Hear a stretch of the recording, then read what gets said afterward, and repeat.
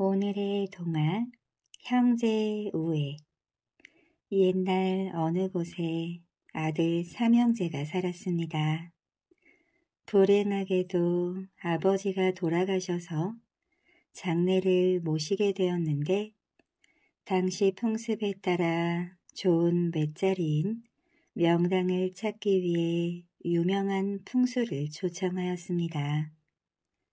명당에 매를 쓰느냐 못 쓰느냐에 따라 돌아가신 부모에게 효도가 되느냐 안 되느냐가 결정되고 또 후손이 잘 사느냐 못 사느냐가 결정된다고 생각하므로 풍수를 모시는 것은 중요한 일이었습니다.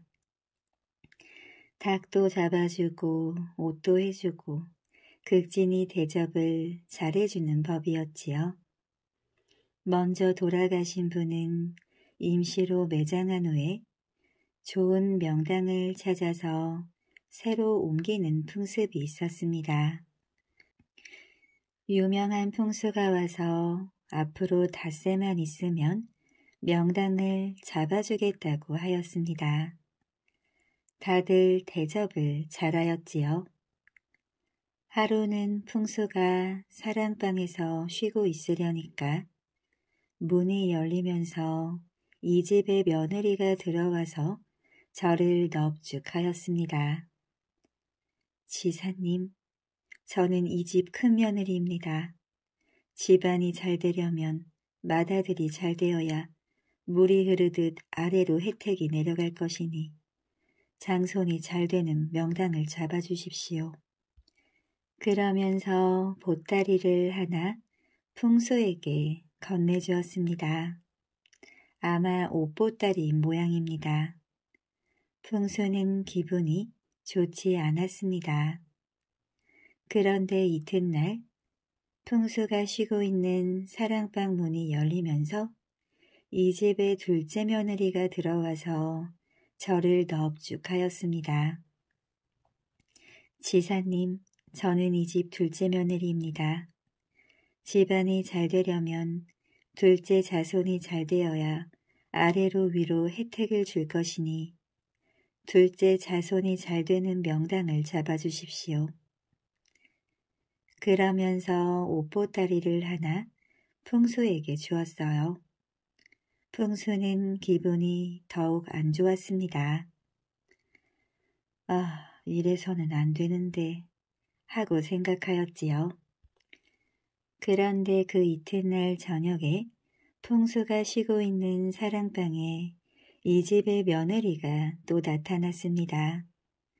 저를 공손히 합니다. 몇째 며느리겠습니까? 지사님, 저는 이 집의 막내 며느리입니다. 끝손인 막둥이가 잘 되게 명당을 잡아주십시오. 셋째 며느리는 이유를 달지도 않고 자기에게 유리한 명당을 잡아달라고 부탁하면서 옷보따리를 하나 풍수에게 내밀었어요.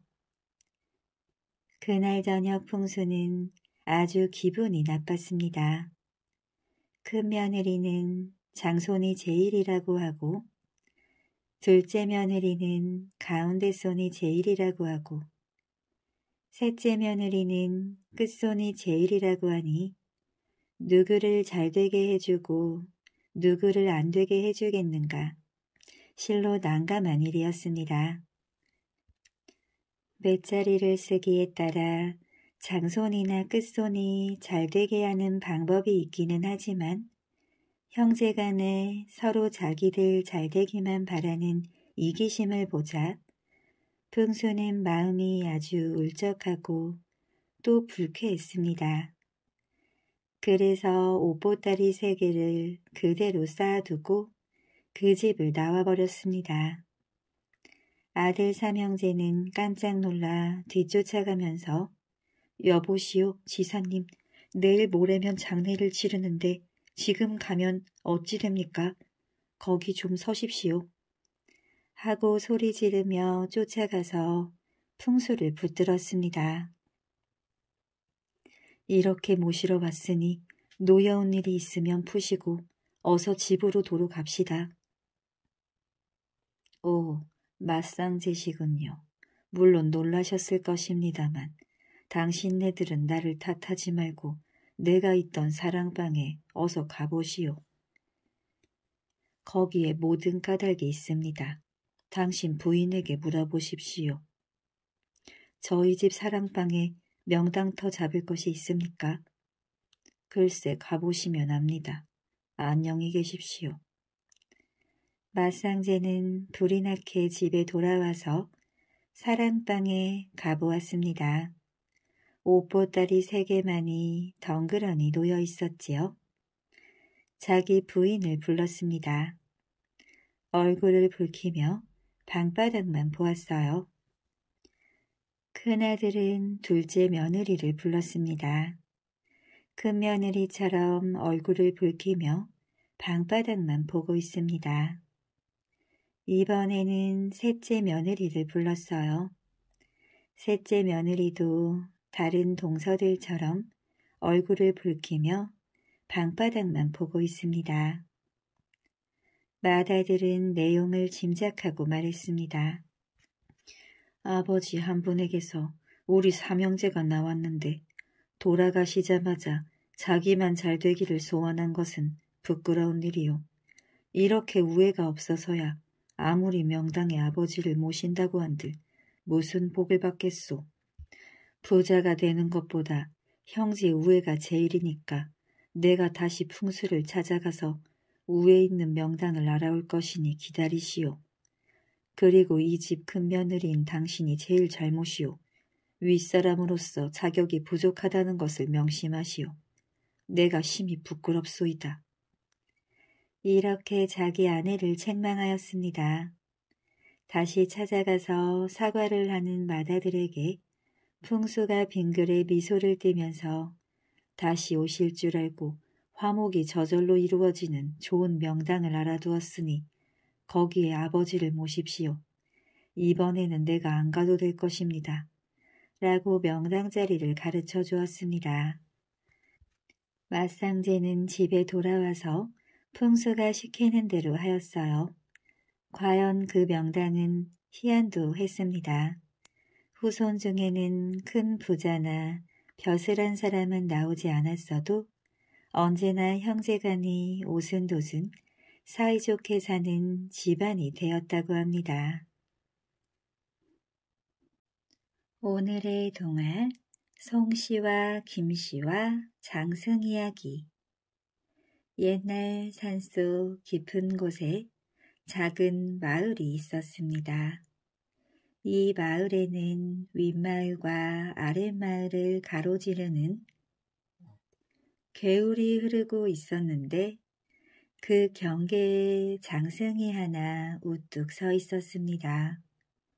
그래서 사람들은 이 마을을 장승이 서 있는 마을이라 하여 장승골이라 불렀습니다. 수백 년 동안 개울가에 서서 마을을 지키고 있는 장승은 소나무보다 더욱 견고한 밤나무로 만들어졌어요.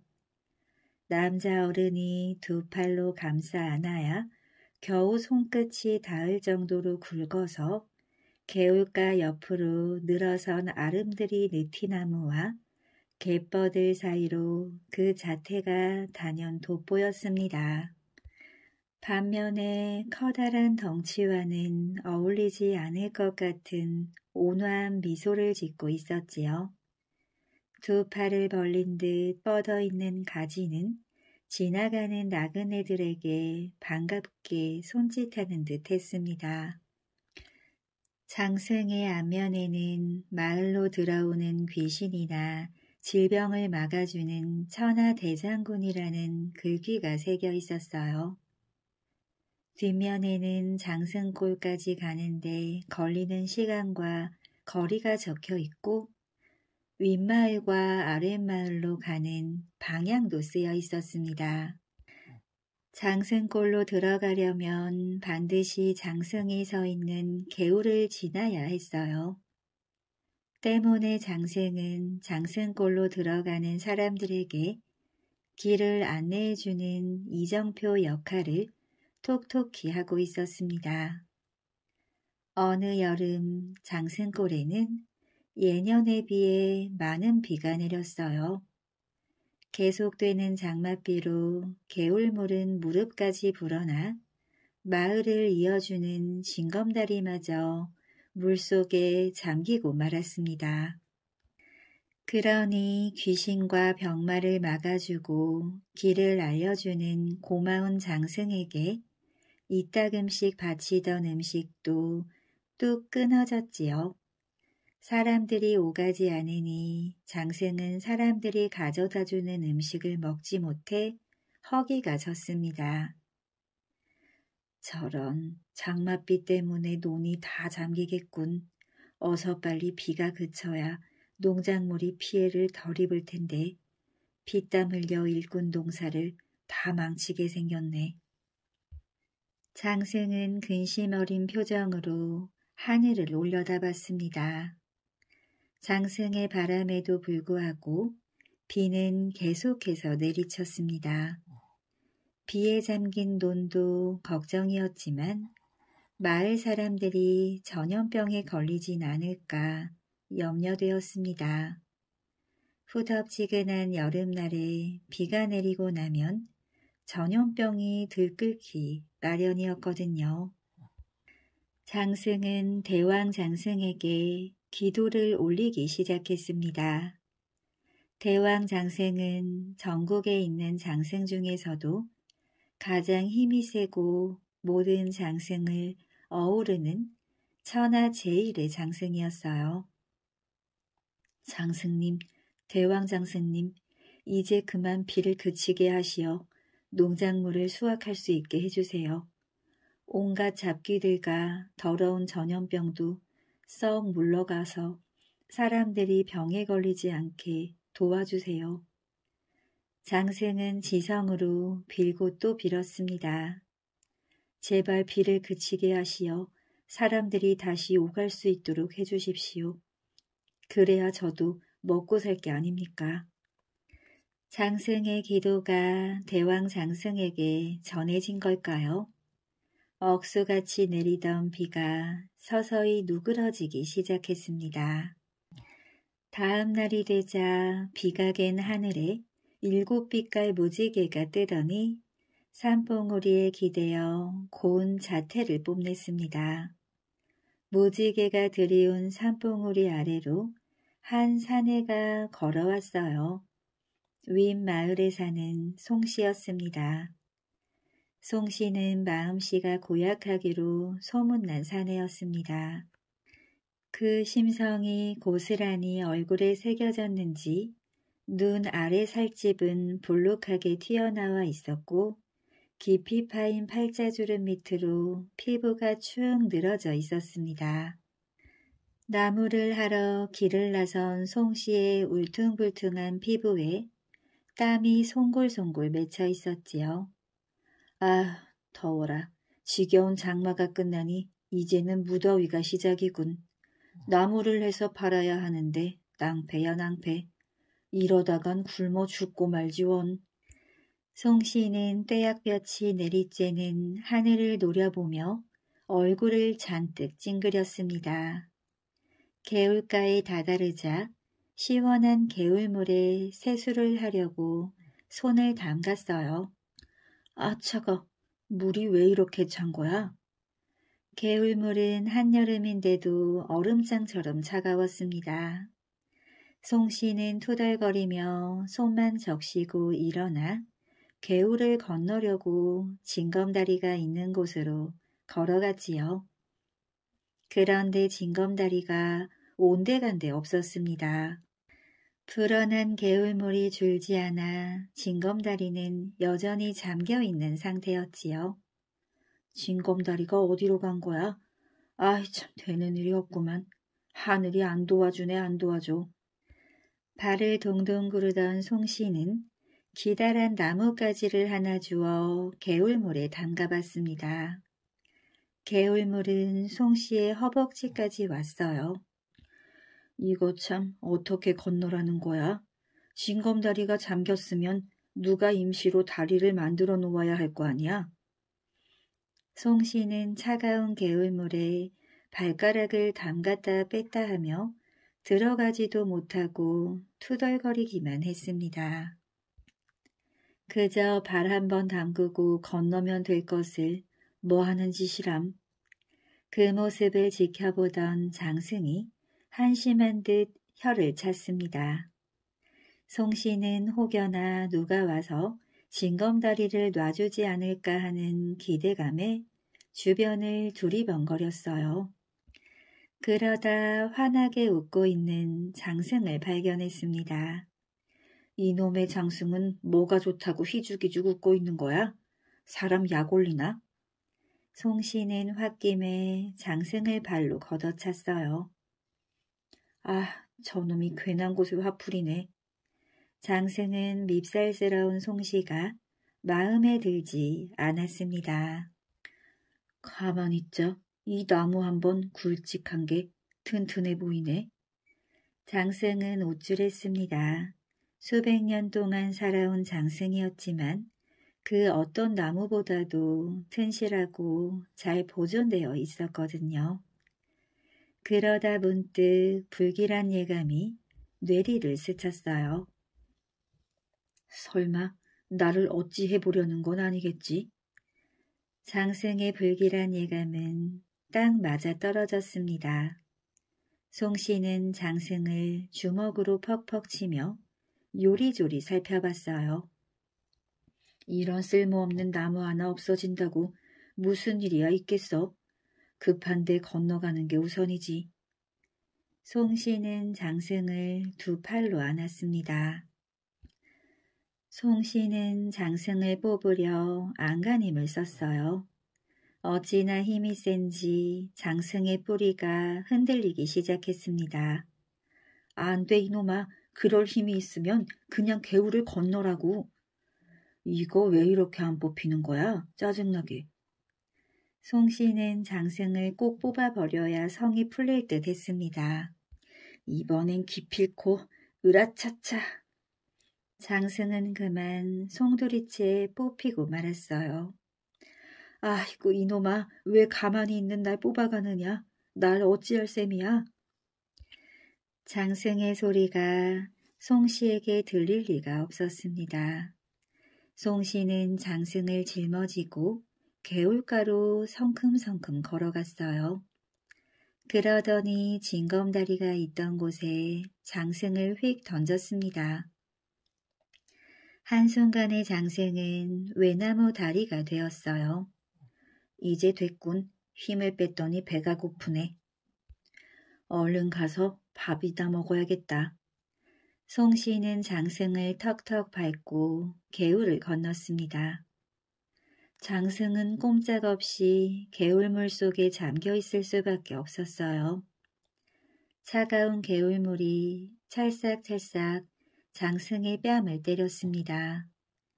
장승은 생각하면 할수록 분해서 견딜 수가 없었어요. 두고 봐라.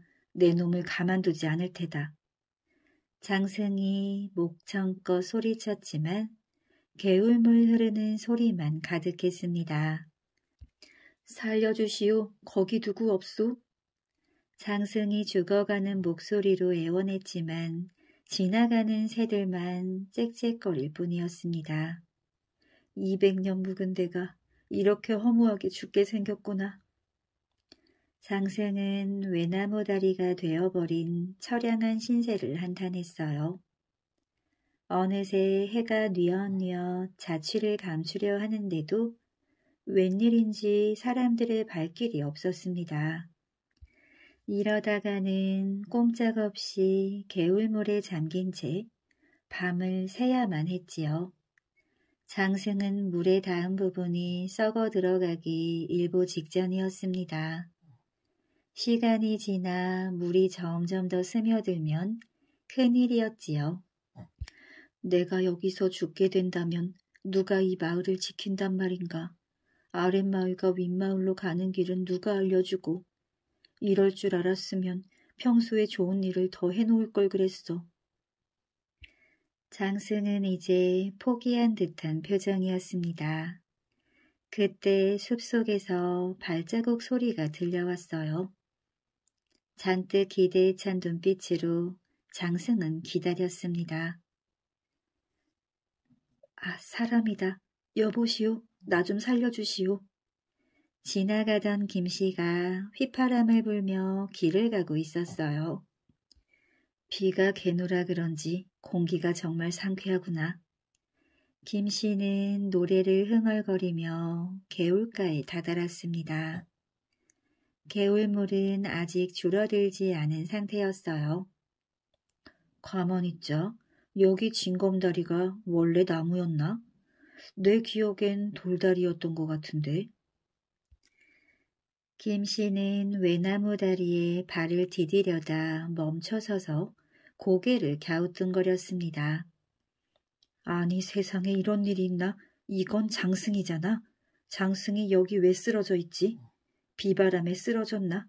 아니야. 그럴 리가 없어. 누가 여기에 장승을 뽑아서 눕혀놨나 보군. 김 씨는 깜짝 놀라 바지를 걷어올리고 집신을 벗어던진 채 개울에 들어가 장승을 여기저기 살피기 시작했습니다. 누가 이런 짓을 했을지 몹쓸 인간이구먼. 장승의 고마움도 모르니. 김 씨는 장승을 번쩍 들어 일으켜 세운 뒤 제자리에 잘 꽂아주었습니다. 고맙네. 장승은 서러워 눈물을 뚝뚝 흘렸어요. 이런 사람은 복을 줘야 해. 김 씨는 장승의 젖은 몸을 닦아주고 진흙이 묻은 몸체를 닦아 글자가 잘 보이도록 했습니다. 사람들이 길을 잃지 않도록 쭉 이정표가 되어주세요. 김 씨는 보찜에서 주먹밥을 꺼내 장승 밑에 두었습니다. 장생은 오들오들 떨며 주먹밥을 한 입 베어 먹으면서 눈물을 뚝뚝 흘렸지요. 장승은 송씨를 혼내줄 방법을 고심했습니다. 아무리 생각해도 방도가 생각나지 않았지요. 마음 같아서는 큰 벌을 내려서 혼쭐을 내고 싶었지만 장승에게는 그럴 힘이 없었습니다. 그렇지, 대장 장승에게 부탁하면 되겠다. 장승은 대장 장승에게 간절히 기도하기 시작했습니다. 장승님, 대장 장승님, 제 이야기 좀 들어보세요. 그러자 하늘에서 환한 빛 한 줄기가 내려오더니 대장 장승의 목소리가 숲속에 울려 퍼졌습니다. 무슨 일로 그리도 간절히 나를 찾은 것이냐. 아 글쎄 윗마을에 사는 송씨라는 놈이 저를 외나무 다리로 만들어버렸지 뭡니까. 다행히 아랫마을에 사는 김씨라는 사람이 저를 원래대로 세워줬으니 망정이지 하마터면 개울물에서 썩어 죽을 뻔했습니다. 장승은 그동안 있었던 일을 대장장승에게 낱낱이 말했습니다. 그래, 내가 어떻게 해주면 내 분이 풀리겠느냐. 장승은 곰곰이 생각한 뒤 말했어요. 저를 외나무 다리로 만들어버린 송씨에게는 무서운 벌을 내려주시고 개울물에서 저를 건져 다시 세워준 김씨는 부자가 되게 해주세요. 대장장승은 장승의 소원대로 송씨에게 무시무시한 전염병을 앓게 했습니다. 병을 얻은 송씨는 꼼짝 못하고 집안에 있어서 평생 끌끌 앓으며 살아야만 했지요. 한편 김씨에게는 어마어마한 금을 주어 평생 먹고 놀아도 될 만한 부자로 만들어 주었답니다. 오늘의 동화 어느 능참봉의 이야기 오늘은 임금님이 오시는 날입니다. 임금의 아버지인 장원세자의 제사를 지내기 위해서지요. 화성 장안문 앞은 임금님 행차를 구경하려고 모여든 사람들로 몹시 붐볐습니다. 마을 사람들은 일찍부터 거리에 나와 목을 쭉 빼고 마을 어귀만 바라보고 있었습니다. 아이들도 임금님을 본다는 사실에 들떠 있었지요. 행차 때가 아니면 평소에 임금님을 볼 기회가 없었던 아이들이었습니다. 좀 지나갑시다. 김찬봉이 사람들 틈에서 머리를 내밀었습니다. 나라에서 높은 사람이 죽으면 커다란 묘를 짓고 그 묘를 보살피도록 했는데 이 일을 하는 관직을 능찬봉이라고 했습니다. 사람들은 이 능찬봉의 성이 김씨라서 김찬봉이라고 불렀답니다. 김찬봉이 사람들 틈에서 겨우 빠져나왔을 때였어요. 멀리서 흥겨운 꽹가리 소리가 들려왔습니다. 대취타 행렬이었습니다. 임금님 행차요 모두 길을 비키시오. 사람들이 뒤로 물러나 바닥에 엎드렸습니다. 김찬봉도 얼른 허리를 숙였지요. 잠시 뒤 새하얀 말이 따가닥 거리며 천천히 걸어왔습니다. 말 위에는 임금이 타고 있었어요. 임금이 탄 백마 뒤로는 수많은 신하들이 따랐습니다. 임금이 가볍게 손을 흔들자 모든 백성이 환호했습니다. 임금의 행렬은 백성의 환호를 뒤로 하고 장안문을 통과하여 행궁으로 향했습니다. 행궁에서는 많은 관리들이 임금을 기다리고 있었습니다.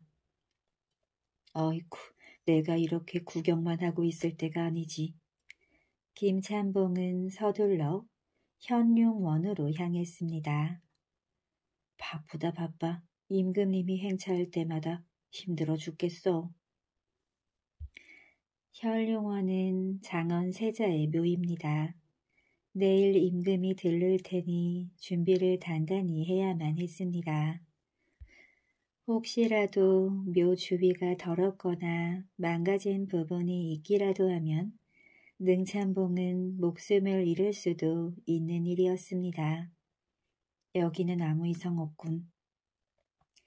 김참봉은 묘 주위를 한 바퀴 돌면서 문제가 있는 곳이 없는지 꼼꼼히 살폈습니다.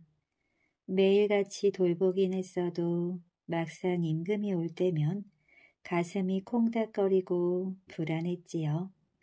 자, 이만하면 됐네. 내일은 정신이 하나도 없을 테니 긴장하지 말고 집에 가서 푹 쉬게. 일꾼들에게 큰 소리로 말했지만 오히려 긴장한 사람은 김찬봉이었습니다. 안 되겠어. 다시 한번 둘러봐야지. 김찬봉은 다시 혈룡원 구석구석을 살핀 뒤 마을로 내려왔습니다. 김찬봉은 발걸음이 무거웠어요. 준비를 철저히 한 것 같은데도 시간이 지날수록 불안해졌습니다. 잠복날이 이제 들어가십니까? 정자에 앉아 막걸리를 마시던 이생원이 손을 흔들었습니다. 오셔서 막걸리 한 사발 드시고 가십시오. 김찬봉과 같은 마을에 사는 이생원은 과거 시험을 준비하고 있었습니다. 마침 목이 칼칼했던 김찬봉은 정자에 올라 이생원이 건네는 막걸리를 단숨에 들이켰습니다. 동네가 시끄러워서 책을 읽을 수가 없어요. 한두 번 오는 것도 아닌데 말이죠. 임금이 행차할 때마다 마을 사람들은 마치 잔치가 열린 듯 기뻐했습니다. 그러게 말일세 임금이 한 달 스물아홉 번 화성에 행차한다는 말도 있지 않나? 한 달에 스물아홉 번이요? 그럼 거의 매일 온다는 말이 아닙니까? 그만큼 자주 온다는 말일세. 임금은 능행할 때마다 수많은 신하를 데리고 화성에 머물렀습니다. 사람들은 임금이 아버진 장원 세자를 얼마나 그리워하면서 이렇게 자주 오겠느냐며 안타까워하기도 했지요. 드디어 그날이 밝아왔습니다. 김찬봉은 긴장한 탓인지 밤새 편안히 잠을 잘 수 없었습니다. 서둘러 옷매무새를 단정히 하고 아침 일찍 현룡원으로 향했습니다. 현룡원은 임금 맞을 준비로 부산했지요. 현룡원에 도착한 김찬봉은 이곳 저곳을 돌아다니며 전날 깨끗하고 완벽하게 준비해 놓은 대로인지 구석구석 살폈습니다. 김찬봉이 마지막 점검을 마쳤을 때 마침 임금의 행렬이 현룡원에 도착했습니다. 김찬봉과 신하들은 두 손을 모으고 허리를 굽힌 채 임금을 맞이했습니다. 수고가 많네. 어려운 일은 없는가. 임금의 나지막한 목소리에 김찬봉이 고개를 들었습니다. 네, 전하. 김찬봉의 목소리가 살며시 떨렸지요.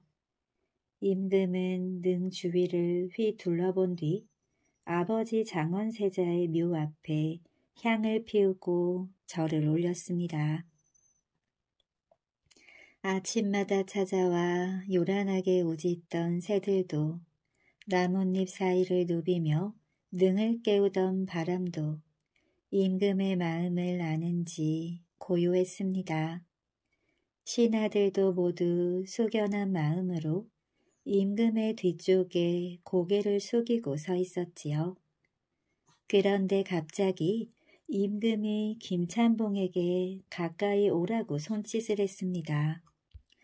김찬봉은 혹 무엇이 잘못되었나 싶어 불안한 마음에 조심조심 임금에게 다가갔습니다. 임금이 천천히 말했어요. 자네가 보기에도 이 땅이 좋아 보이는가? 네, 전하. 이곳은 마른 땅이라 물이 차지 않는 명당입니다. 임금이 고개를 끄덕였습니다. 옛 생각을 하니 마음이 아프구나. 임금은 하늘을 올려다보며 눈을 감았습니다. 장원 세자의 묘는 몇 년 전까지만 해도 지금의 화산이 아닌 경기도 양주의 배봉산 아래에 있었습니다. 그때 임금은 매일 밤 악몽을 꿨습니다. 아버지 장원세자가 나타나서 몸을 덜덜 떨며 울부짖는 꿈이었지요. 이상한 꿈이라고 생각한 임금은 학자들에게 장원 세자의 무덤을 조사하라고 시켰습니다. 얼마 뒤 무덤을 조사한 학자들은 놀라운 사실을 알아냈습니다. 장원 세자의 무덤 속에 물이 흥건하게 차 있던 것이었어요. 아바마마께서 얼마나 추우셨으면 내 꿈에 나타나셨을까? 그 뒤로 임금은 좋은 맷자리를 알아보기 시작했습니다. 그렇게 해서 산세가 빼어난 이곳 수원 화산으로 묘를 옮기게 된 것이었습니다. 아바마마, 이젠 편히 쉬세요. 임금은 눈물을 흘렸습니다. 그리고 오랫동안 그 자리를 떠나지 않았어요. 집에 돌아온 김찬봉은 그동안 쌓였던 피로가 싹 사라지는 듯 했습니다. 이제 끝났구나. 아무 일도 일어나지 않아서 다행이야. 편안한 마음으로 잠이 든 김찬봉은 다음 날 오후가 되어서야 눈을 떴습니다. 계십니까? 아무도 안 계십니까? 김찬봉이 밖으로 나가자 삿갓을 눌러 쓴 노인이 금방이라도 쓰러질 것 같은 모습으로 서 있었습니다. 누구시오? 누군데 날 찾아왔소? 지나던 길인데 다리를 다쳐서 움직일 수가 없소. 하루만 신세를 져도 되겠소? 김찬봉은 모르는 사람을 집 안으로 들이는 것이 마음에 걸렸지만 금방 쓰러질 듯한 노인을 그냥 보낼 수는 없었습니다. 들어오십시오. 먹을거리 좀도 내오리다. 가족도 없이 혼자 살고 있던 김찬봉은 손수 밥을 지어 노인에게 가져다 주었습니다. 노인은 며칠을 굶은 사람처럼 허겁지겁 맛있게 먹었어요. 김찬봉은 그 모습을 가만히 지켜보다가 노인의 찢어진 옷에 시선이 갔습니다. 아니 그 옷밖에 없소. 노인은 김찬봉의 말에는 대꾸도 하지 않고 밥만 먹었습니다. 김찬봉은 벽에 걸어두었던 옷을 노인에게 주었어요. 그리고 다친 노인의 다리에 약초도 발라주었습니다. 노인은 김찬봉이 준 깨끗한 옷으로 갈아입은 뒤 금세 잠이 들었어요. 다음 날 아침 김찬봉이 혈룡원을 돌아보고 집에 와 보니 노인은 떠날 채비를 하고 있었습니다. 잘 쉬웠소. 이 신세를 어떻게 갚아야 할지 모르겠소. 노인이 김찬봉의 손을 꼭 잡으며 말했습니다. 내가 앞니를 볼 줄 아는 재주가 있는데 말해도 될지. 노인은 김찬봉의 얼굴을 뚫어지게 쳐다보며 말을 이었습니다. 3일 뒤 비가 부슬부슬 내릴게요. 비바람이 세차게 불면 나란님 산소에 가서 도포를 덮어두고 누워 있으시오. 노인의 말에 김찬봉은 콧방귀를 뀌었습니다. 갑자기 나라님 산소에 가서 누워있으라니 정신이 나간 노인이라는 생각에 잘 대해준 것이 후회되기까지 했지요. 김찬봉은 노인을 얼른 내보내고 문을 쾅 닫아버렸습니다. 그러자 노인이 문 밖에서 큰 소리로 외쳤습니다. 3일 뒤요. 안 그러면 당신은 죽어. 김찬봉은 그 말을 듣자 화가 나서 문을 휙 열었습니다. 그러나 노인은 이미 사라진 뒤였어요. 김찬봉은 방에 누워 노인이 한 말을 곰곰이 생각해 봤습니다. 나라님의 산소라면 내가 돌보는 장원세자의 등을 말하는 건가? 아니야. 3일 뒤면 임금님은 벌써 한양에 가시고 안 계실 텐데. 김찬봉은 이내 낄낄거리며 웃어댔습니다. 정신 나간 노인의 말은 신경 쓰지 않기로 했지요. 어느새 3일이 훌쩍 지났습니다. 김찬봉의 예상과는 달리 임금은 여전히 행궁에 머물렀습니다. 밤늦게까지 책을 읽던 임금이 내관을 불렀습니다. 한양으로 돌아갈 준비는 다 되었느냐? 네, 전하. 내일은 꼭 가셔야 합니다. 임금은 아랫입술을 질끈 깨물었습니다. 아버지 묘와 가까운 화성을 떠나는 게 싫었기 때문입니다. 그래서 하루를 미루고 또 하루를 미루다 보니 신하들은 빨리 한양으로 돌아가야 한다며 재촉을 했습니다. 임금은 읽던 책을 덮고 자리에 누웠어요. 그리고 막 눈을 감을 때였습니다. 갑자기 천둥치는 소리가 들렸어요.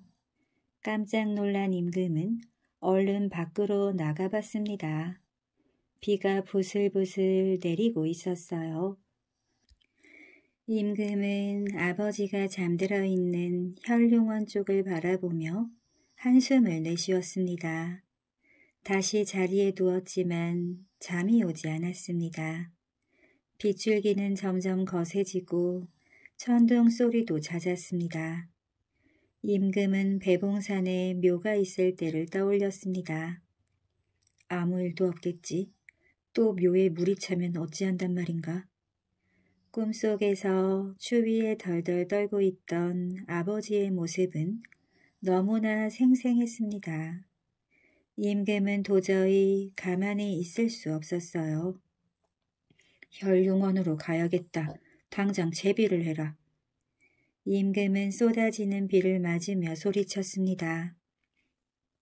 아니 되옵니다. 건강도 좋지 않으신데 비를 맞으면 위험하옵니 어서 비를 피하옵소서. 내관의 말에도 임금은 꼼짝하지 않았습니다. 내 아비는 지금 홀로 비를 맞고 계시는데 아들인 나는 편히 잠을 자란 말이냐. 아바마마의 능에 무슨 일이라도 생기면 어쩌란 말이냐. 전하, 혈룡원은 능참봉이 잘 지키고 있을 테니 걱정하지 마시옵소서. 발을 동동 구르던 내관이 임금을 안심시켰습니다. 그래, 능참봉이 있었지. 당장 능참봉의 집에 가보아라. 만일 그자가 집에서 편안히 잠을 자고 있다면 그놈을 절대 용서하지 않겠다.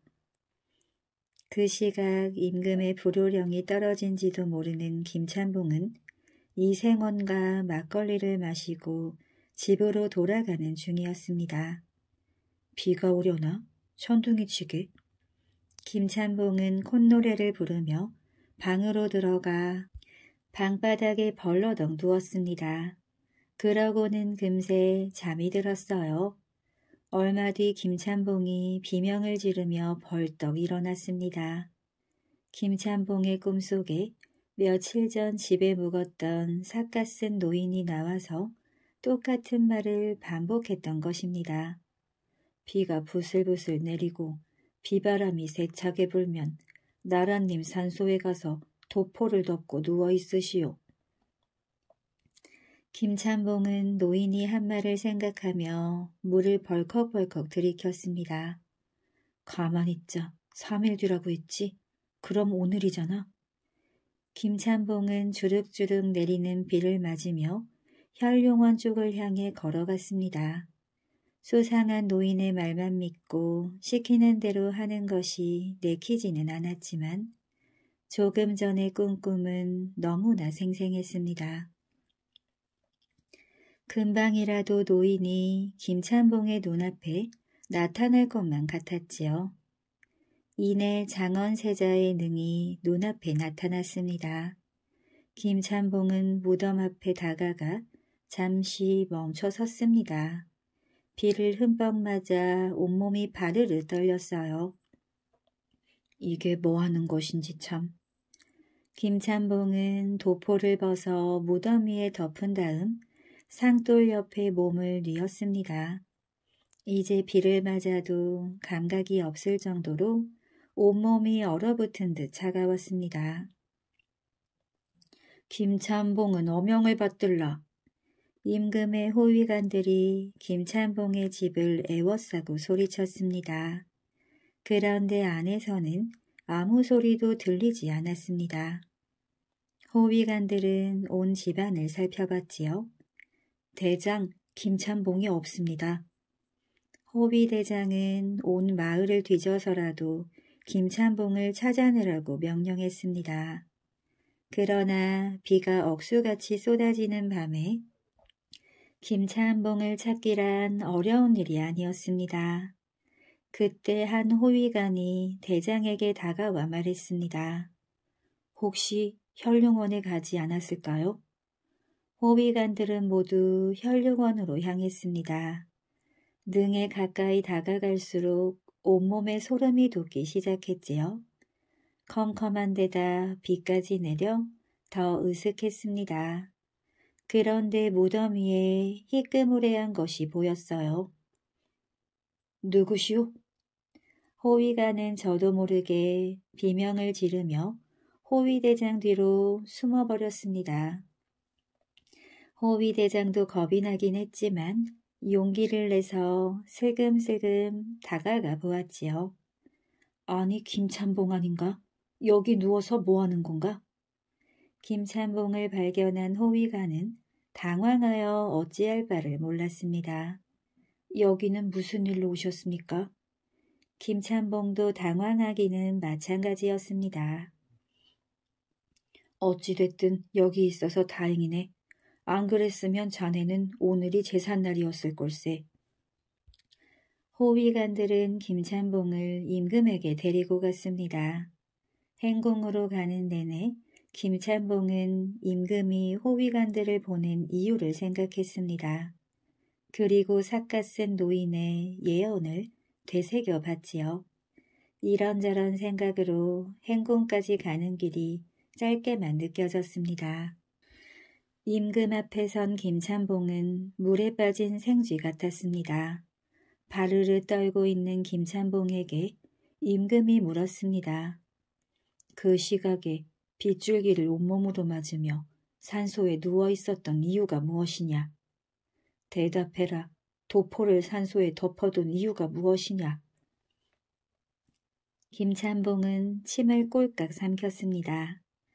네, 전하. 저는 장원세자의 능을 지키는 능찬봉으로서 장원세자께서 비를 맞고 계신데 신하인 제가 감히 편히 누워 잘 수 없었습니다. 그래서 제 도포로 장원세자의 능을 덮어 비를 안 맞게 하고 그 곁에서 잠들려 했지요. 임금은 김찬봉에게 다가가 그의 손을 부여잡았습니다. 꼭 잡은 두 손 위로 눈물이 떨어졌지요.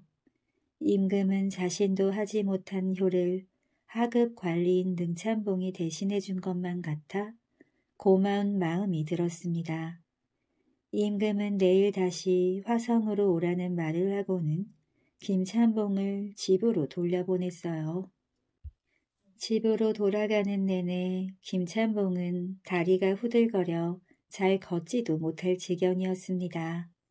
만일 노인의 말을 듣지 않고 집에 있었다면 어떻게 되었을까요?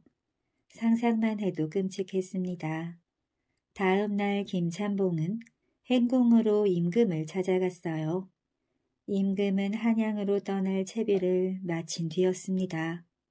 내가 또 언제 올지 모르니 가기 전에 용주사에 들러 아바마마께 인사를 올리고 가려 한다. 네가 같이 가주겠느냐? 임금과 김찬봉은 용주사에서 제사를 지내고 절을 올렸습니다. 이것을 받아라. 임금은 김찬봉에게 관복 한 벌을 건넸어요. 이것이 무엇이옵니까 전하? 내 중심에 감동하여 너를 수원 유수로 명하노라. 김찬봉은 갑자기 내려진 벼슬에 감격하여 관복을 꼭 껴안고 눈물을 흘렸습니다. 그리고 앞으로 화성과 혈룡원을 더욱 소중히 돌보겠다고 다짐했다고 합니다.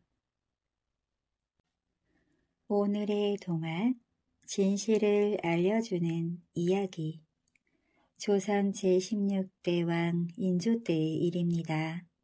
임금은 남한산성이 자꾸 허물어져 가는 것이 걱정이었어요. 남한산성은 수도 한양을 지키는 무척 중요한 산성이기 때문입니다. 오래전에 흙을 쌓아 만든 산성이라 잦은 전쟁으로 성벽 군데군데가 주저앉았습니다. 임금은 장군 중에서 으뜸인 이서 장군을 남한산성으로 보냈습니다. 성벽을 따라 따스한 봄 햇살이 비치고 햇발 사이로 풀싹들이 삐죽삐죽 고개를 내밀 때였습니다. 바람에 펄럭이는 깃발을 높이 쳐든 병사들이 남한산 마루에 줄지어서 있었습니다. 병사들 무리 앞으로 붉은색 갑옷과 투구를 갖춰 입은 장군 한 명이 말에서 내리더니 성큼성큼 걸어서 성벽 이곳 저곳을 둘러봤습니다. 그 뒤를 꼼꼼하고 철저하다고 소문난 이회 장군과 많은 스님들의 존경을 받는 벼감 대사가 따랐습니다. 외적의 침입을 가장 잘 막아낼 수 있는 모양새를 갖추고 있다며 이서 장군이 입을 열었습니다. 이서 장군은 오랜 전쟁의 경험으로 남한산성을 한눈에 알아봤지요. 칼로 도려낸 듯 가파른 산세가 적들이 쉽게 기어오를 수 없는 곳입니다. 이회 장군이 맞장구를 쳤습니다. 이서 장군을 도와 전쟁터를 함께 누빈 이회 장군은 누구보다 그의 뜻을 잘 헤아리는 사람이었습니다. 성 안으로는 넓은 밭이 있고 물이 풍부하여 장기전에 대비하기 좋은 곳이지요. 승복이 멋스럽게 어울리는 벼감대사도 한마디 거들었습니다. 성곽의 길이가 어른걸음으로 한나절은 좋게 걸리는 길이요. 이곳을 돌로 다시 쌓는 일은 결코 만만한 일이 아닐 것이요. 이 서장군은 의미 있는 눈길로 두 사람을 바라보며 말을 이었습니다. 쉽지 않은 일이기에 두 사람에게 이 일을 맡기기로 결정했소. 나라를 지키는 튼튼한 성을 쌓아주리라 믿소. 이서 장군의 말이 끝나자 산마루에서 차가운 바람이 세차게 불어와 세 사람 사이를 휘돌아 나갔습니다. 남한산성을 반으로 나누어 동남쪽 성벽은 이회 장군이 맡고 북서쪽 성벽은 벼감대사가 맡았습니다. 해도 채 뜨지 않은 이른 새벽이었어요. 이회 장군은 벌써 산에 오를 채비를 마쳤습니다. 산성을 오르기에는 너무 이른 시간입니다. 부인 송씨가 조심스럽게 입을 열었습니다. 책임을 맡은 자가 게으름을 피우면 따라오는 사람들도 게으름을 피우기 마련이요. 또한 성을 쌓는 일은 나라를 지키는 일이나 마찬가지요. 어제도 늦도록 일하시느라 잠도 제대로 못 주무셨잖아요. 건강을 해치실까 걱정이 됩니다. 임금님께서 나를 믿고 맡기신 일이요. 이 한 몸 바칠 각오로 하는 일이지. 누구보다 남편을 잘 아는 부인은 더 이상 말을 잇지 않았습니다. 그저 조용히 남편의 옷매무새를 가다듬어 주었지요. 장군은 산성에 다다르자마자 신하들을 불러 모았습니다. 장군이 새벽 햇살을 받으며 우렁찬 목소리로 말했어요. 먼저 성벽 주변의 나무들부터 모두 베어라. 장군의 명령을 이상하게 여긴 신하 한 명이 나서서 물었습니다. 장군님, 나무를 베어내는 일은 시간이 많이 걸리는 큰일입니다. 그냥 성벽부터 쌓아 올려야 하지 않을까요? 나무는 자랄수록 뿌리가 깊어지고 멀리 퍼져 시간이 갈수록 성벽을 약하게 만든다. 그러니 나무를 베어내고 땅을 다져야 아무리 세월이 흘러도 무너지지 않는 튼튼한 성벽이 될 것이다. 이회 장군은 강한 목소리로 신하들에게 일렀습니다. 일꾼들은 장군의 명령에 따라 나무를 베기 시작했어요. 산비탈에서 아른들이 나무를 베어내는 일은 쉽지 않았습니다. 퍽퍽 도끼질 소리가 산성에 울려 퍼졌어요. 쓰러진 나무를 톱으로 잘라 옮기기를 반복했습니다. 사람들은 영차를 외치며 힘을 모아 일했어요. 나무들을 모두 베어내고 나서야 이회 장군은 땅을 파고 다지는 일을 시켰습니다. 일꾼 가운데 반은 한쪽에서 땅을 파고 다졌고 나머지 반은 다른 한쪽에서 돌을 다듬고 깎는 일에 여념이 없었습니다. 북서쪽 성벽을 맡은 벼감대사는 전국에서 스님들을 불러 모았습니다. 전국 사찰의 소식은 보냈느냐? 일손이 부족하다. 벼감대사는 작은 눈을 크게 빛내며 물었습니다. 밤새도록 달려온 스님들이 지금 개원사에 모여 있습니다. 작고 깡마른 스님이 대답했습니다. 계속해서 스님들을 불러 모아라. 우리가 동, 동남쪽 성보다 먼저 일을 끝내야 한다.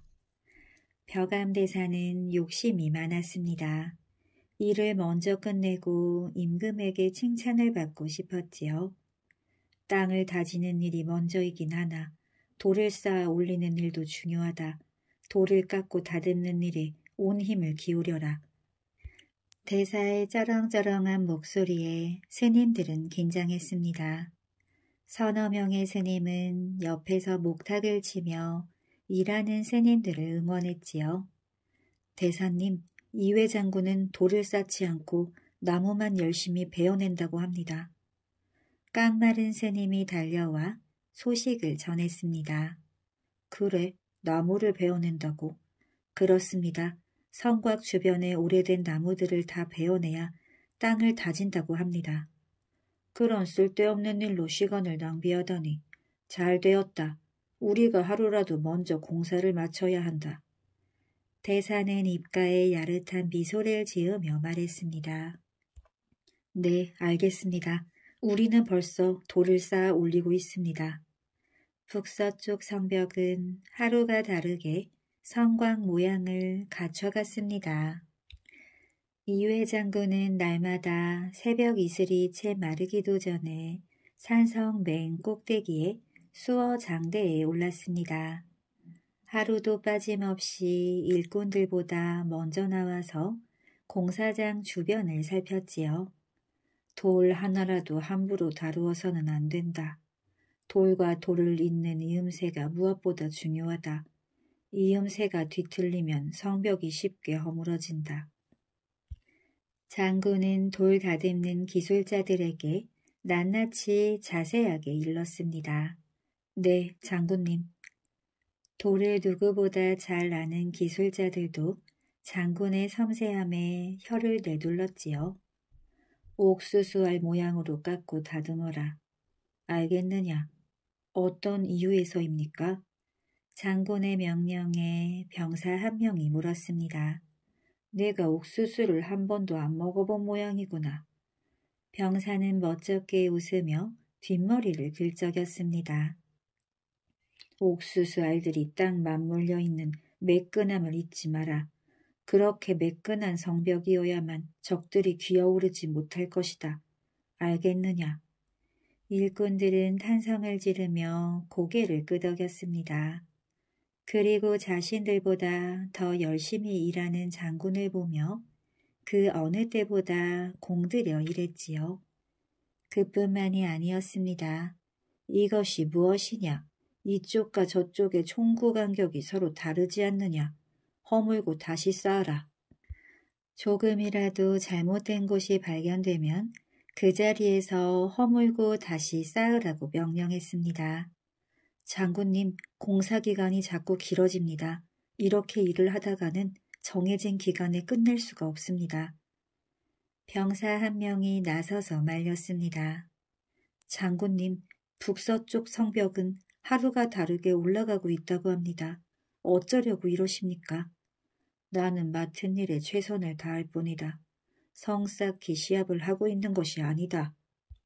장군은 단호한 목소리로 말했습니다. 잘못된 것을 지금 바로잡지 않으면 전쟁 때 적군에게 당하고 말 것이다. 이것을 당장 허물고 다시 맞추어 쌓아라.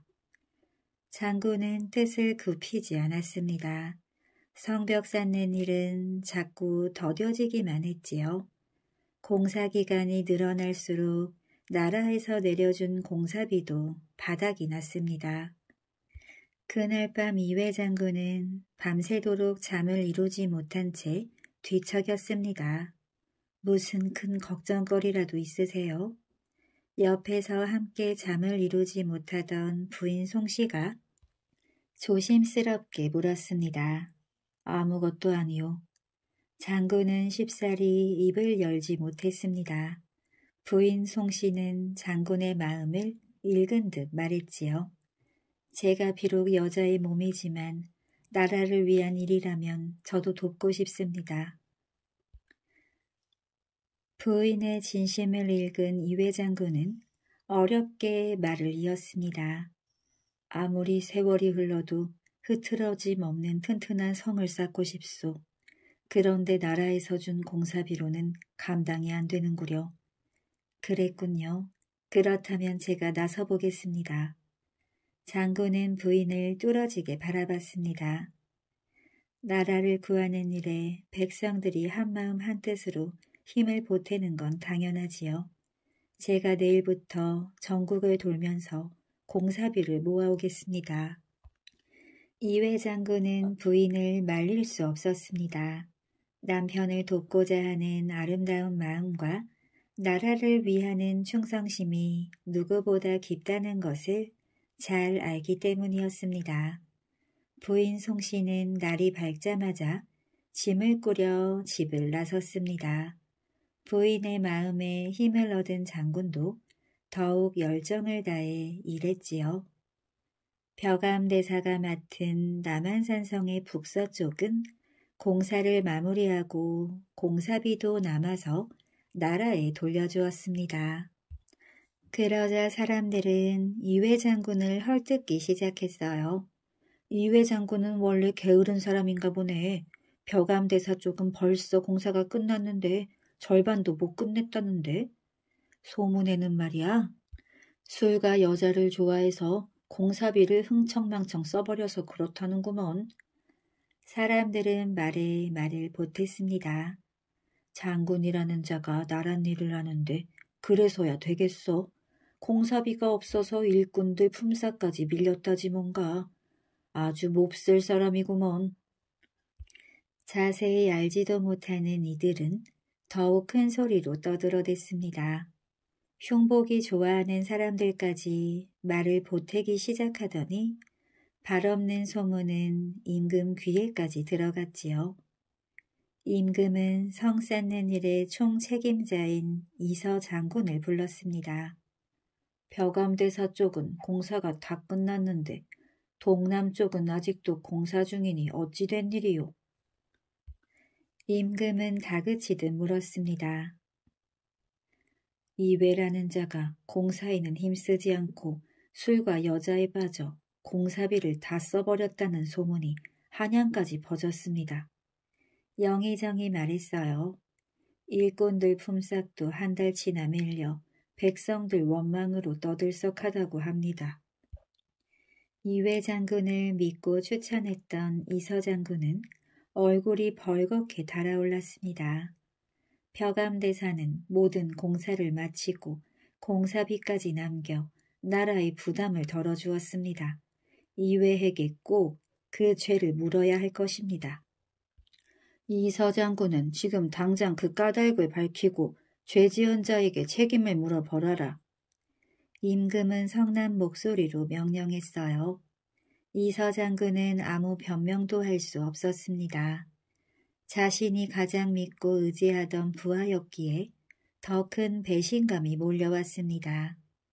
이 서 장군은 한달음에 남한산성으로 달려갔어요. 당장 이회를 불러들여라. 이회 장군은 아무것도 모른 채 열심히 공사장을 돌며 일꾼들을 격려하고 있었습니다. 병사들은 이회 장군에게 달려가 죄인 다루듯 밧줄로 손을 묶고 이서 장군 앞으로 끌고 왔습니다. 내 이놈, 너를 믿고 나라에 큰일을 맡겼는데 어찌 믿음을 저버리고 공사에 대만했느냐. 이서 장군의 목소리가 칼날처럼 산성 마루에 꽂혔습니다. 저는 맡은 바 책임을 다했습니다. 공사 기간을 맞추지 못한 것은 큰 죄이나 성 쌓는 일에는 조금의 소홀함도 없었습니다, 장군. 병사들이 이회 장군을 땅바닥에 꿇어앉혔습니다. 용서를 빌어도 시원치 않을 놈이 감히 변명을 늘어놓다니 공사를 지연시키고 공사비로 술까지 마시고도 네가 무사할 줄 알았느냐. 이 서 장군은 화가 치밀어 벌떡 일어나 고함을 질렀습니다. 공사비로 술을 마시다니요. 억울합니다, 장군. 이회 장군은 상상치 못한 이서 장군의 말에 말문이 막혔습니다. 당장 내 놈을 잠수형에 처하라는 어명이시다. 참수형은 나라를 배신하거나 국가에 큰 피해를 입힌 죄인들에게 내리는 죽음의 형벌이었습니다. 소식을 들은 마을 사람들이 수어장대 앞마당으로 모여들었습니다. 죽는 것은 두렵지 않으나 너무나 억울하고 원통합니다. 저의 결백은 하늘이 알고 땅이 알고 있습니다. 분명 하늘이 제 뜻을 알려줄 것입니다.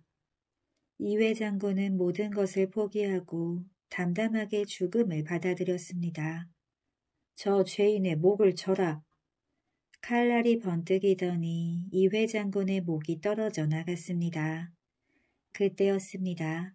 이회 장군의 목에서 매 한 마리가 나오더니 푸드덕 날아올랐어요.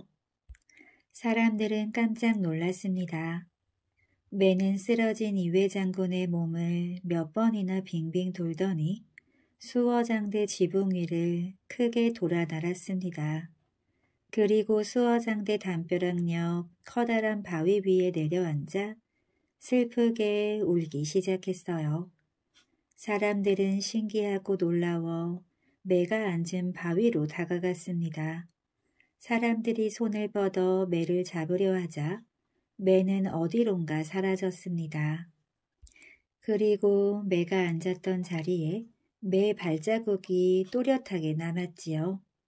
괴이한 일일세 어찌 죽은 사람 몸에서 새가 나온단 말인가. 그것도 매가 말이야. 누군가 입을 열었습니다. 그냥 매가 아닌 게지. 딱딱한 바위에 저리 선명하게 발자국을 남기는 매가 세상에 어디 있나.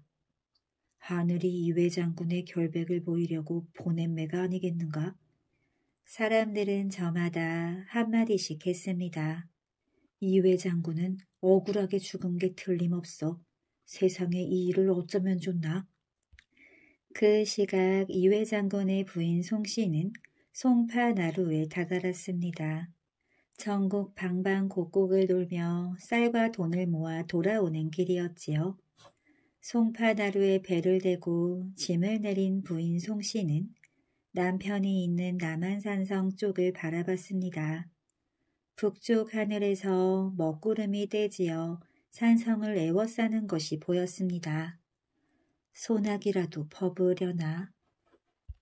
마님, 장군님께서, 장군님께서. 마당새가 숨이 턱에 차도록 달려와서는 말을 잇지 못했습니다. 어서 말하지 않고 뭐 하느냐. 불안한 마음에 송씨 부인이 다그쳐 물었지요. 마당새는 엎드려 울면서 이회 장군의 죽음을 알렸습니다. 장군님께서 무고한 두 명을 쓰고 지금 산성에서 참수형을 당하셨습니다. 송씨 부인은 놀라 기절하고 말았어요. 정신을 차린 부인은 한참을 울부짖었습니다. 목 놓아 울던 부인이 뭔가를 결심한 듯 자신이 모아온 쌀가마니를 모두 강물에 던져버렸습니다.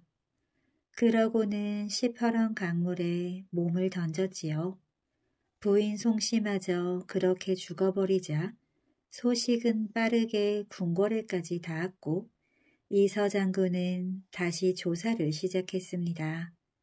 한양에서 이름난 기술자들을 불러 모아 산성공사 현장 전체를 차근차근 꼼꼼하게 살폈습니다.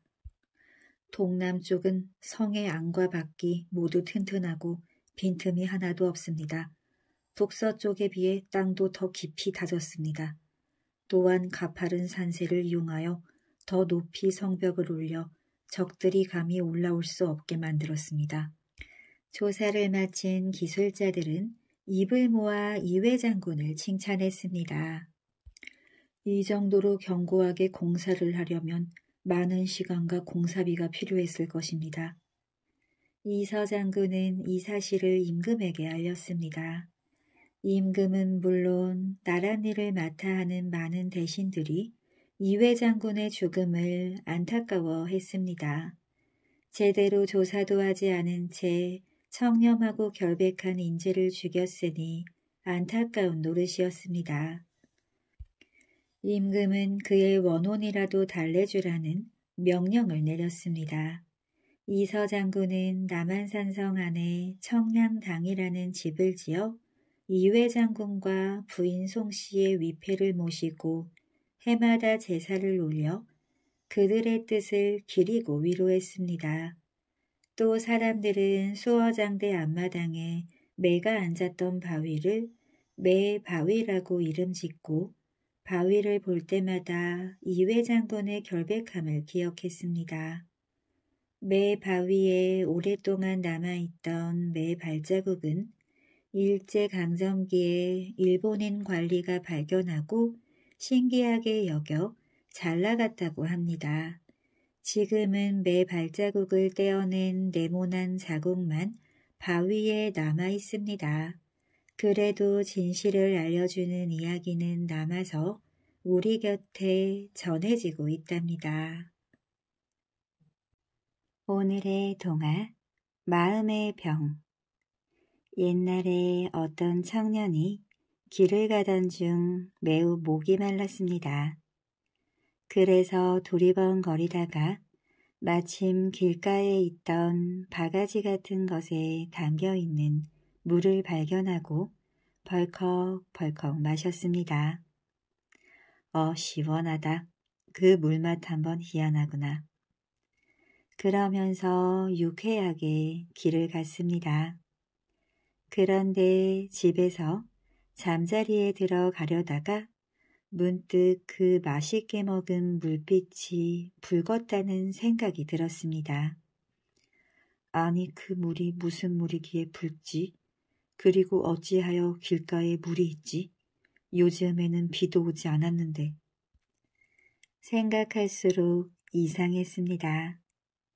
이런 생각을 하자 속이 메슥메슥하였습니다. 아니 그 물이 무엇이기에 이처럼 속이 메스꺼울까? 되돌아가서 자세히 보아야겠다. 하고 청년은 불안한 마음으로 초롱불을 켜들고 그 물이 있던 곳으로 갔습니다. 물은 조금밖에 없었습니다. 있던 물을 자기가 거의 다 먹어버렸기 때문이지요. 그래서 청년은 엎드려서 불을 비추어가며 조금 남아있는 물을 자세히 살펴보았습니다. 잘 보이지는 않지만 붉은 벌레 같은 것이 들어있는 듯 했습니다. 여기에 붉은 벌레가 있구나. 하도 작아서 벌레 같기도 하고 아닌 것도 같은데 어쨌든 몸에 좋지 않은 물은 틀림없어. 혹시 송장 썩은 물인지도 몰라. 아이고, 이제 큰일 났다. 청년은 겁이 났습니다. 그러는 순간 배가 사르르 사르르 아파오기 시작했지요. 아이고 배야, 나 죽겠네. 간신히 집으로 돌아온 청년은 토하고 설사하며 밤을 새웠습니다. 놀란 식구들이 까닭을 묻자 낮에 이상한 물을 먹었다고 이야기했습니다. 식구들은 횃불을 켜들고 그 자리에 가서 남은 물을 조사하였습니다. 붉은 물에서 벌레 같은 것이 아른거렸지요. 이튿날 용하다는 의원을 찾아가서 이상한 붉은 물 때문에 병이 생겨 한숨도 못 잤다고 말을 하였습니다. 의원은 심각하게 듣더니 그러니까 그 붉은 물이 병을 일으켰다는 말이지요. 그럼 뱃속에 들어간 나쁜 것을 어서 밖으로 빼내야겠습니다. 이런 병이 가끔 생기는데 내가 몇 번 고쳤지요. 안심하시고 지어준 환약을 세 번 먹되 한 번에 서른 알을 먹으시오. 그러면 내일 아침 안으로 몸에 들어간 붉은 벌레는 다 죽어서 나올 것이요. 뒤를 보고 붉은 빛인가 아닌가 살펴보면 됩니다. 붉은 변이 나오면 다 나은 것입니다. 안심하시고 어서 가서 드시오. 약값이 좀 비싸니까 그리 하시고 약은 남김없이 다 드시오. 경과가 좋으면 내일 낮에 다시 오시오. 그러면 내일은 몸을 보하는 보약을 지어드리리다. 라고 말하였습니다. 청년은 기뻐하면서 집에 돌아가 의원이 시킨 대로 하였습니다. 용하기도 하지요. 과연 의원이 말한 대로 붉은 변이 나왔습니다. 붉은 벌레가 죽어서 나온 것입니다. 청년은 거뜬히 나았습니다. 그렇게 기쁠 수가 없었지요. 의원이 무척 고마웠습니다. 그래서 이튿날 가벼운 마음으로 의원에게 선물을 사들고 찾아갔습니다. 참 용하십니다. 씻은 듯이 나았습니다. 어쩌면 그렇게 제 병을 한 번에 낫게 하셨습니까? 그러자 의원은 어제 받은 약값이 비싸다고 하며 많이 받은 약값을 도로 청년에게 주었습니다.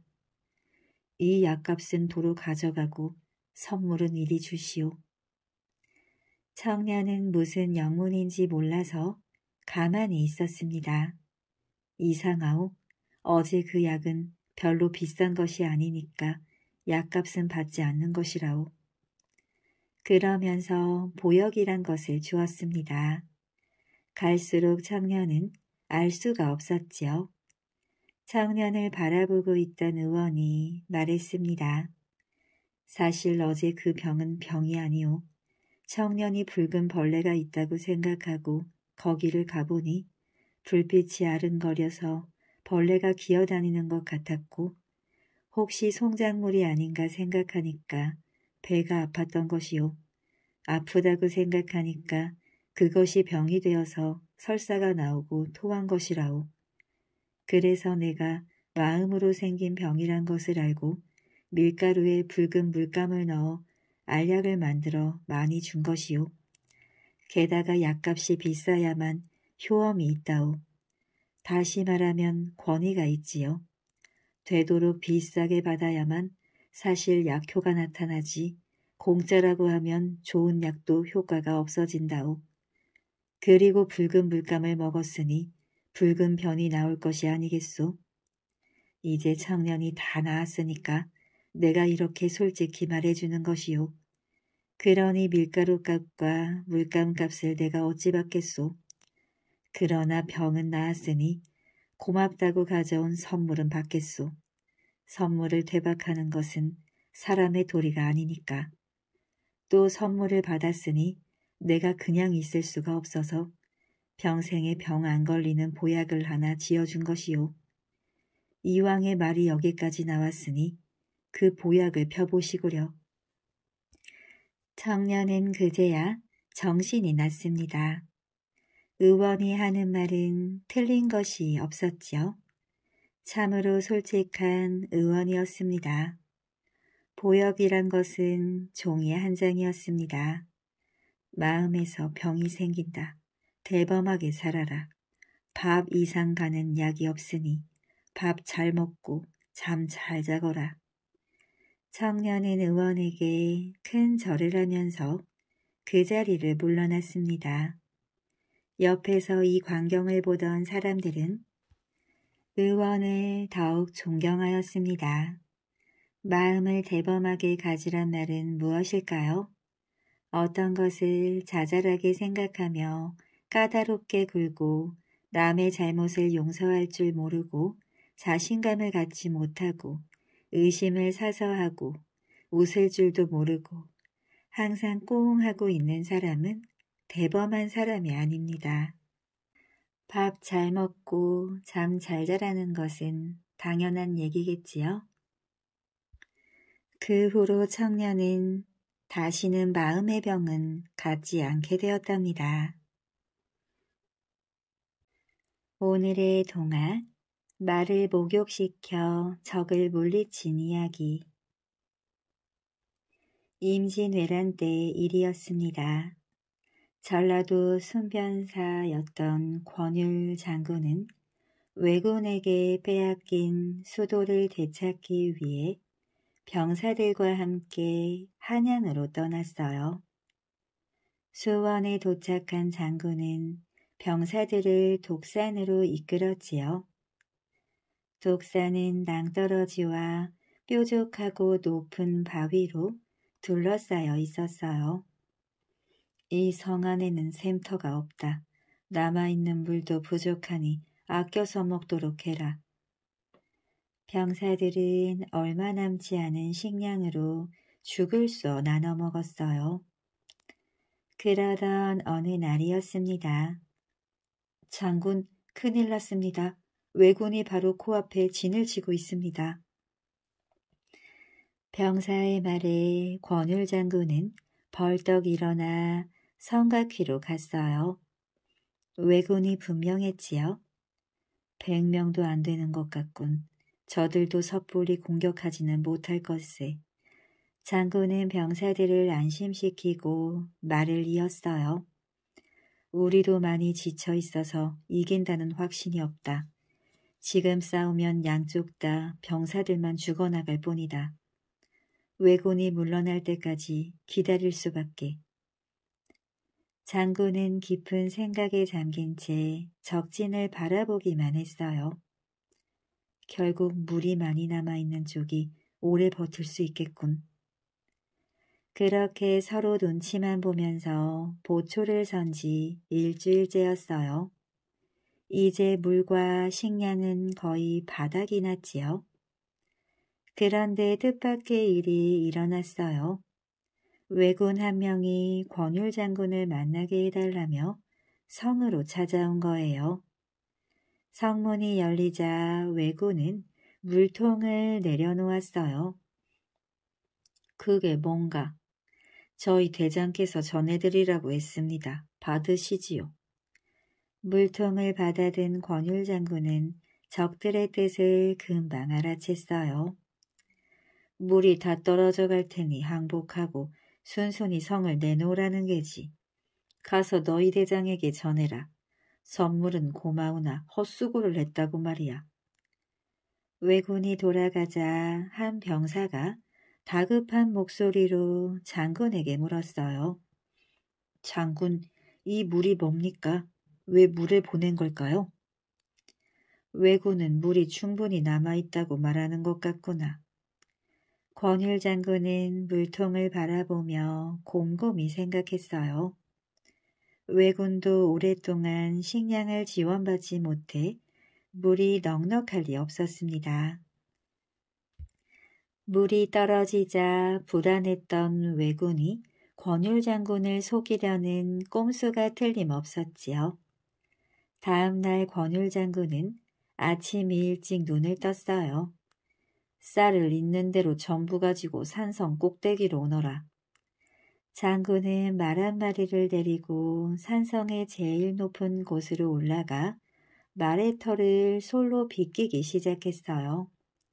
말은 기분이 좋은지 크게 울었답니다.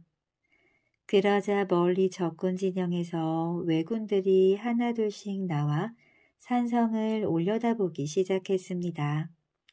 자, 이제 가져온 쌀을 말에게 부어라. 병사들은 장군이 시키는 대로 말에게 쌀을 부었어요. 멀리서 보면 우리가 말을 목욕시키는 줄 알 거다. 그제야 병사들은 권율 장군의 뜻을 이해할 수 있었지요. 한편 산성 꼭대기를 올려다보던 왜군이 깜짝 놀라 소리쳤어요. 저, 저게 뭐야? 말을 목욕시킬 정도로 물이 많은 거야? 장군의 군대에 물이 떨어지기만 기다리고 있던 왜군은 힘이 쫙 빠졌어요. 저 산성 안에 샘터가 있는 모양입니다. 샘터가 있다면 조선군은 다시 싸울 기력을 회복했을 겁니다. 그 말을 들은 왜군 대장이 병사들에게 소리쳤어요. 우리는 오늘 독산을 떠날 것이다. 모두 퇴각하라. 권율 장군과 병사들은 왜군에 떠나는 뒷모습을 지켜보며 환호했습니다. 권율 장군 만세! 이후 사람들은 독산성 꼭대기를 세마대라고 불렀어요. 세마대는 평평한 곳에 말을 세워놓고 목욕을 시켰다는 뜻이랍니다.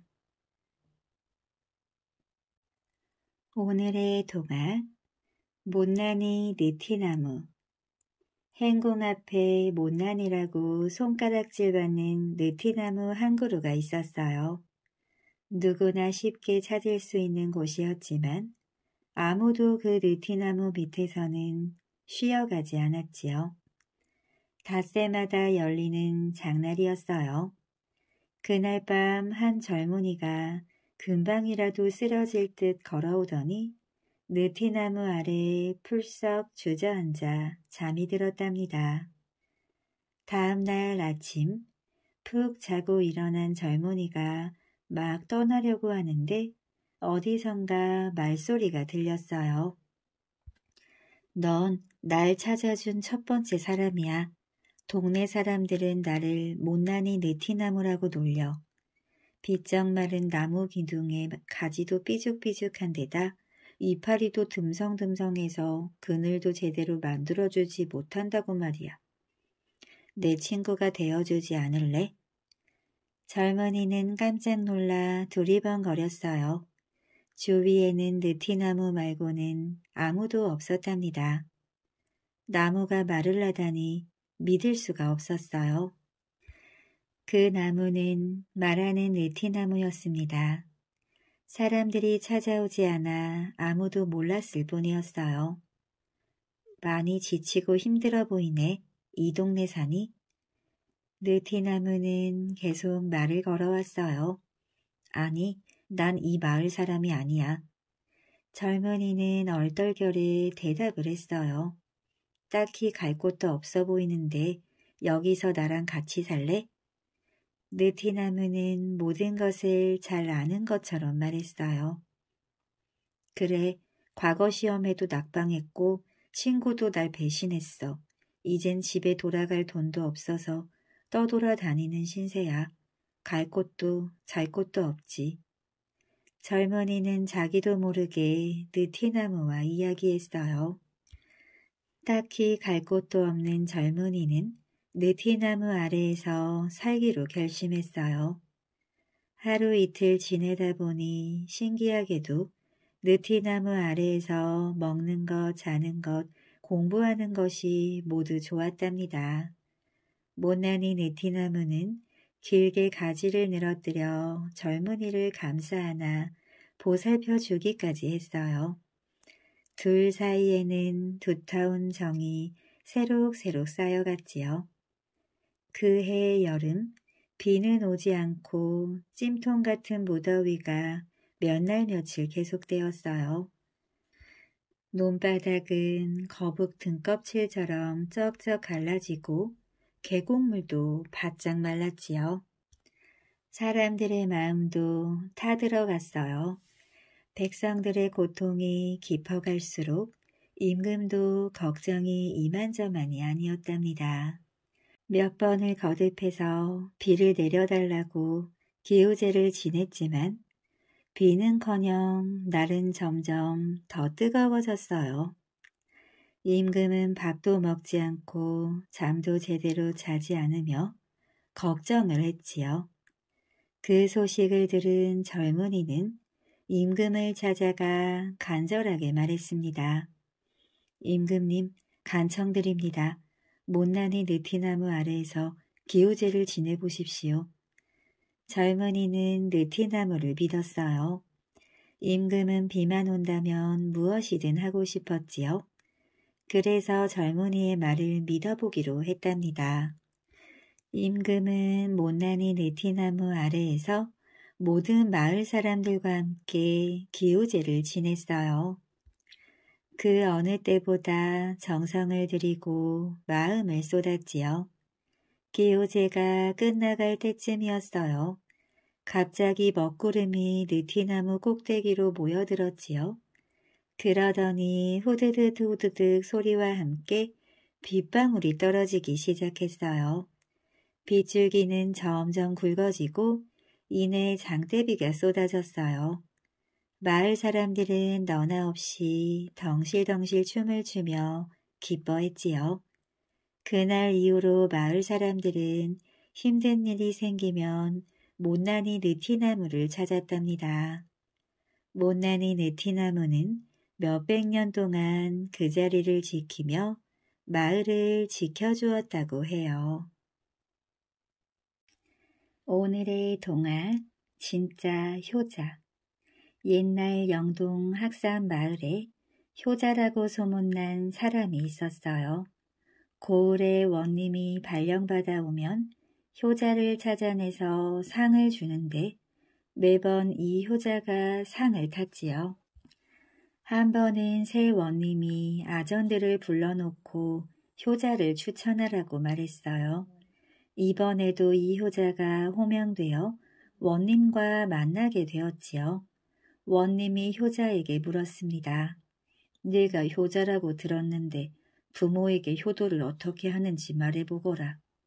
예, 소인은 어미가 죽은 지 10년이 되어 홀로 되신 아버지를 모시고 있습니다. 그저 늙은 아비를 어떻게든 편하게 해드리려고 드시고 싶은 거 있다면 사다 드리고 손자들 보며 소일하도록 하는 것이죠 뭐. 별다른 효도를 하는 것은 없습니다. 효자는 겸손하게 얘기를 했어요. 그러니 새 원님이 또 물었지요. 그럼 내 어미가 죽고 10년간 내 아비는 호라비로 지냈구나. 예, 그렇습니다. 저놈 상은커녕 엎어놓고 볼기 좀 때려라. 지 애미가 죽은 지 10년이 됐는데 애비를 호래비로 그냥 둬 저런 불효가 있단 말이냐. 이라고 엎어놓고 볼기를 때렸어요. 효자가 가만히 생각하니 참 억울하고 기가 막혔습니다. 상을 매번 타다 이번엔 볼기로 상을 대신했으니 왜 아니겠어요.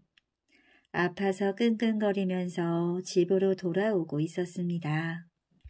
한편 늙은 아버지는 문을 열어놓고 아들을 기다리고 있었지요. 내 자식이 또 좋은 상을 타가지고 오겠지. 늙은 아버지가 싱글벙글 기다리는데 아들이 설설 기어들어 오면서 끙끙 앓고 있었습니다. 아이고, 너 이게 뭔 일이냐? 늙은 아버지가 기겁을 하며 아들에게 물었어요. 효자는 아버지에게 원님이 한 얘기를 그대로 전했습니다. 늙은 아버지가 뭐라고 했을까요? 무릎을 탁 치면서 말했답니다. 야, 인제야 우리 고을의 명사또가 왔구나. 늙어서 호래비로 지낸다는 게 참 괴로운 일인가 봅니다. 오늘의 동화 효자 우물 옛날에 남한산성 북문 쪽에 정남이라는 소년이 살았어요. 아버지랑 단둘이 하루 벌어서 하루를 근근히 살아갔지요. 어느 날 아버지가 알 수 없는 병에 걸려 꼼짝 못하고 누워 있었어요. 정남은 너무 어려서 일을 할 수 없었기 때문에 할 수 있는 일이라고는 집집마다 다니며 구걸하는 일뿐이었답니다. 매서운 칼바람이 옷깃을 파고드는 날에도 정남은 아버지에게 드릴 끼니를 구하러 동량을 다녔어요.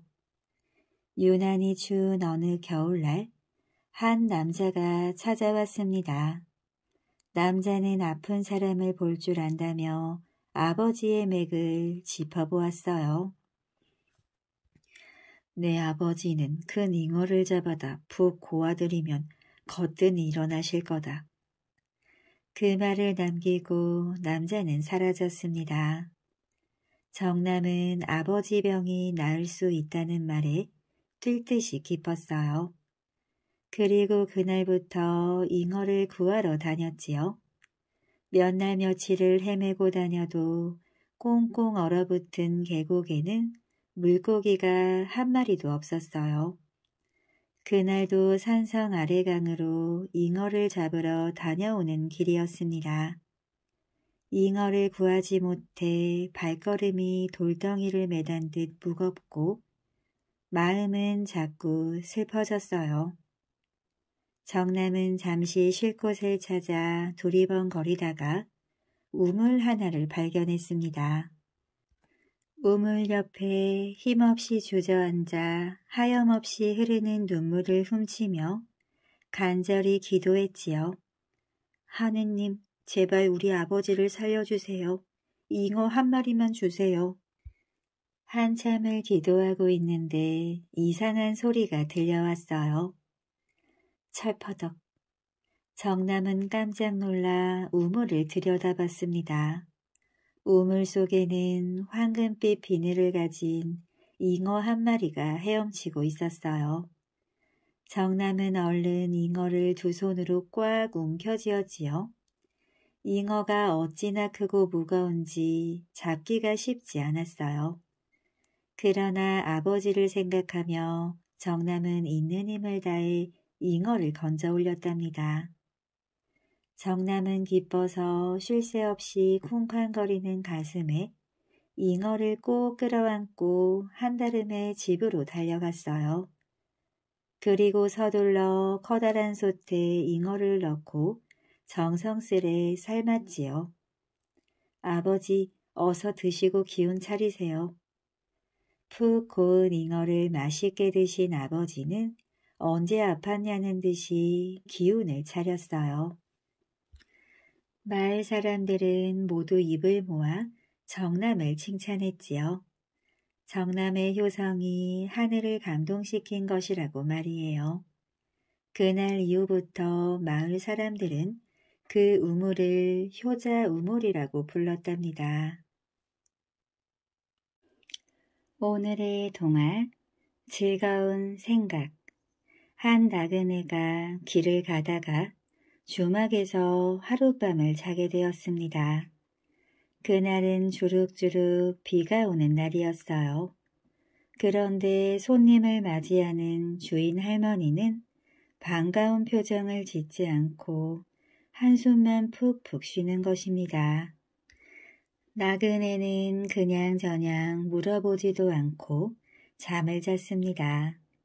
다음 날 나그네가 아침상을 봤는데 아직도 주인은 한숨을 쉬는 것입니다. 하늘을 보니까 오늘은 비가 말끔히 거치고 해가 났습니다. 그런데도 주인은 연방 하늘을 보면서 걱정하고 있는지라 나그네가 물었습니다. 할머니, 어제는 비가 와서 일이 생긴 모양이었는데 오늘은 해가 저리 났는데도 비 올 때처럼 마냥 걱정을 하십니까? 날이 좋으면 웃으셔야지요. 그러니까 할머니는 더욱 근심 어린 말로 대답하였습니다. 젊은이, 그런 게 아니요. 내게 아들이 둘 있는데 큰 아들은 우산 장사를 하고 작은 아들은 집신 장사를 한다오. 생각해 보시오. 어제같이 비가 오면 작은 아들 장사가 되겠소. 오늘같이 날이 좋으면 큰아들 내 우산 장사가 되겠소. 그래서 나는 하루도 마음 편할 날이 없다오. 아이고, 어미 정이라 무엇인지 걱정이 떠날 날이 없구려. 듣고 보니 그럴듯 합니다만 곰곰이 생각해보면 그 반대로 생각할 일이었습니다. 그래서 나그네는 빙그레 웃으면서 말했지요. 할머니, 내가 평생 날이 좋으나 구주나 춤추고 웃는 방법을 가르쳐 드릴까요? 아이고, 그럴 수만 있다면 내가 돈도 안 받지. 그럼 묘방이라도 있소. 네, 아주 쉽습니다. 할머니만 생각을 바꾸면 지금 당장이라도 됩니다. 여보 젊은이 어서 말해주구려. 할머니 비가 오면 누구 장사가 잘 됩니까? 우산 장사하는 그나들이지. 할머니 날씨가 좋으면 누구 장사가 잘 됩니까? 집신 장사하는 작은 아들이지. 할머니 그러면 어느 날이나 아들 하나는 장사를 잘하는 것 아닙니까? 누가 아니래? 한 아들은 장사를 잘하지. 그런데 할머니는 맨날 얼굴을 찡그리고 한숨만 쉬십니까? 아, 내가 참 미련하구려. 어절씨고 좋다. 비가 와도 좋고 해가 떠도 좋고. 그러면서 춤을 덩실덩실 추는 것이었습니다. 생각하기 생각하기 나름인데 내가 몰랐구나. 할머니에게 안 받겠다는 밥값을 굳이 치르고 나선 나그네도 푸른 하늘처럼 기분이 아주 좋았습니다. 뒤에서 들려오는 할머니 소리에 손을 들어 보답했지요. 잘 가요. 과거 합격할 거야. 올 때 또 들르라고. 그때는 꼭 그냥 재워줄게. 지금도 할머니는 하늘을 쳐다보고 있을 것입니다. 오늘의 동화 소몰이보다 더 힘든 일 삼복더위가 기승을 부리던 어느 날이었어요. 한 총각 머슴이 주인을 가만히 지켜보니 주인 팔자가 참 좋아 보였지요. 높은 대청 위에서 도포 입고 버선 신고 가부자를 들고 앉아 맹자만 읽고 있으면 되거든요. 그런데 머슴은 어디 그렇게 할 수 있나요? 소골 베어오랴 나무 해오랴 밭일에 논일에 몸이 열 개라도 모자를 지경이었지요. 그래서 신세 타령이 절로 나왔답니다.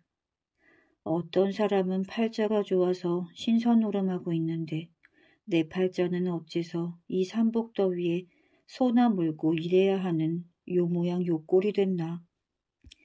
이 말을 들은 주인이 머슴을 불렀습니다. 얘야, 너 하는 말 다 들었다. 세상이 불공평해서 못 쓰지. 하니까 오늘부터 너하고 나하고 처지를 바꾸자. 내가 소를 몰고 일할 테니 너는 내 옷을 입고 여 와서 맹자를 읽거라. 주인은 옷과 버선을 벗어 머슴에게 입혔어요. 또 머리에 상투를 틀고 망건을 씌우고 도포를 입혀 대청에 앉혔지요. 물론 맹자책도 빼먹지 않았답니다. 머슴은 처음엔 어리둥절했지만 막상 주인의 옷을 입고 대청에 앉게 되니 기분이 좋았어요. 마치 신선이 된 것 같았답니다. 그런데 시간이 조금씩 지날수록 당최 몸이 쑤셔 견딜 수가 없었지요.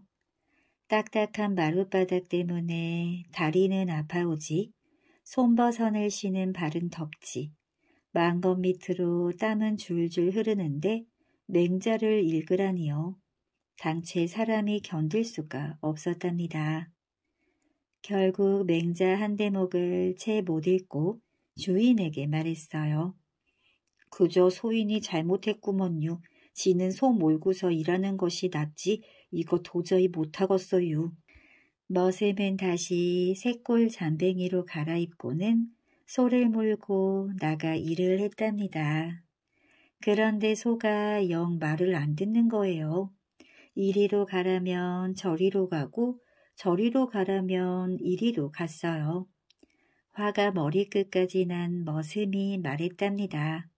이놈의 소, 자꾸 말 안 들으면 대청에 올려 앉혀놓고 맹자 읽으라고 할겨. 그 후로 머슴은 다시는 불평불만을 하지 않고 열심히 일을 했다고 합니다. 오늘의 동화 효자가 된 아들 옛날 어떤 부부가 아들 하나를 두었는데 얼마나 귀엽던지 아이가 어려서 부모를 때려도 오냐 내 자식아 귀엽다 하고 받아주었습니다. 산골에 사니까 달리 재미있는 일은 적어서 아이를 기르는 것이 큰 낙이었지요. 아가 아버지 한번 때려봐라. 그래서 아이가 아버지를 때리면 하하하 하고 재미있다고 웃었습니다. 아가 어머니 한번 때려봐라. 그래서 아이가 어머니를 때리면 이번에도 하하하 하고 재미있다고 웃었지요.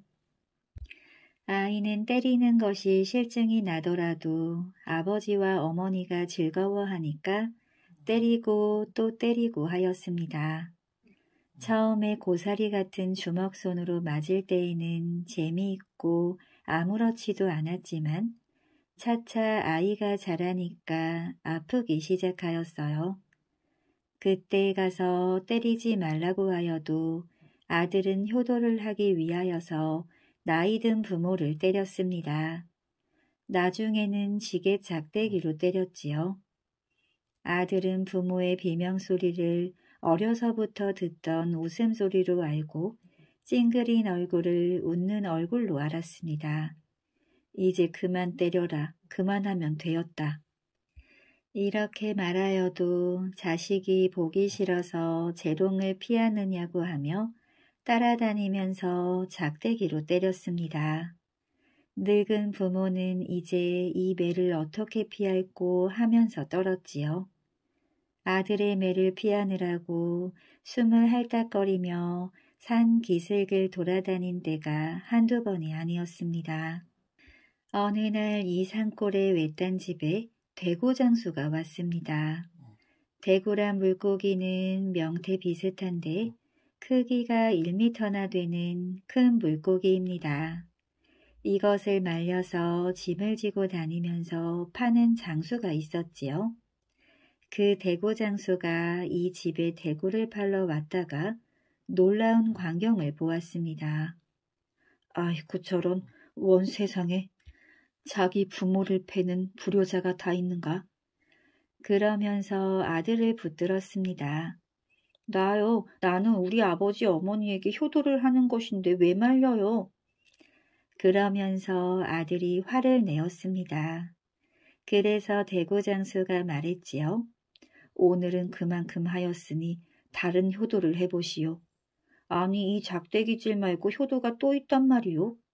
암 잊고 말고요. 우선 이 대구를 삶아서 봉친하시오. 봉친은 부모님을 받들어 섬긴다는 뜻입니다. 봉친을 이 대구로 한단 말이오? 그렇소. 그리고 내일 나랑 저 사람이 많이 나는 곳으로 구경을 가서 효자를 만나봅시다.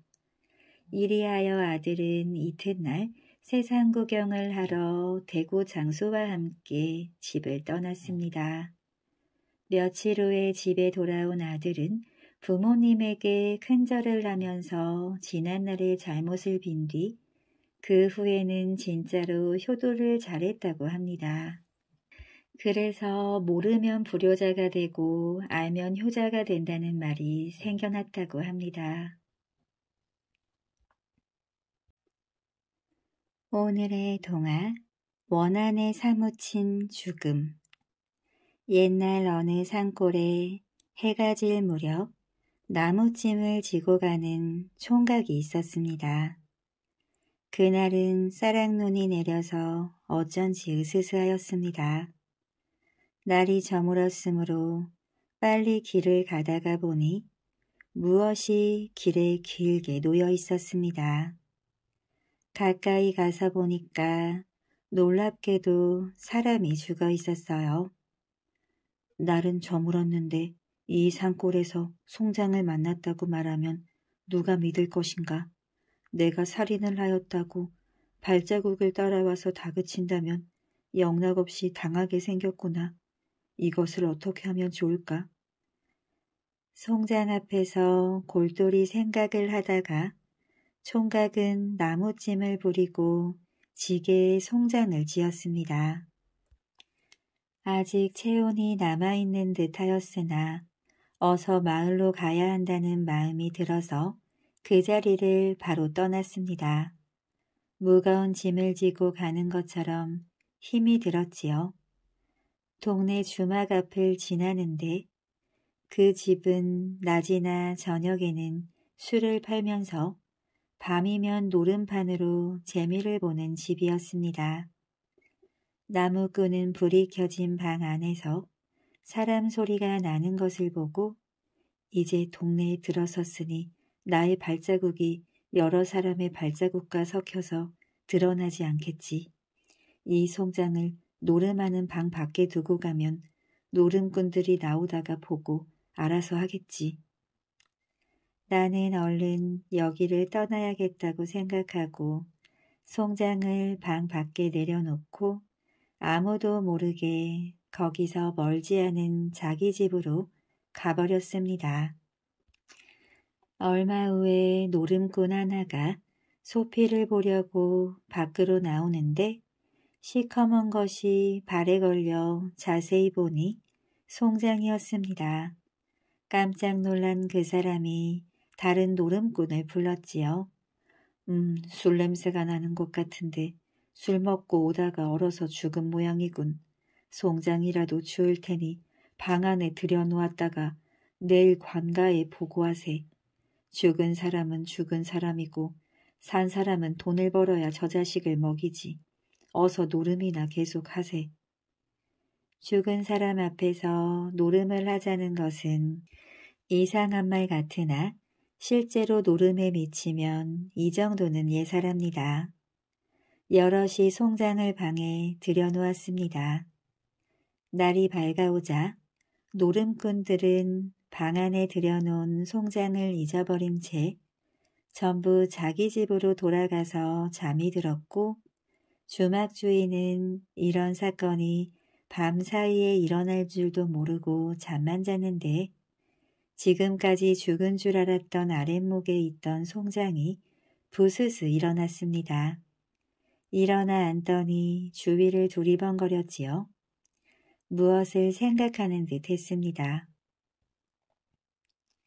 이상하다. 내가 술에 취해 집에 오다가 거기가 산길이었는데 하도 졸려서 잠깐 눈을 붙이고 잔다고 길가에 쭈그리고 앉았는데 잠도 오고 추워서 웅크렸는데 그러고는 기억이 잘 안 나는데 내가 여기에 왜 있지?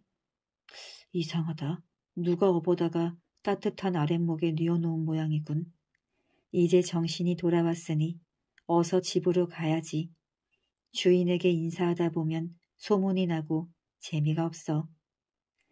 그러고 보니 이 사람은 죽은 것이 아니라 술에 취해서 하마터면 진짜로 죽을 뻔한 사람이었습니다. 술을 많이 먹고 길을 가다가 잠깐 자고 가겠다는 사람이 있는데 이런 경우 겨울에는 대개 얼어 죽는 법이랍니다. 이 사람이 그 예가 될 것입니다. 그래서 아무도 없는 방에서 나와 자기 집으로 가버렸지요. 오전에 노름꾼 한 사람이 와서 주인에게 간밤에 방 안에 있던 송장이 어디 갔는지를 물었습니다. 주막 주인은 영문을 모르니까 어리둥절했지요. 여보게 송장이라니 무슨 말인가? 나는 처음 듣는 말이네. 자네가 꿈꾸다가 우리 집에 온 것이 아닌가? 아니야, 정말이야. 내가 노름을 하다가 소피를 보러 나갔는데 무엇이 내 발에 걸리기에 보니까 송장이었네. 그래서 방 안에 들여놓고 노름을 하다가 집에 가서 자고 오는 길이네. 이 사람아, 내가 일어나 봤을 때에는 아무것도 없었네. 자네가 간밤에 돈을 잃고 정신이 오락가락하는 모양인데 그런 소리는 입 밖에 내지도 말게. 이 말이 소문이 나서 여러 사람이 관가에 불려가게 되었습니다. 물론 주막 주인과 노름꾼들이 붙들려 가서 너희들이 돈이 아쉬워서 죽이지 않았느냐고 문초를 받으며 송장을 내놓으라는 명령을 받았으나 귀신이 곡할 노릇이지요. 송장을 어디 가서 찾을 수가 있겠습니까? 결국 맨 마지막에 책임을 질 사람은 주막 주인이라고 해서 관가에서는 매를 때렸습니다. 고통을 이기지 못한 주막 주인은 아무렇게나 말했지요. 네, 송장을 새벽에 앞산에 묻었습니다. 이놈 진짜 그렇게 말할 것이지 그 고생을 한 뒤에야 말을 한단 말이냐. 어서 이놈을 앞세워서 그 무덤을 봐보아라.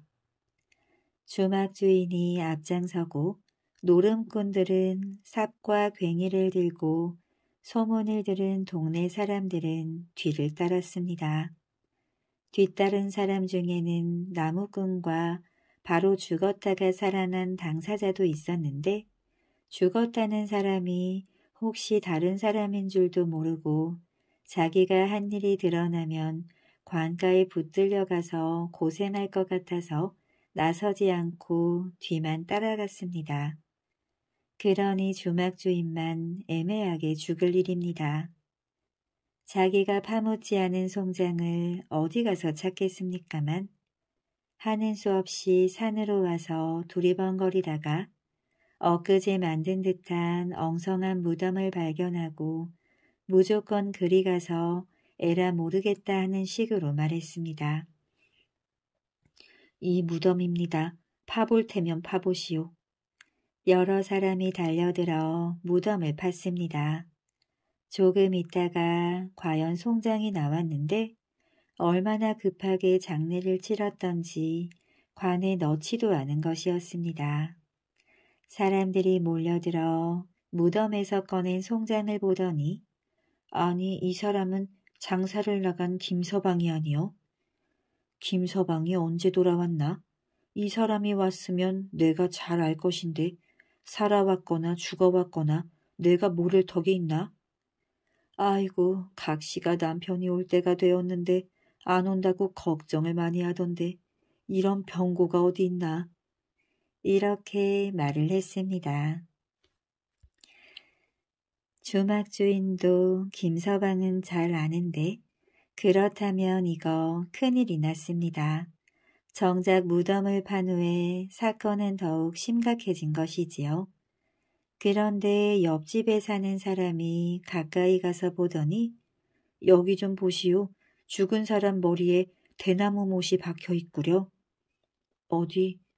그렇다면 이것은 진짜 살인이구먼. 관가에서는 이제 주막 주인을 살인범으로 인정할 차례입니다. 그런데 노름꾼들이 나서면서 말했습니다. 아닙니다. 우리가 왜 김서방을 모르겠습니까? 김서방은 이렇게 키가 큰데 어제 우리가 방에 들여놓은 사람은 키가 작았습니다. 옷도 다르고 그 사람은 수염이 적었습니다. 분명히 김서방은 아니었습니다. 그렇다면 노름방에 있던 송장은 도대체 어디 있단 말이냐? 그것은 저희들도 모릅니다. 이렇게 주막 주인이 억울하게 살인자로 몰리게 된 것을 본 구경꾼 하나가 앞으로 나서면서 제가 노름방에 들어간 송장입니다. 라고 말했습니다.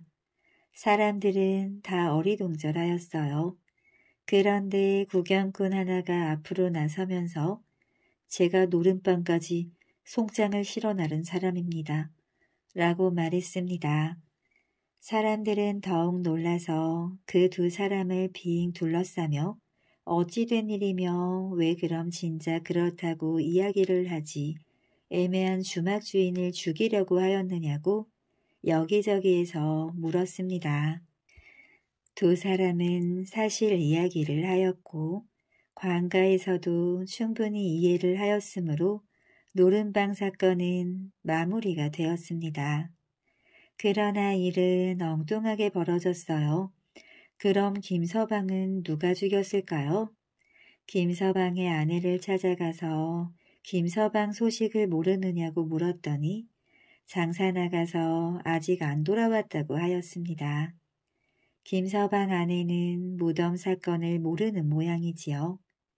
김서방의 아내는 소식을 듣고 산에 가서 슬피 울었는데 이 여자의 소행을 자세히 알아본 관가에서는 드디어 사건을 해결하게 되었습니다. 김서방은 장사를 나갔다가 친구로부터 연락을 받았는데 자기 아내가 다른 남자와 몰래 만난다는 내용이었습니다. 김서방이 장사를 그만두고 한밤중에 몰래 자기 집에 가서 엿보니까 친구가 전한 바와 같았습니다. 방 안에 들어간 김서방은 아내의 사죄를 받고 홧김에 술을 먹고 자다가 그만 죽음을 당한 것이었습니다. 김서방 아내와 새 서방이 관가에 가서 벌을 받은 것은 물론입니다. 김서방은 억울하게 죽었으므로 반드시 이 원한을 풀어달라고 귀신이 되어 어떤 사람에게 술을 많이 먹도록 한 것입니다. 그리고 길가에 쓰러져 잠이 들게 하고 이것을 나무꾼이 죽은 줄 알고 주마까지 지고 가게 했던 것입니다. 그 다음에 귀신이 작용한 것은 여러분이 이미 들은 대로입니다. 억울한 죽음은 반드시 세상에 드러나는 법이며 제 아무리 몰래 죄를 지어도 발각이 되어 벌을 받는다는 것을 알 수 있습니다. 원한에 사무친 귀신이 그냥 있지 않기 때문이랍니다. 오늘의 동안 떡국새 이야기 뻐꾸기가 뻐꾹뻐꾹 울 때 자세히 들어보면 떡국떡국 하는 소리처럼 들린대요. 왜 그럴까요? 옛날 어느 마을에 마음씨 착한 며느리와 못된 시어머니가 살았어요. 시어머니는 집안일은 물론 농사일까지 모두 며느리에게 시켰지요. 일을 하다 힘든 며느리가 조금이라도 쉴라치면 어김없이 시어머니의 불호령이 떨어졌어요. 그깟 일 좀 한다고 엄살을 부릴 작정이야? 며느리는 시어머니의 시집살이에 허리 한번 제대로 펴지 못했지요. 그러던 어느 겨울날이었어요. 시어머니가 며느리를 불렀지요. 오늘 점심은 떡국 한 솥 끓이고 점심 먹기 전까지 집안 청소랑 빨래 좀 해놔라. 네? 그걸 다 말이에요? 놀면서 그것도 못하냐? 점심 먹기 전까지 다 해놔라. 시어머니가 나간 후 며느리는 쉴 새 없이 움직였어요.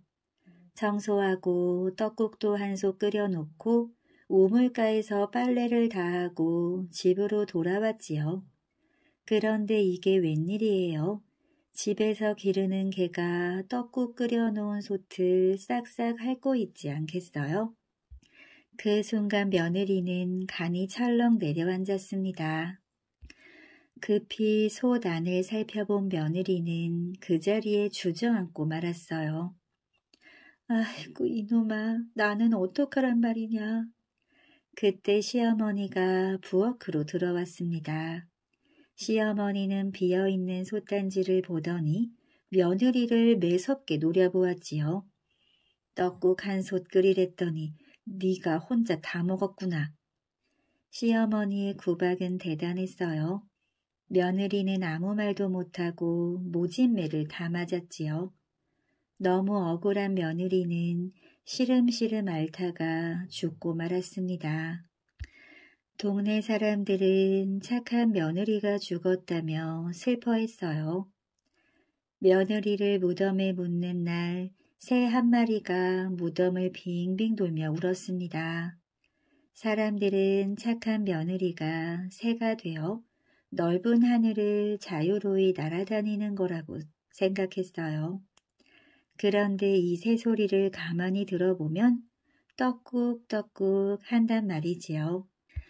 또 날아갈 때는 개개개개 하거든요. 마치 떡국을 개가 먹었다고 얘기하는 것 같답니다. 그래서 사람들은 이 새를 떡국새라고 불렀어요. 이 새가 지금의 바로 뻐국이랍니다. 오늘의 동화 꽃을 좋아하는 사람들 꽃을 무척 사랑하는 마을이 있었답니다. 이 마을에 사는 사람들은 모두 꽃을 좋아했어요. 꽃 중에서도 특히 장미꽃을 좋아했지요. 그래서 사람들은 마을 한 가운데에 있는 광장에 아름다운 장미 정원을 꾸며 놓았답니다. 장미만 가득 있는 멋진 공원이었지요. 생각해 보세요. 얼마나 아름다웠을까요? 빨간 장미, 하얀 장미, 노란 장미. 향기는 또 얼마나 좋았을까요? 사람들은 시간이 날 때마다 그곳에 찾아가서 장미꽃들을 구경하고 돌보았답니다. 몸이 몹시 아픈 사람도 장미꽃을 보면 병이 낫는다고 생각할 정도였지요. 꽃을 보면 마음이 편안해지니까 그럴 수도 있을 것 같습니다. 그런데 마을 사람들은 서로 좋아하는 꽃의 색깔이 달랐답니다. 마을 사람들의 절반은 노란 장미를 좋아했지요. 그러나 나머지 절반은 빨간 장미를 좋아했어요. 어떻게 되었을까요? 마을 사람들은 서로 다투기 시작했답니다. 어떻게 빨간 장미를 좋아할 수 있을까? 그 꽃은 너무 색깔이 붉어서 품위가 없어. 저 사람들은 도대체 무슨 생각을 하는 거야? 저런 보잘것없는 노란 장미를 좋아하다니 도무지 이해할 수가 없어. 서로 다른 색깔의 장미를 좋아하는 마을 사람들의 서로의 생각을 받아들이려고 하지 않았어요. 자기 것만 좋다고 우겼지요. 그래서 어떤 마을 사람들은 장미 정원에 갈 때마다 다른 색의 장미를 몰래 뽑아버리기 시작했답니다. 자기가 좋아하는 장미꽃을 더욱 멋지게 보이게 하기 위해서 말이에요. 우리 노란 장미가 훨씬 예쁘지.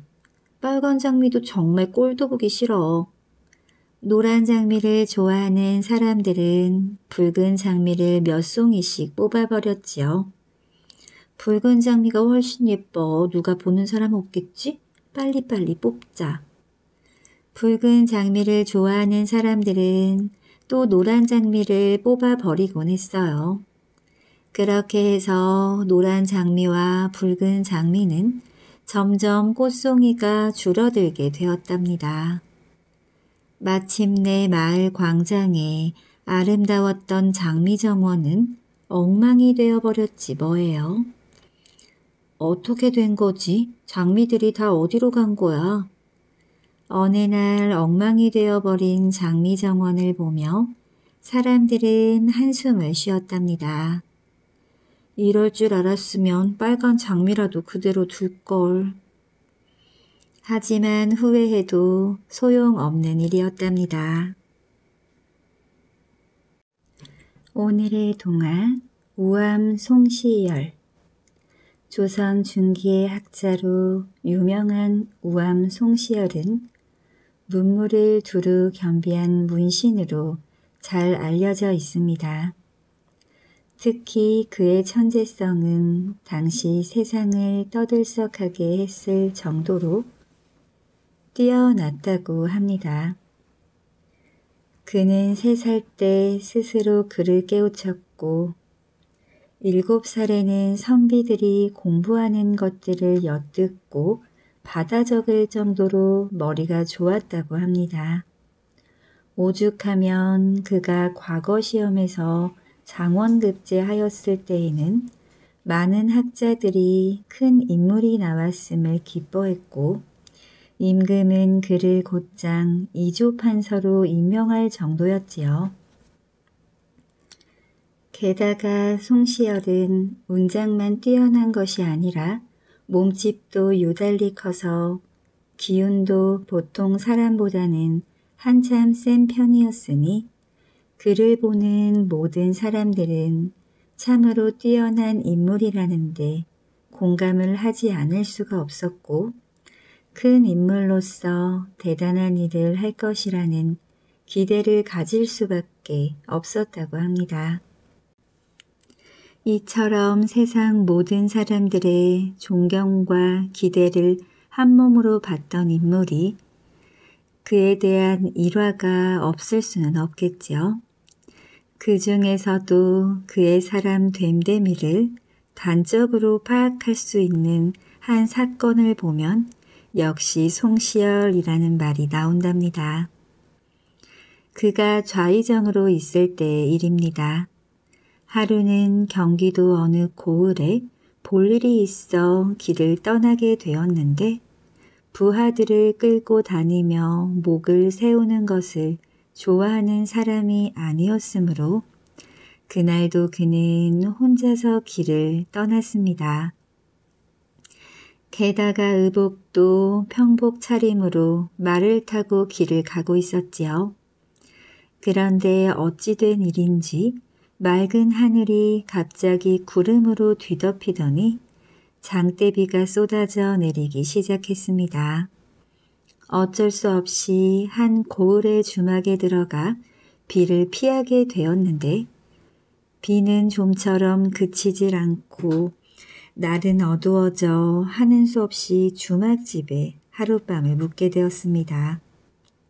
하지만 주막집에 빈방이 없어 한 사내와 방을 같이 쓰게 되었는데 사내는 무관으로 안주라는 고을에 병마 절도사로 부임되어 가는 길이라고 했습니다.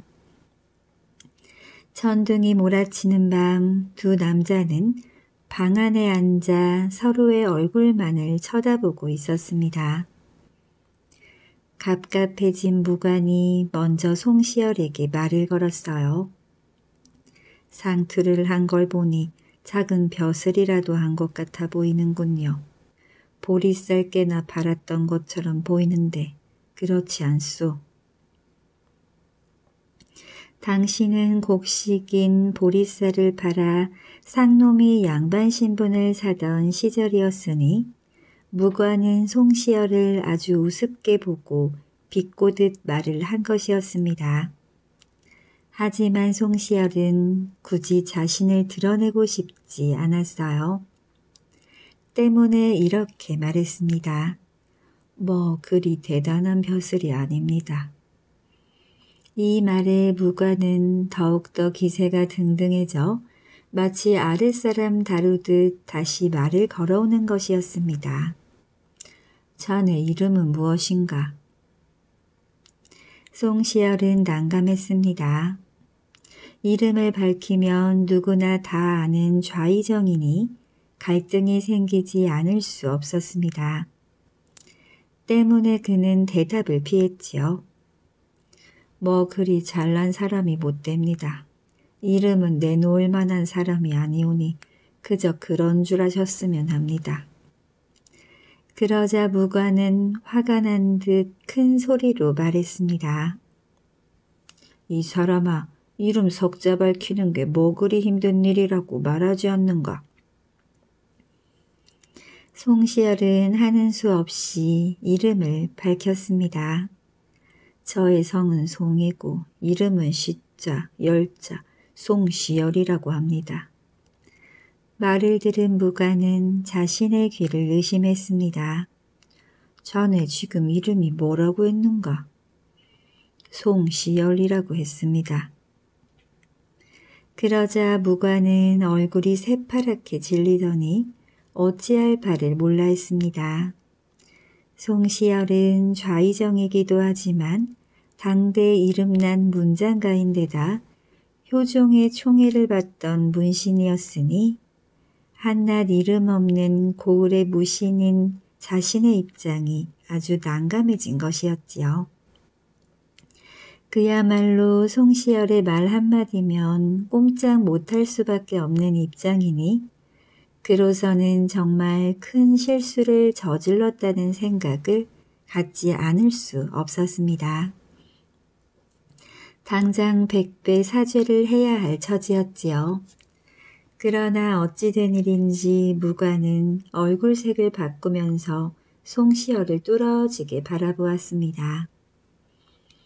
그리고는 갑자기 송시열의 따귀를 소리나게 갈기었지요. 내 이런 나쁜 놈, 감히 내가 송시열 대감을 사칭하여 사람을 놀리다니 어찌 그런 못돼 먹은 짓을 한단 말이냐. 내 놈은 송시열 대감이 어떤 분이신지 알기나 하느냐. 천하의 몹쓸 고약한 놈 같으니라고. 최고의 문장과 인품을 갖춘 그 어른은 내가 평소 존경하는 분이거늘 감히 보잘것없는 늙은이가 참으로 어처구니 없는 일이었습니다. 송시열로서는 당장 엄벌에 처하도록 해도 시원찮은 일이었으나 그냥 아무 말 없이 있기로 했지요. 그러자 송시열을 몰라보고 날뛴 무가는 거짓말을 하는 자와 함께 있을 수 없다며 밖으로 나가 어딘가로 사라져 버렸습니다. 그런 무관의 뒷모습을 바라보면서 송시열은 오히려 그를 칭찬했습니다. 무관이라면 저 정도는 되어야지. 아, 대장부다운 사람이로군. 이튿날 송시열은 인근 고을에서 볼일을 마치고 서울로 돌아왔습니다. 무관의 큰 손으로 맞은 뺨의 손자국이 가시기도 전에 그는 그 무관을 불렀지요. 송시열 앞에 나타난 무관은 자신이 엄청난 잘못을 저지른 것을 깨닫고 모든 게 끝났다고 생각했습니다. 하지만 송시열은 달랐어요. 무간을 혼내주기는커녕 오히려 그를 평안도 병마 절도사라는 더 큰 벼슬을 주었답니다. 비록 실수를 하긴 했지만 젊은 무관다운 호탕한 기질이 마음에 들었고 그 정도의 사람이라면 더 큰 일을 할 수 있을 거라고 믿었기 때문이었습니다. 우암 송시열, 특히 그는 도리에 어긋나는 일 없이 하나를 지킬 줄 아는 사람이었고 늘 정의를 지키고자 했던 인물로 사람들에게 기억되고 있답니다. 오늘의 동화 성냥팔이 소녀 한 해가 저물어가는 어느 추운 겨울 저녁이었어요. 추위에 꽁꽁언 성냥팔이 소녀가 어두운 골목에서 서성이고 있었습니다. 소녀는 추운 겨울인데도 얇은 옷차림에 맨발이었어요. 집을 나설 때 신고 있었던 커다란 슬리퍼는 지나가는 마차를 피하다가 잃어버리고 말았지요. 성냥 사세요. 성냥 사세요. 소녀는 열심히 외치고 다녔지만 성냥을 사거나 소녀에게 한 푼이라도 주려는 사람은 없었습니다. 추위와 배고픔에 소녀는 금방이라도 쓰러질 것만 같았어요. 밤이 깊어가자 거리엔 지나가는 사람들도 보이지 않고 흰 눈만 소리 없이 소녀의 금발 머리 위에 내려앉았습니다. 집집마다 창을 통해 따뜻하고 밝은 불빛이 새어나왔고 고기 굽는 냄새가 골목을 감돌았어요. 이 날은 한 해의 마지막 날이었지요. 추위에 떨던 소녀는 어느 집 처마 밑에 잔뜩 몸을 웅크리고 앉았습니다. 집으로 돌아갈 수도 없었어요. 집이라고 해야 춥기는 마찬가지였고 그보다 아버지의 매질이 더 무서웠습니다. 성냥을 한 값도 팔지 못한 날이면 어김없이 소녀의 아버지는 뇌를 휘둘렀거든요. 매서운 추위로 소녀의 손과 발은 차갑게 얼어붙었어요. 성냥 한 갭이면 손발을 녹일 수 있을 거야. 성냥불을 켜자 따뜻한 불꽃이 피어 올랐습니다. 불꽃은 작은 등불같이 따뜻하고 밝게 빛났어요. 그러나 이내 성냥불은 꺼지고 말았습니다. 소녀는 새 성냥개비를 꺼내 다시 벽에 그었어요. 신기하게도 벽이 말갛게 비치며 벽 안쪽 방 안의 풍경이 들여다 보였습니다. 맛있는 거위구이가 차려져 있는 식탁이 보였으나 성냥불이 꺼지는 순간 식탁도 사라져 버렸답니다. 소녀는 또다시 성냥개비를 꺼내 불을 붙였어요. 성냥불을 켜는 순간 소녀는 커다란 크리스마스 트리 아래에 앉아 있었습니다. 성탄절 전날 밤 어느 부잣집에서 보았던 트리보다도 화려했지요. 트리의 푸른 가지에는 100개도 넘는 촛불이 반짝거렸습니다. 아, 정말 눈부신 크리스마스 트리야. 소녀가 트리를 향해 손을 뻗자마자 성냥불이 꺼져버렸습니다. 그리고 아름다운 크리스마스 트리도 사라졌지요. 그러나 트리의 촛불들은 하늘 높이 올라가 별이 되었어요. 그 중 한 개가 긴 꼬리를 그리며 떨어졌습니다. 누가 죽어가나 봐. 소녀는 중얼거렸어요. 별이 긴 꼬리를 그리며 떨어지는 건 한 영혼이 하나님의 품으로 돌아가는 뜻이라고 했어. 세상에서 소녀를 가장 사랑해 주었던 단 한 사람, 돌아가신 할머니가 들려준 이야기였습니다.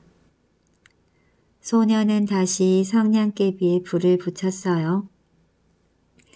그러자 밝은 성냥 불빛 속에서 할머니가 온화하고 다정한 모습으로 서 있었습니다. 할머니, 성냥불이 꺼지면 가버릴 거죠? 따뜻한 난로와 김이 모락모락 나던 거위 구이와 크리스마스 트리가 사라진 것처럼 떠나버릴 거죠? 그러지 말고 제발 절 데려가 주세요. 소녀는 할머니를 조금이라도 오래 붙잡아 두고 싶은 마음에 남아있는 성냥을 모두 그었습니다. 성냥 다발에 불이 붙자 할머니의 모습이 좀 더 가까워졌어요. 할머니는 소녀를 다정하게 품에 안고서 빗속으로 높이 올라갔습니다. 이튿날 아침 어슴푸레한 빛을 받으며 한 소녀가 처마 및 벽에 비스듬히 기대어 죽어 있었습니다. 뺨은 창백했지만 입가에는 행복한 미소를 머금고 있었어요. 손에는 타버린 성냥다발이 들려져 있었고요. 가엾기도 해라. 성냥불을 켜서 온몸을 녹이려고 했나봐. 사람들은 안타까워 저마다 한마디씩 했습니다. 그들 중 누구도 어제 저녁 소녀가 얼마나 아름다운 것들을 보았는지 알지 못했답니다.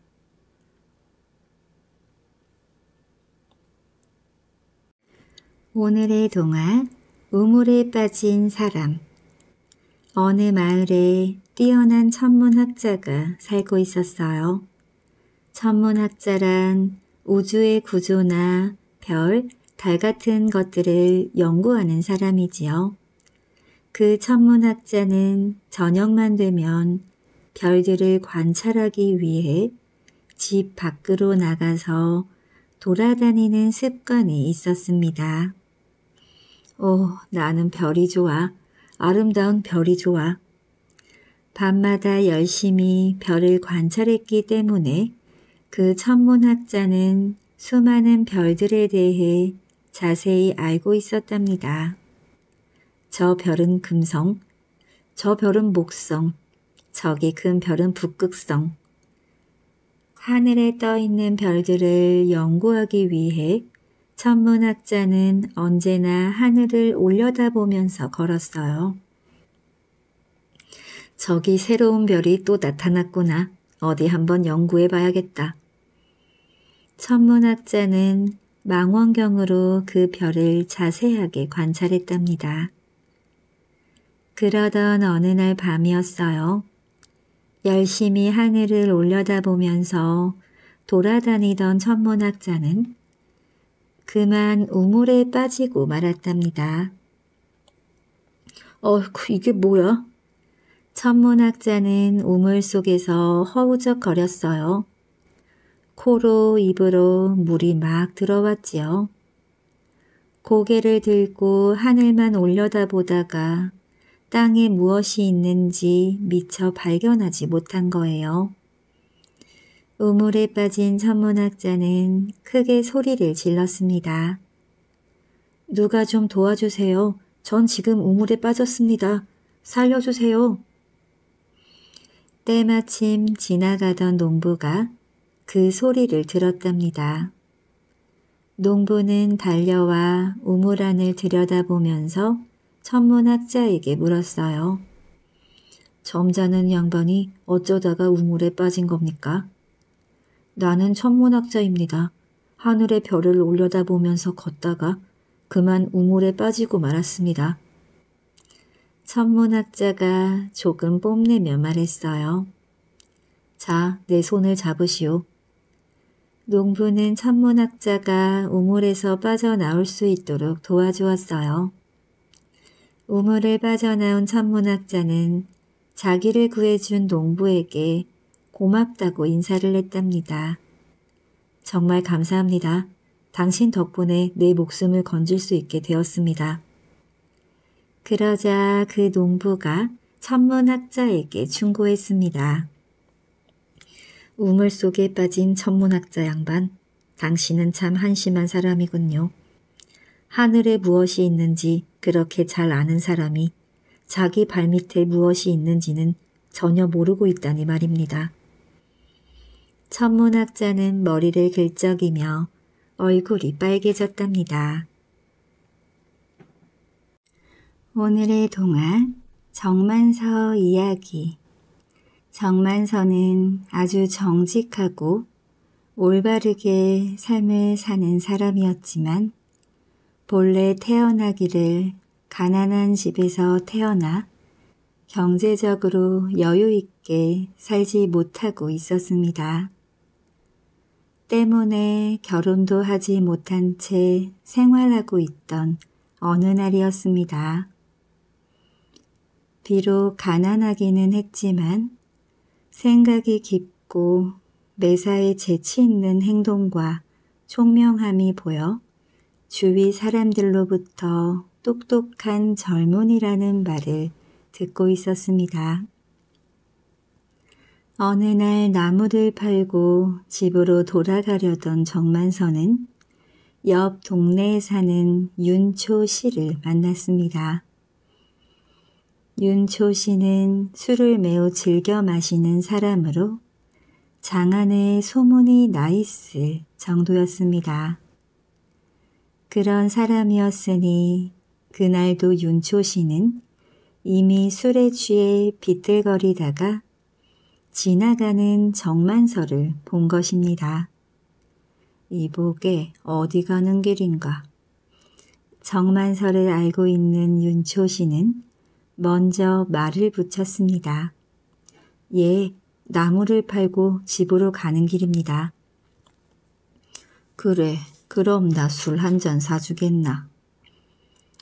비록 가난하긴 하였지만 이웃 동네 어르신이 술 한 잔 사달라는 말을 그는 무시할 수가 없었습니다.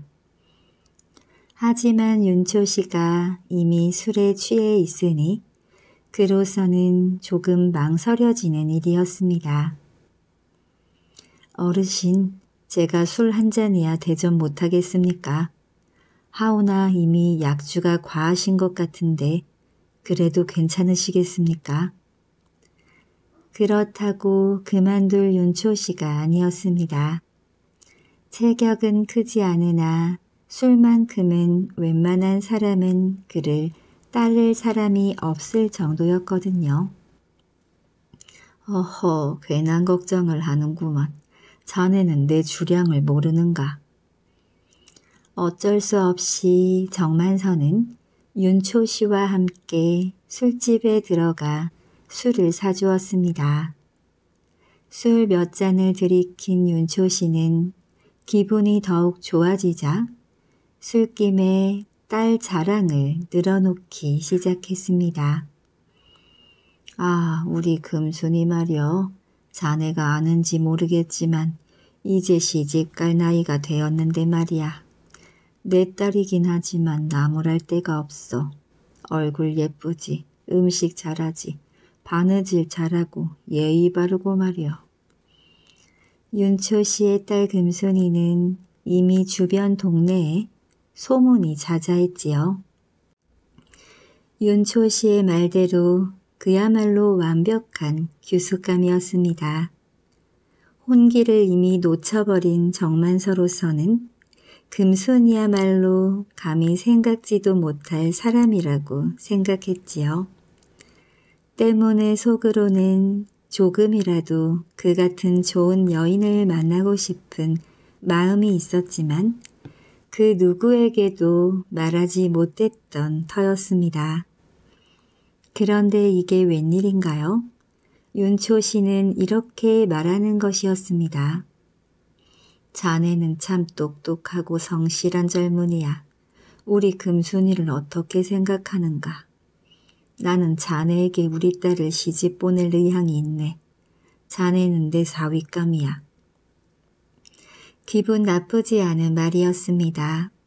하지만 자신은 가난하기 때문에 상대가 좋아하지 않을 것이라는 것도 알고 있거니와 윤초 씨는 누구든지 젊은 사람들을 만나면 술 한 잔 얻어 먹으면서 자신의 딸을 자랑하고 주겠다는 약속을 해온 터이기에 정만서는 그냥 웃어 넘겼습니다. 아니나 다를까 정만서가 떠나자 윤초 씨는 장터에서 또 한 젊은이를 만났습니다. 다름 아닌 그의 딸을 탐내고 있던 부잣집 권참봉의 아들이었지요. 참봉의 아들 역시 결혼할 나이가 된 젊은이인지라 윤초 씨는 그것을 믿기로 술을 한 잔 하자고 제의했습니다. 참봉의 아들은 이 기회를 통해 자신이 사윗감으로 가장 적합한 사람임을 알리려고 아주 비싼 술집으로 갔지요. 아니 여기는 너무 비싼 곳이 아닌가.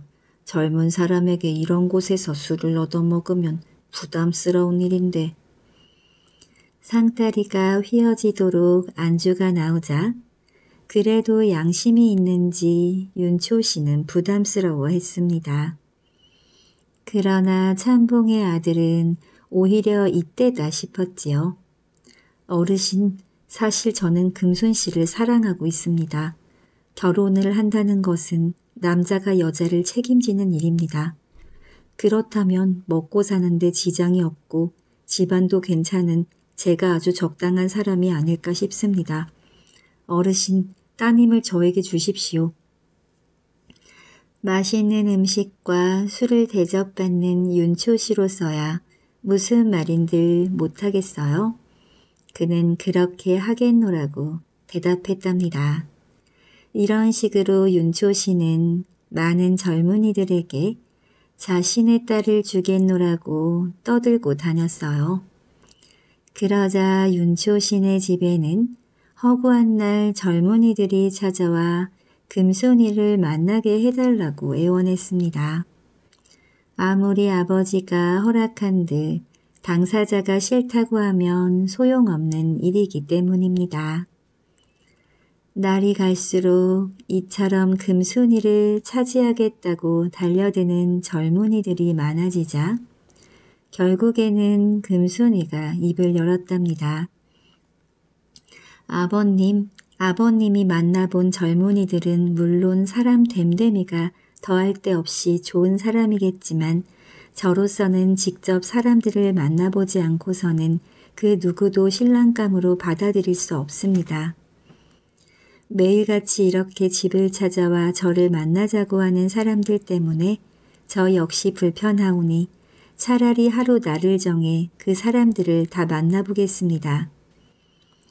금손이 이 같은 결정에 윤초 씨는 고개를 끄덕였고 드디어 사윗감 시험 보는 날이 정해졌습니다. 정만소로서는 적잖게 갈등이 있었지만 일단 와보라는 연락이 왔기에 그도 윤초 씨네 집으로 갔지요. 금수는 매우 현명하고 지혜로운 여자였습니다.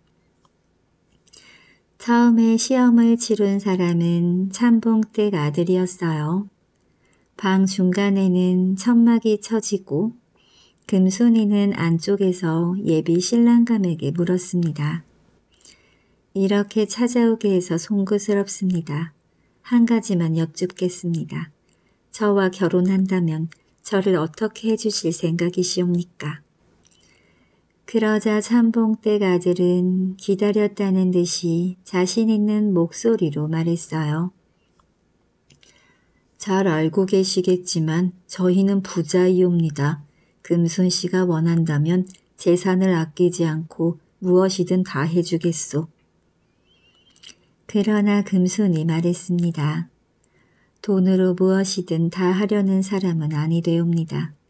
세상 모든 것을 돈으로만 해결하려 하게 되므로 사람의 존엄성을 모르거니와 돈만 믿고 사니 게을러지기 십상이지요.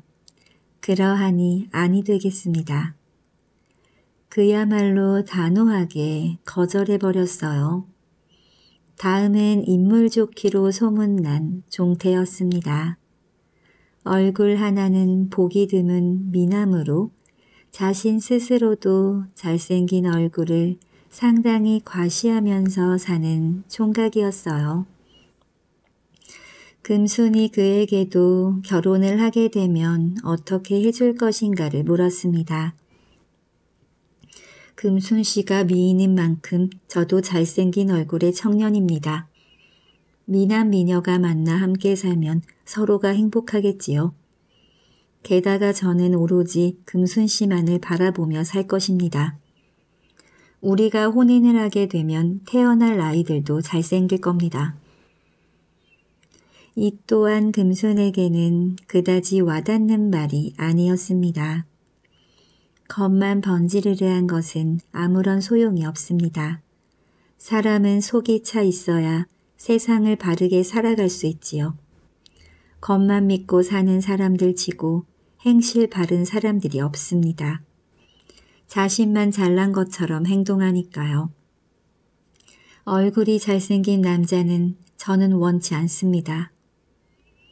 이 두 사람 외에도 많은 젊은이들이 금손과의 면접에서 하나같이 다 거절을 당하고 말았습니다. 금손이 바라는 성실하고 건강한 젊은이는 없었던 것이죠. 하나같이 자신이 지닌 재주나 장점 하나만을 내세워 금손의 마음을 움직이려고 했기 때문이었습니다. 여러 사람들이 그렇게 거절을 당한 후 마지막으로 정만서의 차례가 돌아왔습니다. 그러나 정만서는 하인에게 말했어요. 나는 본래 가진 것이 없어 금수나 씨의 혼인 상대로는 어울리지 않는 사람이요. 윤초 씨 어른께서 하신 말씀이 있어서 오긴 했지만 그냥 돌아가려 하오. 그러니 그대로 전해주시오. 이 말을 들은 금수는 뭔가 다른 느낌을 받았습니다.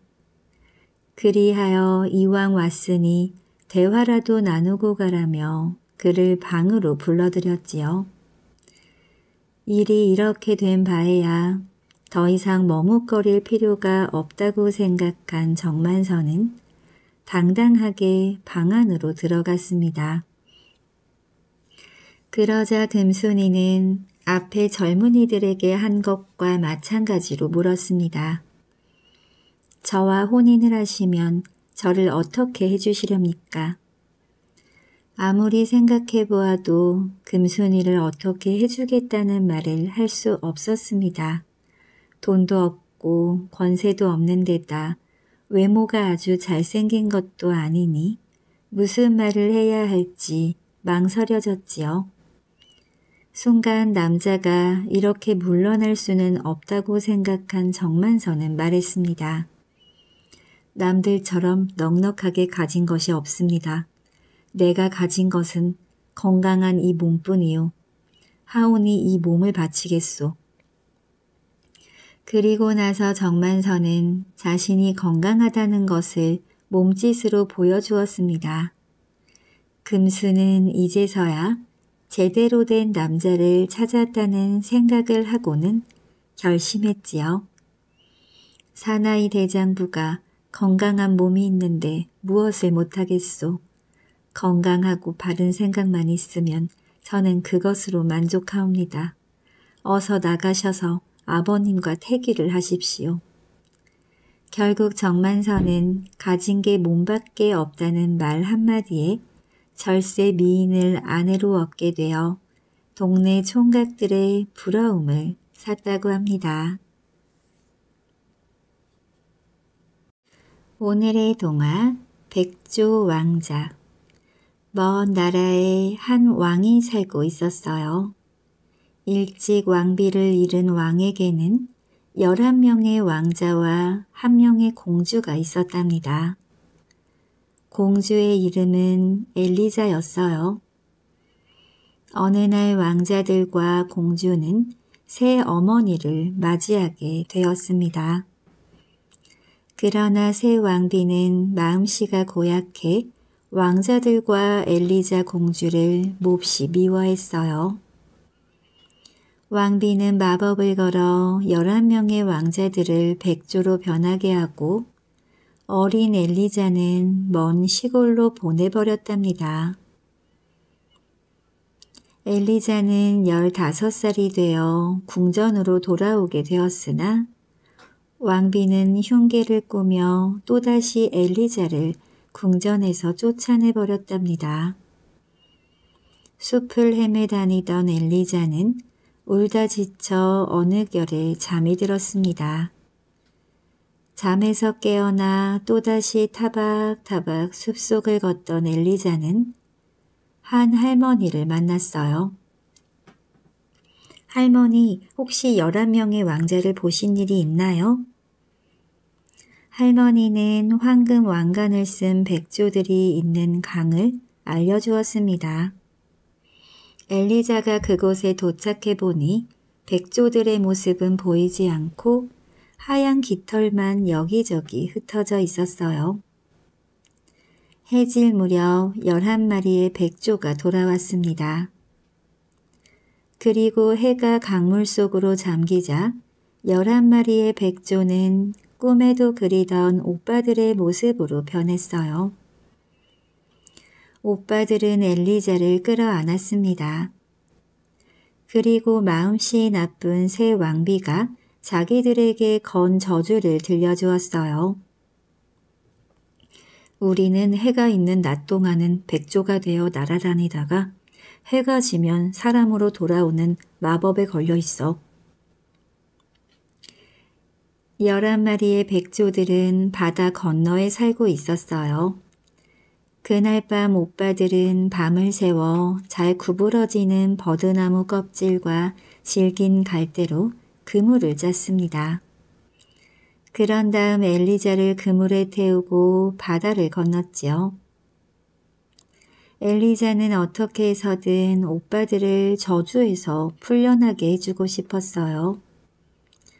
고민하고 있는 엘리자의 꿈에 전에 만났던 할머니가 나타나 방법을 일러주었습니다. 따가운 이쇠기 풀로 오빠들에게 입힐 사슬 갑옷 열한 벌을 짜거라.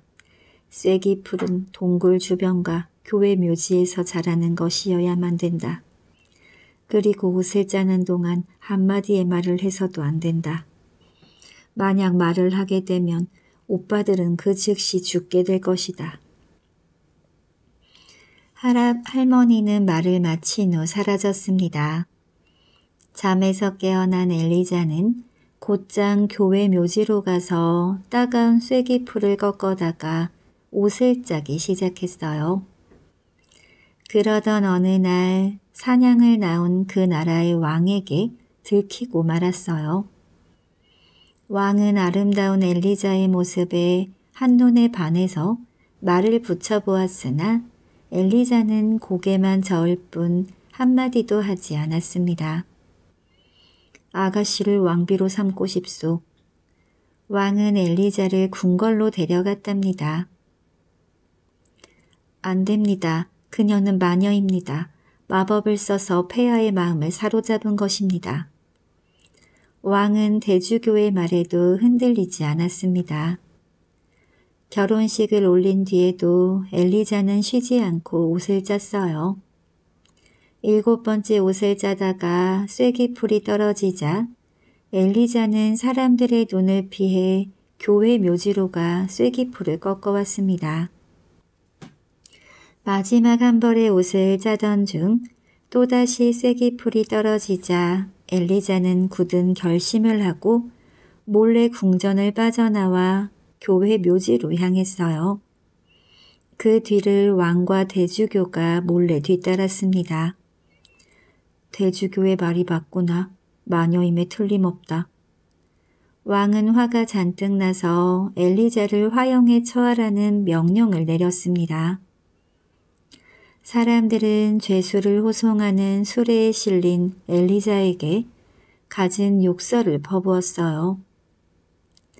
엘리자는 쇠창살 안에서도 입을 꼭 다문 채 묵묵히 쐐기풀로 옷을 짰습니다. 화영에 처하라.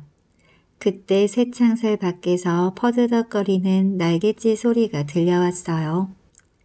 엘리자는 열한 벌의 옷을 백조들을 향해 던졌습니다. 그러자 열한 마리의 백조들은 늠름한 왕자로 바뀌었어요. 이젠 말할 수 있어요. 난 죄가 없어요. 엘리자는 큰 소리로 외치고선 오빠들의 품에 쓰러져 버렸습니다.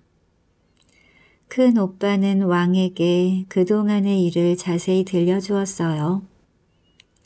왕과 몰려든 사람들은 엘리자의 발 밑에 무릎을 꿇고 용서를 빌었답니다.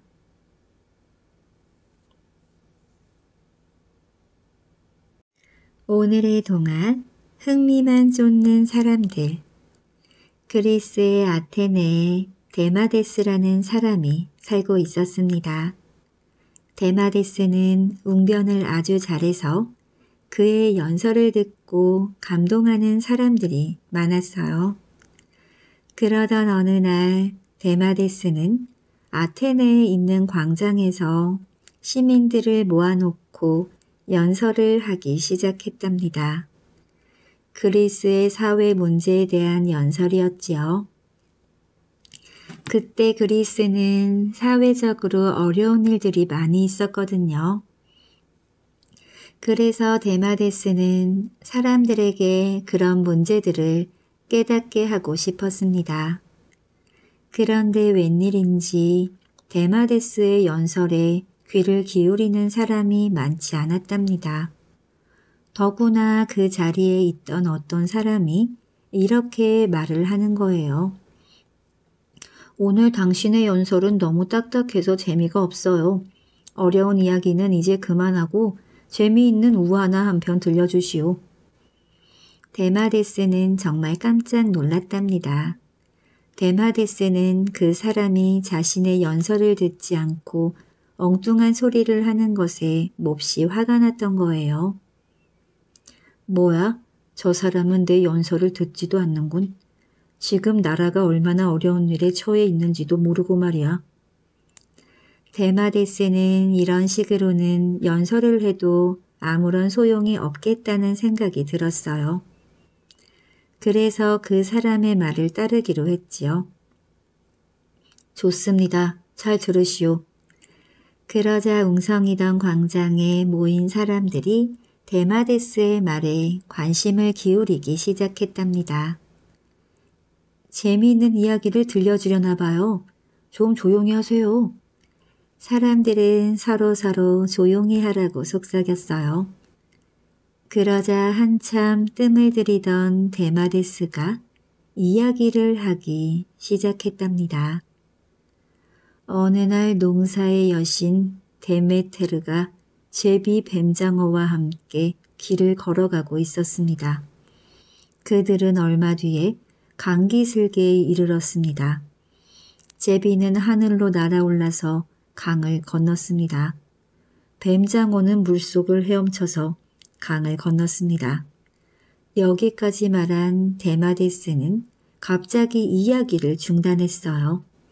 왜 그랬을까요? 사람들도 데마데스가 아무 말도 하지 않는 것이 몹시 궁금했답니다. 그래서 모두들 여기저기서 물어댔지요. 그래서 데메테르는 어떻게 했습니까? 강을 못 건넜습니까? 강을 건너긴 건넜습니까? 그러나 데마데스는 아무 말 없이 사람들을 쳐다보기만 했어요. 그럴수록 사람들은 데메테르가 과연 어떻게 했을지 궁금하기만 했지요. 잠시 후에 데마데스가 주위의 사람들을 천천히 둘러보면서 말했답니다. 데메테르 여신은 당신 같은 사람들에게 화를 냈습니다. 시시한 우화를 듣겠다고 국가의 중요한 문제를 외면하는 사람들에게 말입니다. 사람들은 그 이야기를 듣고 모두 고개를 숙였답니다. 자신의 행동들이 부끄러웠기 때문이에요. 왜 안 그렇겠나요? 자신들이 생각해도 너무했다는 것을 깨달은 거지요. 데마데스는 연설을 하던 곳에서 내려와 조용히 사라졌답니다. 그 모습을 보며 사람들은 자신의 행동을 깊이 반성했다고 합니다. 오늘의 동화 당나귀의 후회 정원사를 위해 열심히 일하는 당나귀 한 마리가 있었습니다. 당나귀는 날마다 나무와 흙을 날라야 했지요. 그러나 제대로 먹이를 얻어먹지 못했어요. 당나귀는 늘 배가 고팠답니다. 아, 배고파. 배가 고파서 죽겠네. 당나귀는 실컷 먹어보는 게 소원이었어요. 자신의 처지가 너무 억울하다고 생각한 당나귀는 제우스를 찾아가서 새 주인을 만나게 해달라고 기도했지요. 새 주인을 만나기만 한다면 너무 행복할 것 같았거든요. 아주 간절히 기도했습니다. 위대하신 제우스여, 저는 지금 하는 일이 너무 힘듭니다. 배도 무척 고픕니다. 부디 저에게 다른 주인을 만나게 해주십시오. 제우스는 당나귀의 기도를 들어주었어요. 얼마 후에 당나귀는 옹기장이에게 팔려가게 되었답니다. 그런데 글쎄 당나귀는 이전보다 더욱 많은 짐을 나르게 된 거예요. 옹기를 만들 무거운 차륵과 도자기까지 날라야 했으니 훨씬 힘들어진 거지요.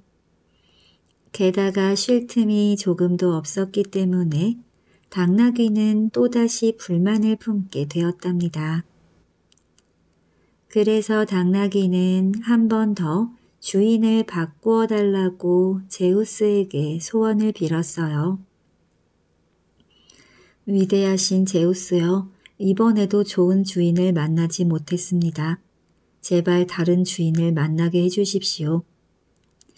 제우스는 이번에도 당나귀의 소원을 들어주었답니다. 옹기장이가 가축 시장에 가서 당나귀를 팔아버린 거예요. 이번에는 어디로 팔려갔을까요? 당나귀가 다시 팔려간 곳은 가죽장이 집이었답니다. 이렇게 해서 당나귀는 점점 더 힘든 주인을 만나게 되었지요. 가죽장이는 온갖 동물들의 가죽을 벗겨다가 물건을 만들어서 시장에 내다 팔고 있었습니다. 새 주인이 일하는 무시무시한 광경을 보다가 당나귀는 무거운 한숨을 쉬면서 말했답니다. 참 복도 없지. 차라리 처음 주인과 함께 있었으면 훨씬 좋았을걸. 새 주인은 내 가죽까지 벗기려 들지도 모르겠군. 당나귀는 후회했지만 이미 늦은 때였답니다. 오늘의 동화 장난감 병정 노쇠로 만들어진 장난감 병정 25개 낡은 노쇠 주걱을 녹여 만든 병정들이 빨갛고 파란 군복을 차려입고 어깨에 총을 메고 똑바로 서 있었습니다. 사내 아이는 생일날 선물로 받은 노쇠 병정들을 책상 위에 나란히 세웠어요. 장난감 병정들은 모두 똑같았는데 하나만 외다리였습니다. 맨 나중에 만들어져 노쇠가 모자라 그런 모습이 되었어요. 그런데도 외다리 병정은 늠름하고 씩씩하게 서 있었습니다.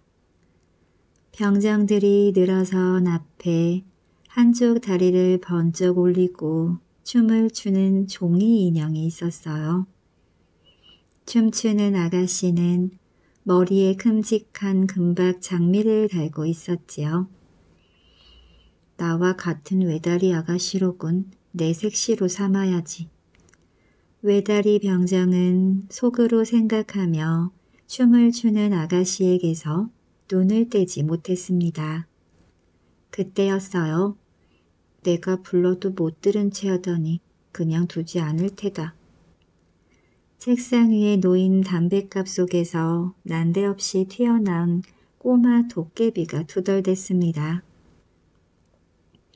다음 날 아침 사내 아이가 인형들을 창가에 늘어놓고 있는데 갑자기 바람이 휙 불어와 외다리 병정이 창 밖으로 떨어지고 말았습니다.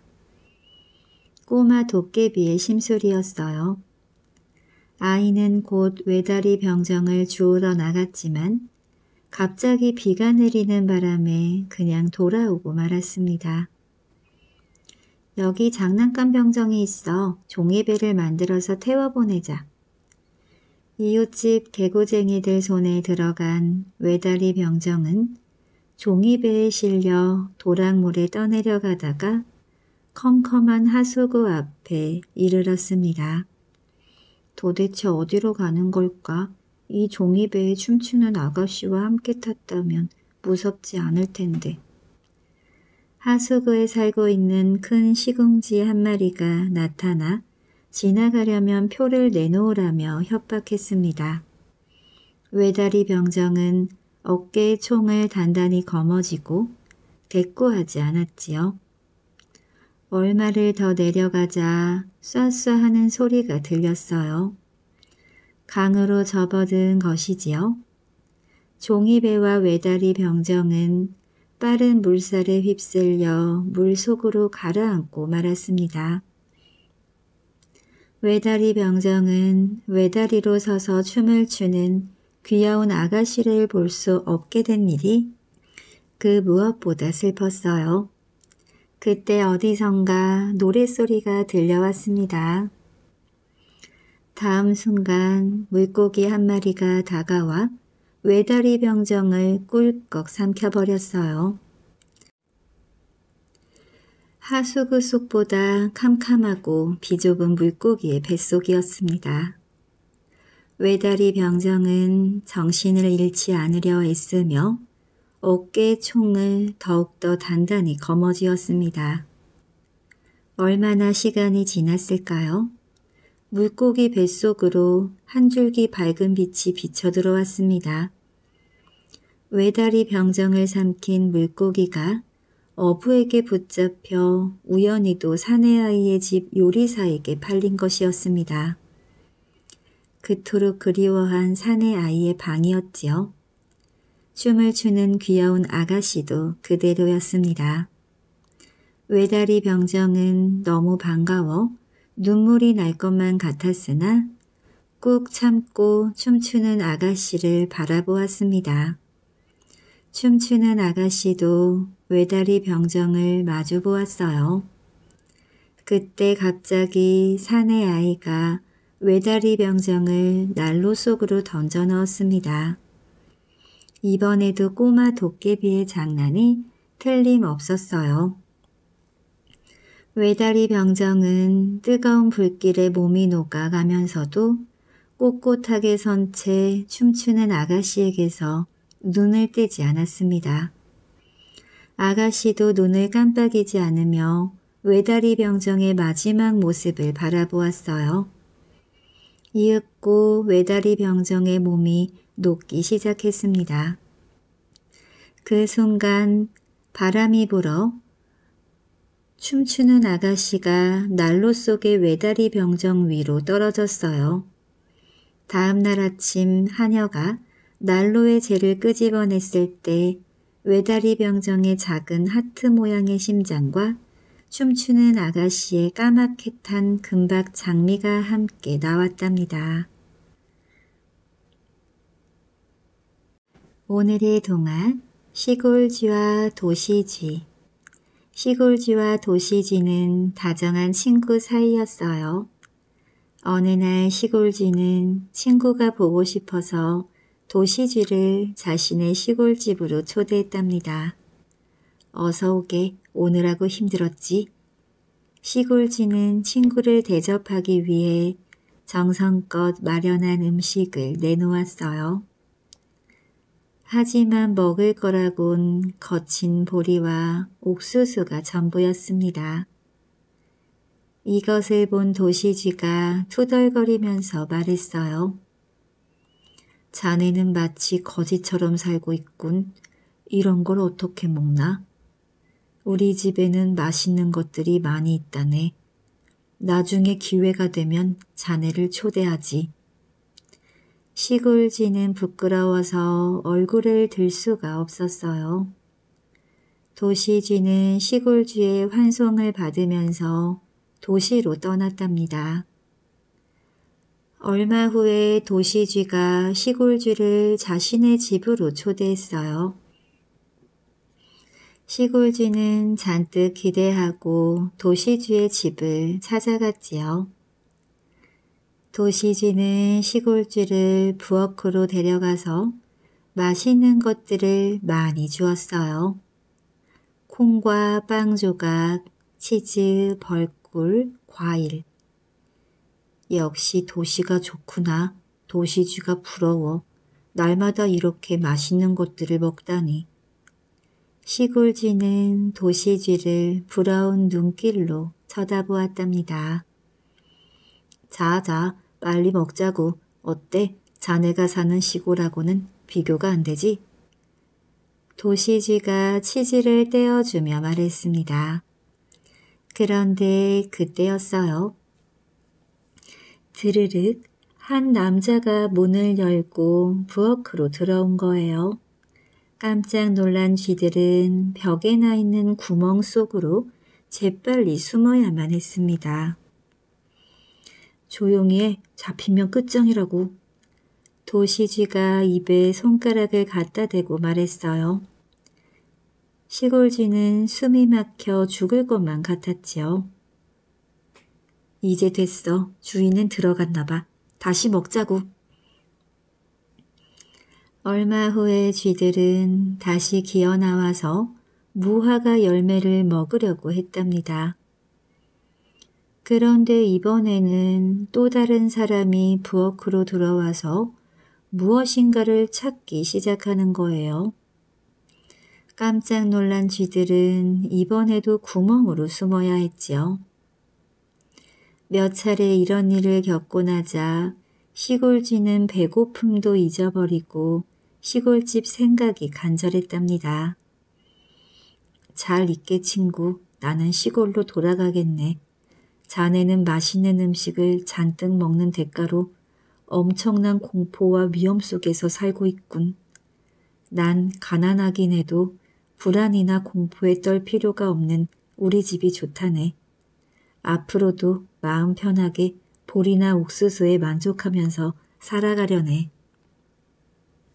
오늘의 동화 금강 초롱 이야기 아주 먼 옛날 금강산 골짜기에 오누이가 살았어요. 아버지 어머니가 일찍 돌아가셔서 단둘이 살고 있었지요. 오누이는 서로 아껴주며 오순도순 잘 살았답니다. 그런데 그만 누나가 덜컥 병이 들어 자리에 눕고 만 거예요. 동생은 아픈 사람한테 좋다는 이런 약초 저런 약초를 다 캐다가 먹여보았지요. 하지만 누나의 병은 쉽게 낫지 않았답니다. 하루는 동생이 약초를 찾아 숲속을 헤매다가 어떤 할아버지를 만났어요. 그런데 그 할아버지가 동생에게 이런 말을 하는 겁니다. 내 누나의 병은 인간 세상의 약초로는 고칠 수가 없느니라. 저 하늘나라 달 속에 있는 개수나무 열매를 따다 먹이면 몰라도 그 말을 남기고 할아버지는 사라져 버렸어요. 동생은 곧장 집으로 달려와 누나한테 말했습니다. 누나, 달에 있는 개수나무 열매만 먹으면 누나 병이 깨끗이 낫는데 내가 당장 구해올게. 아니 무슨 수로 하늘에 떠있는 달에 간단 말이니? 금강산 꼭대기 비로봉으로 갈 거야. 거기선 하늘이 가깝잖아. 비로봉이라고? 그 높고 험한 곳에 어떻게 간다고? 그런 생각은 하지도 마. 누나가 아무리 말려도 동생은 괜찮다며 길을 떠났습니다. 동생은 비로봉에 오르기 시작했지요. 끙끙거리며 한참을 오르니 온몸이 땀으로 흠뻑 젖었어요. 나뭇가지에 찔리고 바위에 긁혀 온몸이 상처 투성이가 되었지요. 하지만 동생은 아픈 누나를 생각하며 쉬지 않고 산을 올라갔습니다. 마침내 동생은 비로봉 꼭대기에 올랐어요. 그런데도 하늘은 까마득히 멀게만 보이는 거예요. 어느덧 날이 저물고 하늘에는 달이 떠올랐지요. 동생은 그 달을 바라보며 깊은 한숨을 쉬었습니다. 휴, 이젠 어떡하면 좋을까? 저 달에 있는 개수나무 열매를 따야 하는데. 바로 그때 아래쪽에서 누군가 사뿐사뿐 올라오는 게 보였어요. 가만 보니 하늘나라 선녀였지요. 선녀는 어느 바위 앞으로 가더니 그 바위에 난 작은 구멍에서 구슬 하나를 꺼냈습니다. 무지갯빛 아름다운 구슬이었지요. 선녀는 그 구슬을 들어 하늘에 대고 비췄어요. 그러자 은빛과 금빛으로 반짝이는 사다리가 주르륵 내려오는 겁니다. 선녀는 구슬을 도로 바위 구멍에 집어넣고는 사다리를 타고 하늘로 올라갔답니다. 동생은 그 바위 구멍에서 구슬을 꺼냈어요. 그러고는 선녀가 한 것처럼 구슬을 들어 하늘에 대고 비쳤지요. 그러자 하늘에서 사다리가 주르륵 내려왔어요. 동생은 얼른 사다리에 올라탔습니다. 사다리는 은빛과 금빛으로 아름답게 반짝이면서 밤 하늘로 올라갔답니다. 하늘나라에 올라간 동생은 곧장 달을 찾아갔어요. 그곳에선 옥토끼가 개수나무를 지키고 있었지요. 동생이 달에 온 사정을 이야기하자 옥토끼는 고개를 끄덕이며 말했습니다. 누나를 아끼는 당신 마음씨가 참 갸륵하군요. 내가 개수나무 열매를 따드리지요. 옥토끼는 개수나무 열매를 동생한테 건네주었어요. 이걸 가지고 얼른 내려가세요. 세상 사람이 하늘나라에 올라온 걸 알면 하늘왕께서 크게 화를 내실 거예요. 동생은 개수나무 열매를 가지고서 얼른 사다리를 타고 땅으로 내려오기 시작했습니다. 누나는 밤늦도록 동생이 돌아오지 않자 걱정이 되었어요. 그래서 초롱의 불을 밝혀 들고는 집을 나섰지요. 동생이 간다고 했던 비로봉에 가려고 말이에요. 누나는 아픈 몸을 이끌고 끙끙거리며 산을 올랐습니다. 그런데 갑자기 하늘에서 쩌렁쩌렁한 소리가 들려왔어요. 아니 세상 사람이 감히 하늘나라에 발을 들여놓다니. 동생이 하늘나라에 올라온 걸 하늘 왕이 알게 된 거예요. 다시는 세상 사람이 하늘에 올라오지 못하게 해야겠구나. 하늘 왕은 커다란 지팡이로 사다리를 힘껏 후려쳤습니다. 사다리는 산산이 부서져 비로봉으로 쏟아져 내렸어요. 사다리를 타고 내려오던 동생도 함께 떨어져 죽고 말았지요. 마침 비로봉 가까이에 다다른 누나가 그 모습을 보게 되었어요. 노나는 너무 놀란 나머지 그만 심장이 뚝 멎어버렸습니다.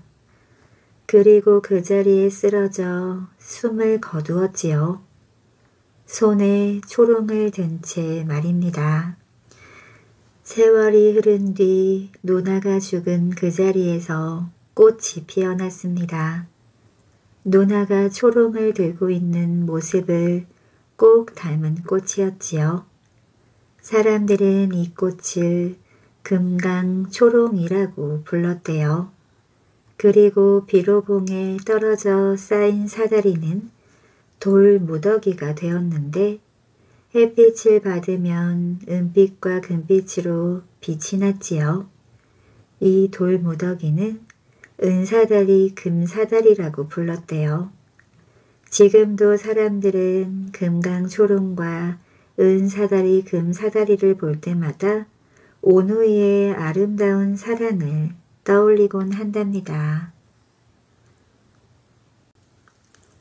오늘의 동화 아기장수 전설 옛날 아주 먼 옛날 일이에요. 사람들이 하루를 일해 하루 먹기도 힘들 만큼 어렵게 살아가던 때였습니다. 작은 마을에서 큰 마을까지 또 작은 나라에서 큰 나라까지 힘 가진 사람들은 제 욕심에 눈이 멀어 백성들을 돌보지 않았지요. 백성들은 매일같이 하늘만 쳐다보며 한숨을 내쉴 뿐이었어요. 그런 어려운 시절 어느 시골 마을에서 남편을 잃은 한 안악이 아기를 낳았던 겁니다. 그것도 따뜻한 방 안이 아니라 산속에서 밭을 매다가 혼자 낳았지 뭐예요. 억새 풀을 꺾어 탯줄을 자르고 고생해서 아기를 낳았는데 글쎄 울음소리가 안 들리는 거예요. 정신을 차리고 보니 아기 입이 꾹 닫혀 있었지요. 그뿐만이 아니었습니다. 아기 몸이 딱 윗도리만 있고 엉덩이 아래로는 아무것도 없었어요. 안악은 실령님, 실령님 소리치면서 막 울었습니다. 어쨌든 아기를 안고 집에 돌아오긴 했는데 어찌된 셈인지 한 번도 울지 않고 돌부처인 양 가만히 앉아있기만 했대요. 동네 사람들은 이 아기를 웃돌이라고 불렀습니다. 윗돌이만 있다고 해서 웃돌이가 된 거지요. 그러니 아기 엄마는 자연히 웃돌레가 됐겠지요. 웃돌레는 웃돌이를 둘러엎고 여기저기 품팔이를 다녔어요. 논이며 밭이며 웃돌레가 일을 할 때면 웃돌이는 일이 다 끝날 때까지 돌부처인 양 가만히 앉아있기만 했답니다. 하루는 옷돌이를 집에 두고 웃돌레가 일을 가게 되었어요. 일을 주는 마름이 애를 데려가면 구박을 했거든요. 웃돌레가 일을 하러 가다가 잊은 물건을 가지러 되돌아온 참이었습니다. 그때 방 안에서 갑자기 쿵 하는 소리가 들리는 거예요. 웃돌레는 이상한 생각이 들어 창호지 구멍으로 방 안을 보았어요. 그랬더니 글쎄 웃돌이가 작은 날개로 끙끙 날다가 떨어지다가 하는 겁니다. 아이고 우리 집에 장수가 났구나. 옷돌레는 가슴이 덜컥 내려앉았어요. 옛말에 언젠가는 세상을 뒤집어 백성을 편안하게 만들 장수가 오신다고 했었거든요. 그 장수는 날개를 달고 세상에 오신다고 했어요. 하지만 관아에서 알게 되면 살아남을 수가 없겠지요. 하루는 옷둘레가 논에서 땀을 뻘뻘 흘리며 모를 심고 있었습니다. 저쪽에서 골 관아에서 일하는 아전이 오는 거예요. 악독하기로 소문이 자자한 사람인데 우뚤레한테 와서 트집을 잡았지요. 이복에 지금까지 모를 몇 폭이나 심었는고. 우뚤레는 당황해서 대답도 못하고 어쩔 줄 모르고 있었어요. 자기가 심은 모도 못해하려? 농사꾼들은 참 멍청하군 멍청해. 함께 일하던 농부들도 불끈불끈 화가 치밀었지만 감히 대들지 못했습니다. 옷둘레는 얼굴이 빨갛게 달아오르고 참 안타까웠지만요. 그런데 그때 어디서 고함 소리가 쩌렁쩌렁 울렸습니다. 보시오, 그러는 당신은 여기까지 타고 온 말 발자국이 모두 몇 개인지 아시오? 모두들 깜짝 놀라 돌아보니 세상에 돌부처인 양 앉아있던 옷돌이가 고함을 치고 있잖아요. 아저는 성치도 않은 어린애한테 느닷없이 당하고 나자 얼굴이 벌겋게 달아올랐겠지요. 그러고는 혼자 중얼중얼 하더니 말을 타고 휙 가버렸어요. 농부들이 그 모습을 보고 얼마나 속이 시원했겠어요. 또 한편으로는 옷두리가 왠지 보통 아이가 아니라는 생각이 들었답니다.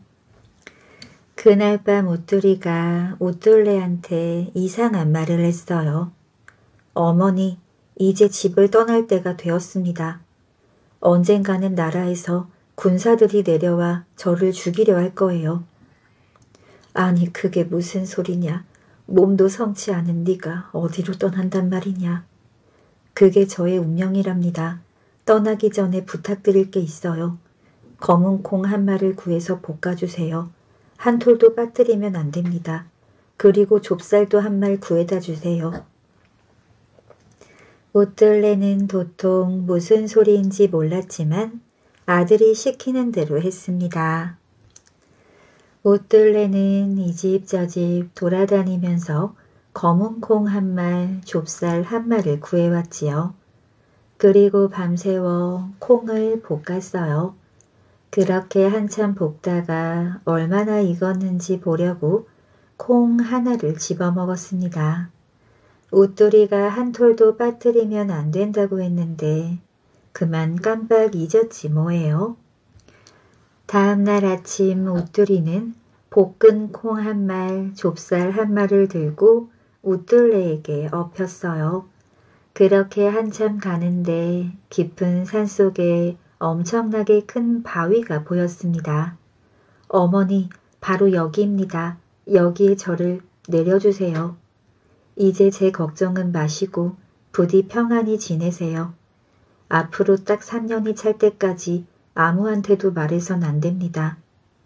웃돌이는 억새풀을 뜯어 바위 한 가운데를 톡 쳤어요. 그러자 그 큰 바위가 두 쪽으로 갈라지면서 안에 빈 터가 보였지요. 옷돌이는 콩과 좁쌀을 양손에 들고 바위 속으로 날아 들어갔습니다. 그랬더니 바위가 다시 쿠구궁 하면서 닫히는 거예요. 갈라졌던 흔적조차 없이 말이죠. 동네 사람들은 참 궁금했어요. 언제부터인가 웃두리가 안 보였거든요. 웃둘래 어떻게 된 거요? 웃두리가 안 보이는 걸. 그렇게 물을 때마다 웃둘레는 저녁에 갑자기 숨이 막혀 죽었답니다. 그래서 산속에 묻었지요. 이렇게 거짓 대답을 했는데 사람들이 그걸 믿지 않았지요. 그렇게 봄, 여름, 가을, 세월이 가는데 언제부터인가 이상한 소문이 들렸어요.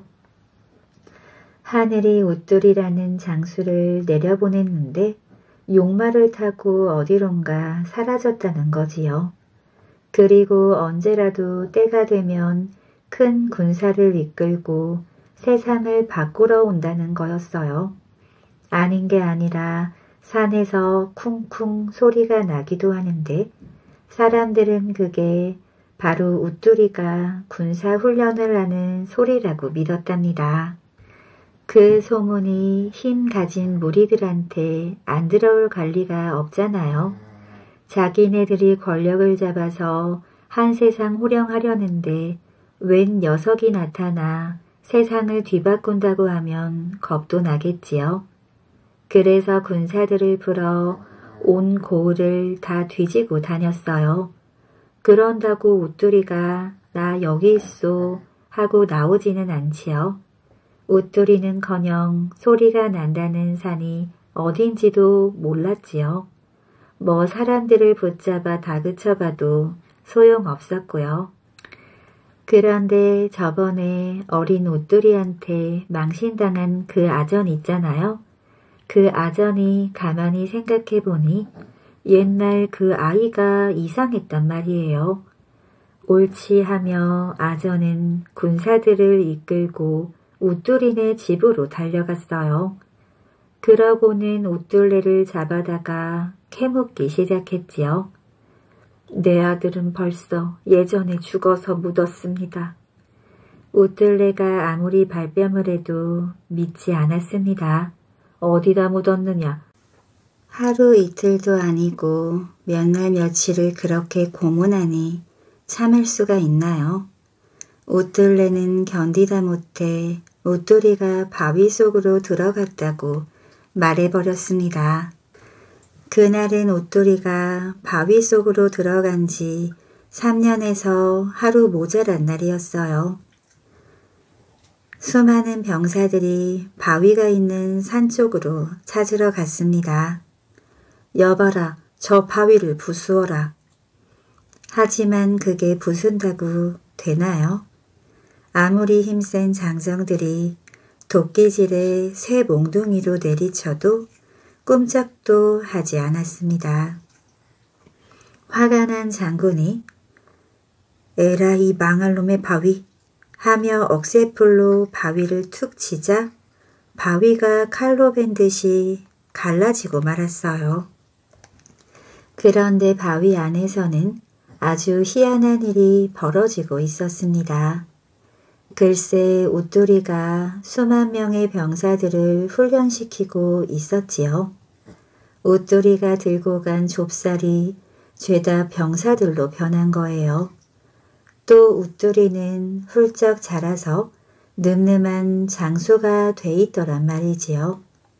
그런데 원통하게도 딱 하루가 모자라 발가락이 덜 생겨서 뒤뚱거렸어요.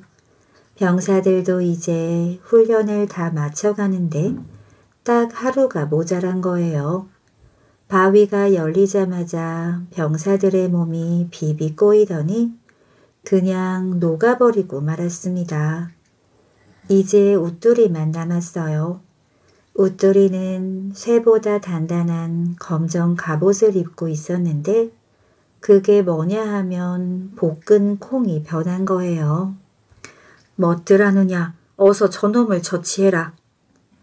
장군이 군사들한테 명령하자마자 와 하며 웃두리를 향해 막 쳐들어갔어요. 하지만 군사가 아무리 많아도 웃두리의 적수가 되지는 못했지요. 웃두리가 한번 휙 솟구칠 때마다 수십 명씩 나가 떨어졌답니다. 안 되겠다. 한꺼번에 화살을 쏘아라. 그러자 화살이 새카맣게 날아갔겠지요. 하지만 옷두리가 입은 콩 갑옷을 뚫지는 못했어요. 그런데 그 간, 그런데 그 단단한 갑옷에 딱 한 군데 빈 곳이 있었습니다. 겨드랑이 아래에 말이에요. 그건 바로 웃둘레가 콩을 볶다가 하나를 먹은 바람에 생긴 거지요. 화살 하나가 바로 그 자리를 꿰뚫었지 뭐예요. 그랬더니 붉은 피가 막 솟구치면서 웃두리가 쓰러지고 말았습니다. 딱 하루, 딱 한 군데 때문에 이를 그르치고 만 거지요. 웃둘레는 자기 때문에 아들이 죽은 걸 알고 목 놓아 울었습니다. 그 일이 있고 난 다음부터 세상 여기저기서 사람들이 들고 일어났지요. 웃돌이의 죽음을 헛되이 하지 말자며 모두들 힘을 합치기 시작한 거예요. 그래서 그때부터 힘 가진 자들과 힘없는 자들의 싸움이 아직까지 계속되는 거랍니다. 오늘의 동화 엉큼하게 장가든 총각 용산 마을에 조실 부모하고 혼자 어렵게 사는 총각이 있었어요. 일가 친척도 없이 남의 집 일을 해주며 근근히 살았지요. 그런데 총각이 하루는 무슨 결심을 했는지 보찜 하나 달랑 싸서 집을 떠났어요. 정처 없이 남쪽으로 가다가 어느 마을에 도착했을 때였습니다. 어떤 노인이 이리저리 총각을 훑어보더니 총각에게 물었어요. 이복에 총각 어디 가는가? 야, 갈 데도 없고 오라는 데도 없이 이리저리 돌아댕기요. 그럼 우리 집에 가서 일이나 하고 살아라. 마침 배도 고프고 잘 곳도 없던 총각은 냉큼 노인을 따라갔어요. 며칠 일해주고 대접받을 생각을 하니 콧노래가 절로 나왔지요. 집에 도착하니 노인의 딸이 아버지를 맞이하러 나왔는데 그 딸을 본 순간 총각은 넋을 잃고 말았어요. 딸이 어찌나 예쁘던지 하늘에서 내려온 선녀 같았거든요. 순간 총각은 결심했습니다. 나는 저 딸과 꼭 인연을 맺어야겠다. 그 뒤로 총각은 성실하고 부지런하게 일했어요. 남몰래 딸을 훔쳐보면서 말이지요. 그러던 어느 무더운 여름날 딸이 옷을 훌훌 벗고 자고 있는 걸 보았습니다. 이때다 생각한 총각은 살금살금 기어가 자기 옷을 벗어 딸의 이불 속에 넣어 놓았어요. 그러고는 딸의 고쟁이를 입고 기어나와 마당을 쓸기 시작했지요. 그런데 총각이 마당을 쓸 때마다 궁둥이가 훌딱훌딱 보였어요. 고쟁이 밑이 트여져 있었으니 당연하지요. 때마침 노인이 방문을 열고 나왔습니다. 총각이 마당을 쓰는데 궁둥이가 훌떡훌떡 보인단 말이에요. 노인은 얼른 총각을 불러 말했습니다. 예, 너 이리 좀 가까이 와보거라. 야, 왜유? 네 옷걸이 그게 뭐냐? 에이구머니 하며 총각이 궁둥이를 가리고 뛰어가는데 딸 방으로 들어간단 말이지요. 딸은 자고 있는데 총각이 딸의 이불 속에서 옷을 꺼내 입는 거예요. 그것을 본 노인은 할 말을 잃었습니다. 집도 없고 배운 것도 없고 남의 집이나 돌아다니며 겨우 먹고 사는 놈에게 딸을 주어야 한다니 기가 막힐 노릇이었지요. 하지만 어쩌겠어요. 사위로 삼을 수밖에요. 엉큼하게 장가든 총각은 부지런히 일하며 예쁜 색시와 잘 살았다고 합니다.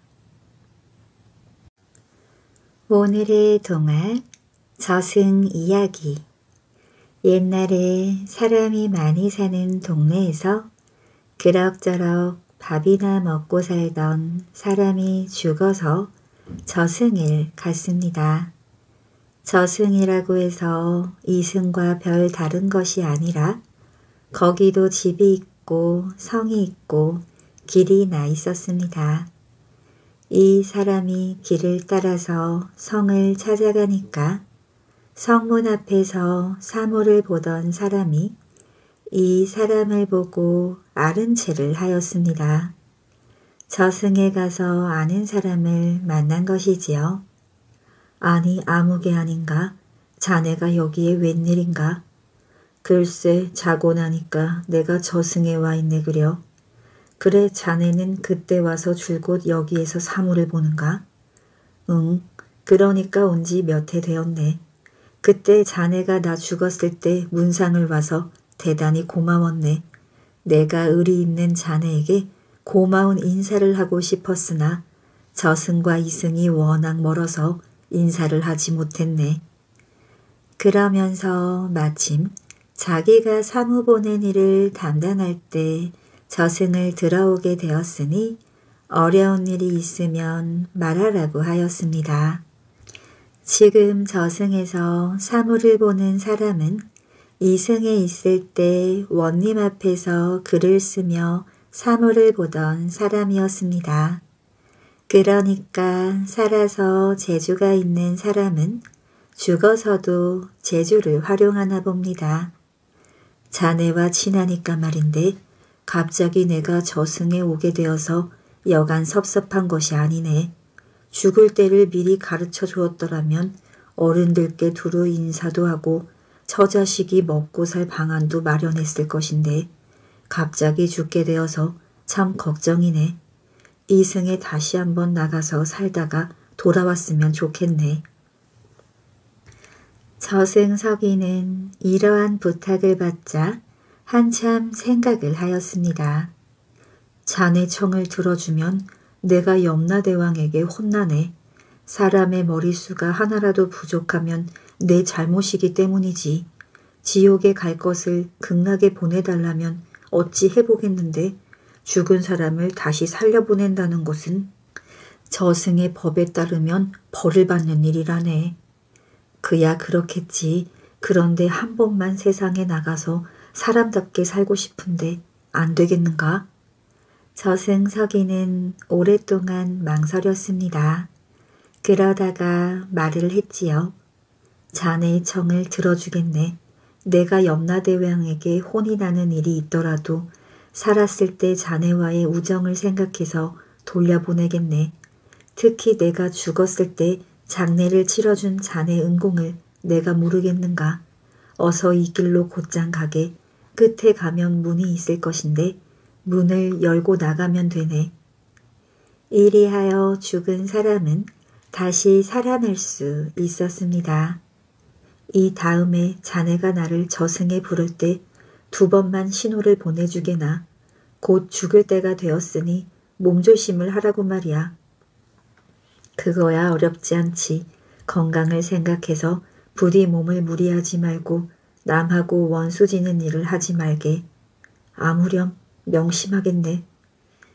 그래서 그 사람은 자기 소원대로 이 세상에 다시 살아왔습니다. 나올 때 저승서기가 자기 가족을 부탁할 줄 알았더니 그런 부탁을 하지는 않았습니다. 오직 친구를 살려보내기 위하여 자신을 희생하는 저승서기가 무척 고마웠지요.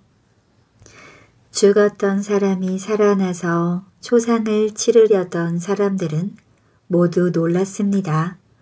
보라고 죽은 사람이 간혹 살아나는 수가 있으니까 3일 동안은 장례 준비만 하고 땅에 묻지 않는다고 하지 않았던가. 바로 자기 아버지였습니다. 부모보다 먼저 죽는 것은 불효한 일이지요. 낳은 자식을 땅에 묻어야 하는 부모의 마음이 오죽 아프겠습니까? 그런데 죽은 사람이 살아났으니 기적이라고 아니할 수가 없었습니다. 살아난 사람은 저승에서 만난 저승서기의 이야기를 하면서 앞으로는 정신을 차려 잘 살아보겠다고 하였습니다. 못다한 효도를 하면서 이웃과 사이좋게 지내고 처와 자식을 잘 돌보고 저승석인의 유가족을 도와 주겠다고 말했지요. 허허 그럭저럭 살던 사람이 저승을 갔다 오더니 사람이 달라졌네 그려. 그렇다면 저승에 가볼 만도. 옛기 사람아 저승 서기를 알아야 살지 자네처럼 남의 상갓집이나 어려운 일에는 코끝도 내밀지 않는 그런 사람은 죽어도 살아날 길이 없으니 일찌감치 찬물 먹고 마음을 돌리게 해. 안 그러면 부지런히 남의 굳은 일을 해주러 다니든가. 하하, 이제부터는 나도 남의 일을 돌보기로 했네. 상갓집에 왔던 사람들은 이런 말을 하면서 헤어졌습니다.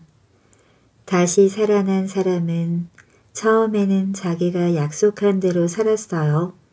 부모에게 효도하고 동네 어른에게 인사성이 밝고 가족을 돌보는 등 아주 잘하였습니다. 그런데 얼마 지나자 다시 살아난 사람은 이전과 마찬가지가 되었습니다. 그럭저럭 세월을 보내는 사람이 되었지요. 그리고 저승서기와 약속한 것을 다 잊어버렸습니다. 어느 날 친구를 오랜만에 만나서 술을 많이 먹었습니다. 주막집을 나오다가 또 아는 친구를 만나서 다시 마셨고요. 이젠 집에 가려고 일어나는데 마침 아는 친구를 만나서 또 술을 고주망태가 되도록 먹었습니다. 밤늦게 술에 취하여 이리 비틀 저리 비틀 걸어오다가 발을 헛디뎌서 개울가에 굴러 떨어졌습니다. 그래서 며칠 끙끙 앓았지요. 몸이 좀 나아져서 들에 나갔다가 평소에 감정이 많았던 사람을 만났습니다. 시비를 먼저 걸어서 대판 싸움이 벌어졌어요. 주먹질이 오고 갔습니다. 매를 맞은 그 사람은 이번에도 며칠 끙끙 앓았습니다. 식구들이 걱정을 하였습니다. 그러자 환자는 다시 일어나면 먹고 싶은 술을 더 많이 먹을 것이며 자기를 때린 사람을 관가에 고발하여 원수를 갚겠다고 다짐하였습니다. 병이 어느 정도 나았을 때 그럭저럭 살던 사람은 다시 술을 마신 후 원한이 있는 사람을 찾아갔습니다. 그리고 그냥 두지 않겠다고 하였지요. 어, 이 사람아, 이제 그 일은 잊어버리지. 또 싸움을 하려고 하는가? 이놈아, 내 마음에 새겨둔 원수를 그냥 둘 것 같으냐? 이렇게 대들었습니다. 이러기를 며칠 하다가 그럭저럭 살던 사람은 어느 날 밤 잠이 들었어요. 그런데 정신을 차리고 보니 저승석이 앞이었습니다. 아니, 내가 왜 여기에 왔지? 그놈을 관가에 고발하려던 참인데. 이렇게 말을 하였습니다. 저승석이는 한심한 눈으로 친구를 바라보았어요. 이 사람아, 정신을 똑바로 차려. 여기는 저승이야. 여기가 저승이라고? 그러면 왜 약속을 지키지 않았나? 죽기 전에 두 번 신호를 보내기로 한 것을 자네는 잊었나? 그러자 저승석이가 비웃었습니다. 약속을 안 지킨 것은 내가 아니고 바로 자네일세. 그동안 자네가 한 일을 생각해보게. 자네를 데려오기 전에 두 번이나 신호를 보냈네. 어떤 신호였나? 한 번은 술을 먹고 개울가에 쓰러졌을 때, 한 번은 친구와 싸워서 매 맞고 방 안에서 끙끙 앓았을 때, 그럭저럭 산 사람은 그제야 깨달았지만 이미 때는 늦었습니다. 참 안 되었네만 다시 태어나서 하는 일이 고작 술 타령에 남에게 원수나 사고 처음에 결심한 좋은 일도 사흘을 지키지 못했으니 세상에 살 자격이 자네에겐 없네. 여기 저승에서도 자네 같은 사람은 쓸 데가 없어. 그러니 이제 저기 지옥 가는 길로 어서 가게. 그러면서 냉정하게 말했습니다. 친구, 다시 세상에 나갈 수 없겠나? 걔라도 두 번 실수는 안 하는 법이야. 이제 나를 친구라고 부르지 말게. 여기는 엄연히 저승이야. 나는 무서운 저승석이라고. 그래서 그럭저럭 산 사람은 울면서 지옥으로 갔습니다. 그런데 이런 저승 이야기가 어떻게 이 세상에 알려졌을까요? 오늘의 동화 아내와 수수께끼 옛날 옛적 어느 산골에 농사꾼 부부가 살았는데 금실이 아주 좋았어요. 얼마나 금실이 좋았는고 하니 잠시도 떨어지지를 못했대요. 밤이고 낮이고 꼭 붙어 살았지요. 그래서 남편이 일을 하지 못했어요. 밤낮 아내 곁을 지키느라고 말이지요. 아내가 빨래하러 가면 저도 따라가고 아내가 물 길러 가면 저도 따라가고 이러니 농사일이고 뭐고 되겠어요? 일은 다 뒷전이고 그저 허구한 날 아내만 들여다보고 사니까 먹고 살기도 힘들었지요.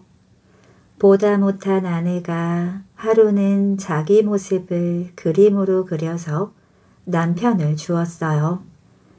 여보, 이제부터는 이걸 가지고 일하러 가세요. 나 보고 싶으면 이 그림을 나인 듯 보면서 일하세요. 남편이 그 말을 옳게 여기고 그 다음부터는 아내가 준 그림을 가지고 일을 하러 갔어요. 밭일을 할 때도 밭머리에 그림을 세워놓고 나무를 할 때도 나뭇가지에 그림을 걸어놓고 일을 했지요. 그러고는 일하다 보고 쉬다 보고 들며 보고 나며 보고 했어요. 그런데 하루는 바람이 세게 불어서 그만 밭머리에 세워둔 그림이 바람결에 휙 날아가 버렸네요. 휙 날아가서 또 한참을 훨훨 날아서 이 그림이 어디로 갔는고 하니 대궐까지 갔대요. 대궐 마당에 가서 뚝 떨어지고 말았지요. 그때 마침 임금이 대궐 마당을 거닐다가 떨어진 그림을 주었습니다. 주워서 보니 그림 속에 웬 예쁜 안악이 있거든요. 당장 신하들을 불러 영을 내렸지요. 너희들은 어서 가서 이 안악 남편을 잡아오너라. 신하들이 득달같이 달려가서 남편을 잡아왔어요. 남편은 영문도 모르고 잡혀왔지요.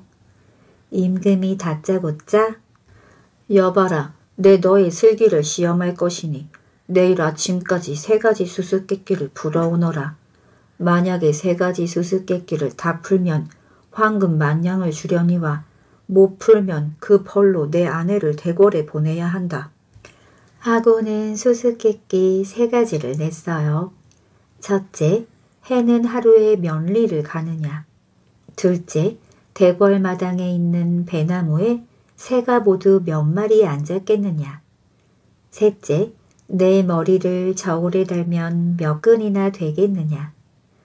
남편은 할 일 없이 집으로 돌아가 곧바로 뒷마당 대추나무에 줄을 걸고 목을 매려고 했어요. 그걸 보고 아내가 놀라서 허겁지겁 달려와 줄을 끌어놓고 물었지요. 여보, 대체 왜 이러시는 게요? 그래서 남편이 얘기를 해줬어요. 일이 이만저만해서 이렇게 저렇게 되었노라고 다 얘기를 해주고 나서 그런데 아무리 생각해도 수수께끼를 풀 재간이 없소. 내일 아침까지 수수께끼를 못 풀면 당신을 잃게 되는데 당신 없이는 한시도 살 수가 없으니 내가 죽는 수밖에 없지 않소. 그 말을 들은 아내가 어떤 수수께끼에게 그러느냐고 물었지요. 첫째, 수수께끼는 해는 하루에 몇 일을 가는지 알아맞히는 것이고 둘째 수수께끼는 대궐 마당에 있는 배나무에 새가 모두 몇 마리 앉았는지를 알아맞히는 것이며 셋째 수수께끼는 임금님 머리를 저울에 달면 몇 근이나 되는지를 알아맞히는 것인데 그걸 무슨 수로 안단 말이오. 그랬더니 아내가 잠깐 생각을 하고 나서 말을 했습니다. 그건 걱정할 일이 아닙니다. 내가 다 알고 있으니 나한테 맡겨두세요. 그러고 나서 이튿날 아침이 되었습니다. 남편이 대궐에 가는데 아내도 따라갔지요. 가니까 임금이 기다리고 있다가 물었어요. 그래 수수께끼는 다 풀었느냐? 이때 아내가 나섰습니다. 제가 남편 대신 답을 말해도 되겠습니까? 임금이 그러라고 해서 아내가 세 가지 수수께끼 답을 다 말했답니다. 첫째, 해는 하루에 딱 백리를 갑니다. 어째서 그러냐? 저희 친정이 우리 집에서 딱 백리인데 제가 아침에 해 뜰 때 집을 나서서 하루 종일 걸은 뒤에 친정에 이르면 마침 맞게 해가 집니다. 제가 걸은 길이나 해가 간 길이나 똑같지 않겠습니까? 듣고 보니 할 말이 없어서 임금은 눈만 끔뻑끔뻑하고 있었습니다. 아내가 또 말을 했어요. 이제 둘째 수수께끼입니다. 대궐 마당에 있는 배나무에 앉은 새는 모두 365마리입니다. 임금이 물었어요. 그건 어째서 그러냐?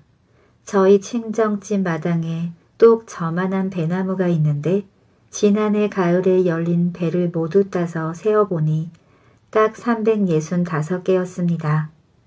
배나무에 열린 배 개수나 앉은 참새 마리수나 마찬가지 아니겠습니까? 듣고 보니 그럴듯해서 또 임금은 입만 쩍쩍 다시고 있었지요. 아내가 또 말을 했어요. 이제 마지막 수수께끼입니다.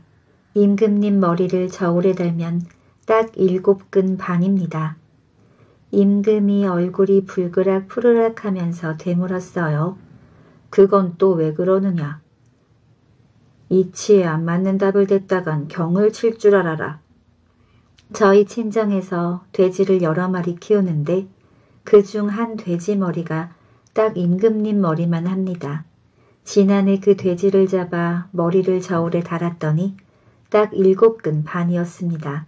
돼지 머리나 임금님 머리나 크기가 같으니 무게도 같지 않겠습니까? 임금이 할 말이 없어서 입기만 실룩실룩 하다가 말더래요. 그래서 수수께끼 다 풀고 황금 만냥 받아서 돌아와 둘이 함께 잘 살았다고 해요. 그 후로도 예전처럼 금실 좋게 한시도 떨어지지 않고 오래오래 말이지요. 오늘의 동화 꼬마의 지혜 옛날에 꼬마 신랑이 장가를 가는데 걱정이 많았어요. 신부가 억세다는 소문이 온 마을에 파다했거든요. 혼인 첫날 밤 신부는 원삼치마 저고리를 입고 족두리를 쓰고 다소 곳이 앉아서 꼬마 신랑을 기다리고 있었습니다. 그런데 한참이 지나도 꼬마 신랑이 오질 않는 거예요. 꼬마 신랑은 그때까지 친척들과 술을 마시고 있었습니다. 신부는 슬슬 화가 나기 시작했어요. 이놈의 꼬마 신랑 들어오기만 해봐라. 얼마나 지났을까요? 벼르고 있던 신부는 지쳐서 꾸벅꾸벅 졸다가 원앙금침에 쓰러져 잠이 들었습니다. 새벽 달기 운이 얼큰하게 취한 꼬마 신랑이 신방으로 들어왔어요. 신부는 그것도 모르고 깊은 잠에 빠져 있었지요. 그때 꼬마 신랑은 방에 있던 물 한 사발을 신부가 자고 있는 이불 밑에 부었어요. 그러고는 시치미를 뚝 떼고 자는 척을 했지요. 곤히 자고 있던 신부는 이불 밑이 축축한 것이 이상해서 화들짝 놀라며 벌떡 일어났습니다. 아, 이런 망측한 일이 다 있나. 내가 오줌을 싸다니.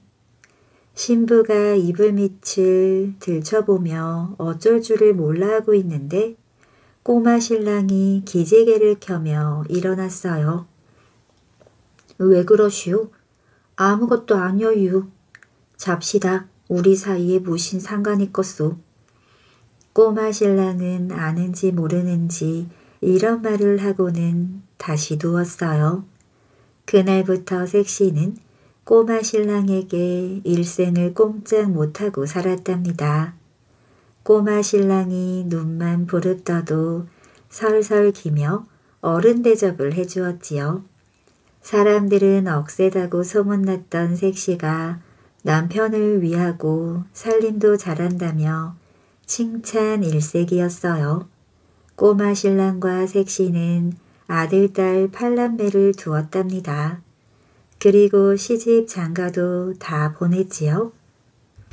세월이 흘러 꼬마 신랑도 할아버지가 되고 색시도 할머니가 되었어요. 꼬마 신랑의 환갑잔치 날이었습니다.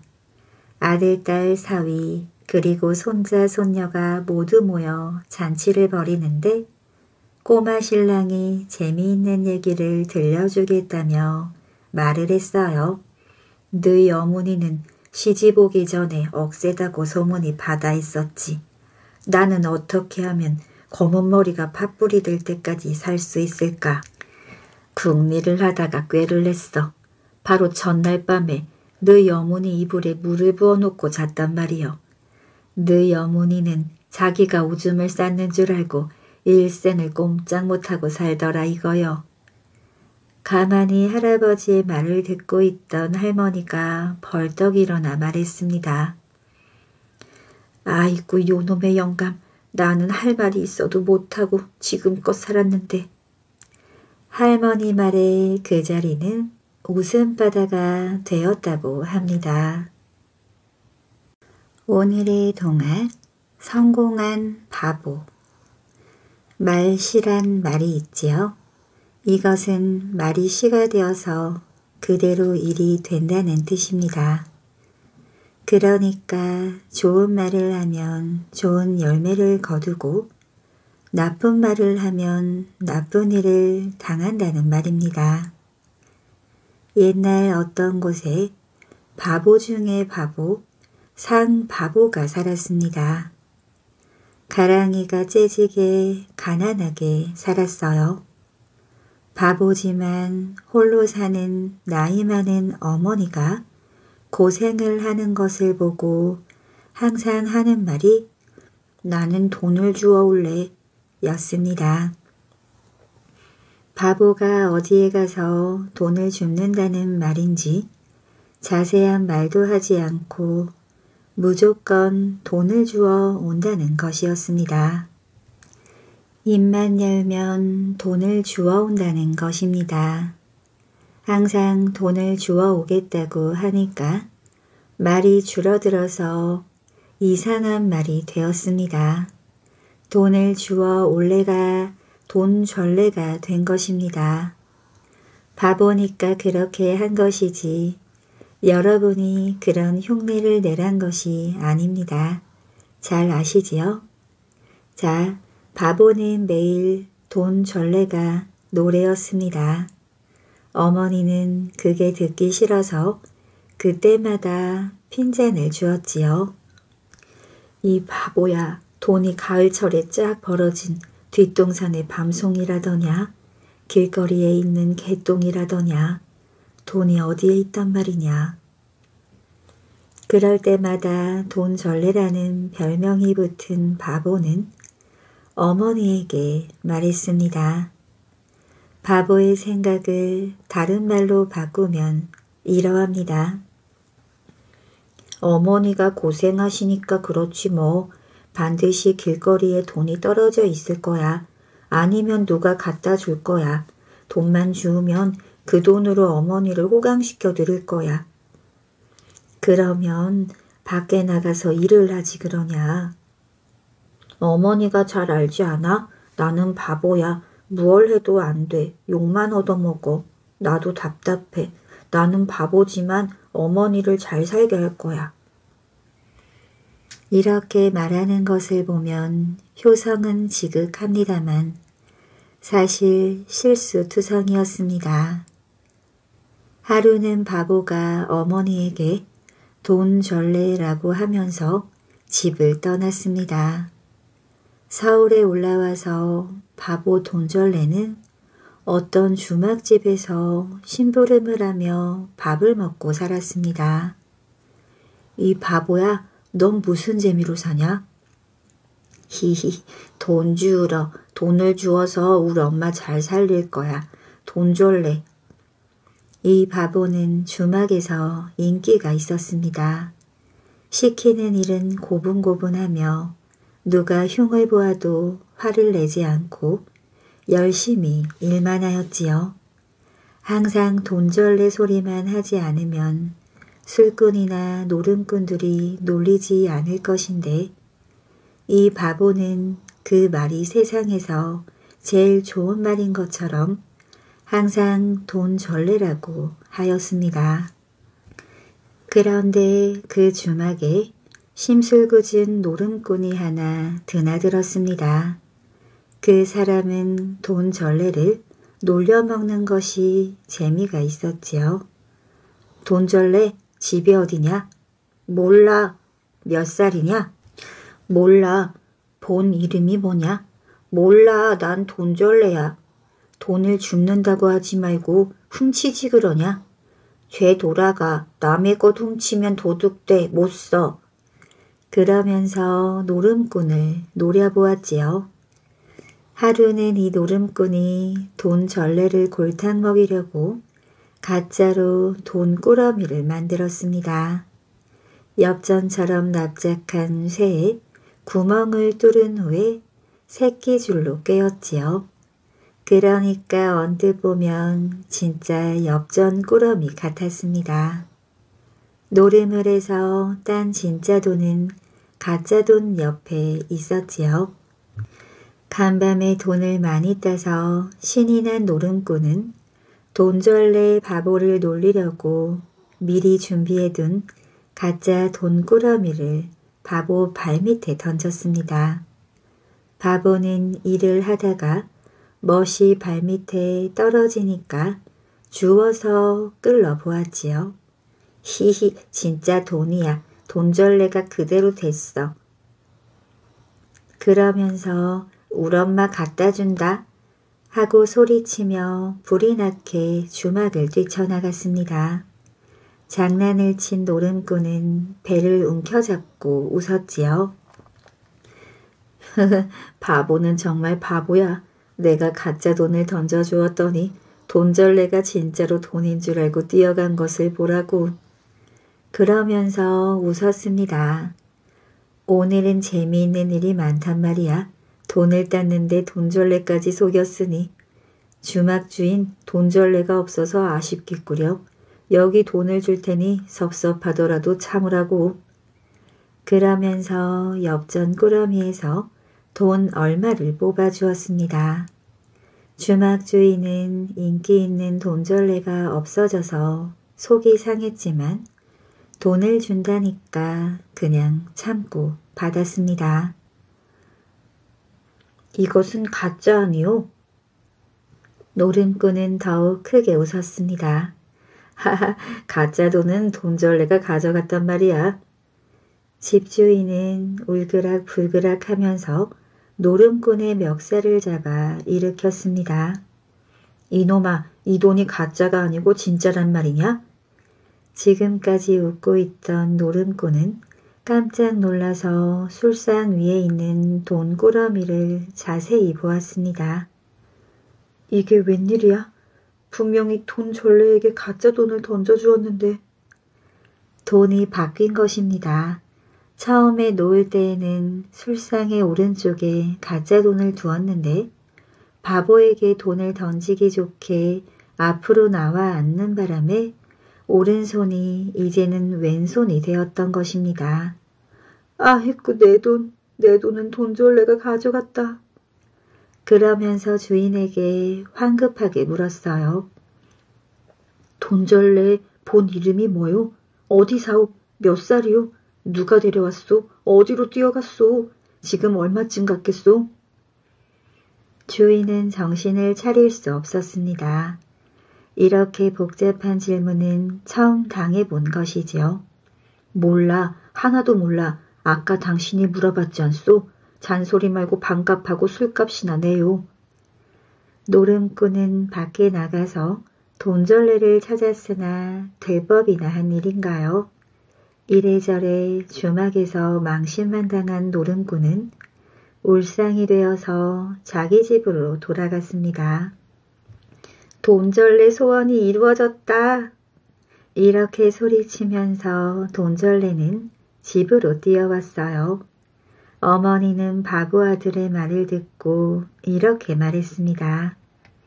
이 돈 임자를 찾아주는 것이 당연하다만 바보인 너를 동정하기는 고사하고 골탕을 먹이려는 고약한 사람, 더구나 노름꾼이라면 돈 임자의 자격이 없다. 도로 갖다 주지 말고 그냥 우리가 가지고 논밭을 사자. 그러면서 그 돈을 조금씩 꺼내서 농과 밭을 샀습니다. 바보는 소원을 이루었기에 부지런히 농사를 지으며 어머니를 잘 봉양하였습니다. 그러다가 장가를 가서 잘 살았다고 합니다. 이것은 말이 시가 된다고 한 이야기입니다. 되도록 희망을 가지고 올바르게 살아가면 바보라도 성공할 수 있다는 이야기입니다. 오늘의 동화 아비를 찾은 아들 옛날 어느 산골에 한 처녀가 혼자 살았는데 하루는 어둑어둑한 밤에 한 사내가 찾아왔습니다. 길 가는 사람인데 날이 저물어 왔으니 하룻밤 재워주시오. 깜깜한 밤중에 잘 곳 없는 손님을 내칠 수도 없고 그래서 처녀가 그 사내를 집에 들였습니다. 그러고 나서 밥도 해주고 방도 치워주고 정성껏 대접을 해주었지요. 그렇게 하고서 둘이서 이런 얘기 저런 얘기 하다 보니 서로 마음이 통했어요. 그래서 부부 인연까지 맺게 되었답니다. 이튿날 아침에 사내가 길을 떠나면서 그러더래요. 네 오늘은 갈 길이 바빠 그냥 가지만 훗날 반드시 다시 와서 당신을 데려가겠소. 그 말을 들은 처녀가 물었지요. 그 약속을 못 믿는 것은 아니다. 나는 서방님 성도 모르고 이름도 모르고 사는 곳 하는 일도 모르니 그것이나 가르쳐 주세요. 그랬더니 사내가 하는 말이 내 성은 밥뜸 들일 때 도망가는 것이요. 이름은 빨래줄 기둥이요. 사는 곳은 서쪽 울타리 하는 일은 외기둥 차일대장 노릇이요. 이러더래요. 그러고는 바람같이 가버렸지요. 그 일이 있고 나서 얼마 뒤에 처녀는 아들을 낳았습니다. 아들을 낳았으니까 이제는 처녀가 아니고 어머니지요. 어머니는 떡두꺼비 같은 아들을 낳아서 고이고이 잘 키웠어요. 잘 키워서 나이 옛일곱 살이나 먹으니까 글방에를 보냈지요. 하루는 아들이 글방에 갔다 오더니 훌쩍훌쩍 울면서 물었습니다. 어머니, 글방 아이들이 나더러 애비 없는 후레 자식이라고 놀리니 웬일입니까? 우리 아버지는 대체 어디에 계시나요? 그래서 어머니가 다 말해 주었지요. 너희 아버지 성은 밥뜸 들일 때 도망가는 것이요. 이름은 빨래줄 기둥이요. 사는 곳은 서쪽 울타리. 하는 일은 외기둥 차일대장 노릇이라더라. 그런데 나는 도무지 그게 무슨 뜻인지 모르겠다고 말해주었어. 그랬더니 아들이 그 길로 아버지를 찾아 나서겠다고 했어요. 말려도 안 듣기에 그러라 했지요. 그래서 아들은 그날부터 아버지를 찾으러 다녔습니다. 아버지가 남긴 수수께끼만 가지고 그냥 정처 없이 다녔어요. 한 군데를 가니까 길가 담벼락 밑에 한 거지 노인이 앉았는데 얇은 누더기만 걸치고 벌벌 떨면서 배가 고파 축 늘어져 있더래요. 그런데 지나가는 사람들은 아무도 거들떠도 안 봤지요. 그래서 아들이 입고 있던 옷도 벗어 입혀주고 싸가지고 가던 주먹밥도 떼어 먹여줬어요. 그랬더니 노인이 잘 입고 먹고 나서는 내가 이 은공을 갖고 싶은데 가진 것이라고는 수수께끼 푸는 재주뿐이니 혹시 알고 싶은 수수께끼가 있으면 물어보려무나 하더래요. 그래서 아버지가 남긴 수수께끼를 말해 주었지요. 저는 아버지를 찾아다니는 길인데 우리 아버지 성은 밥뜸 들일 때 도망가는 것이요. 이름은 빨래줄 기둥이요. 사는 곳은 서쪽 울타리.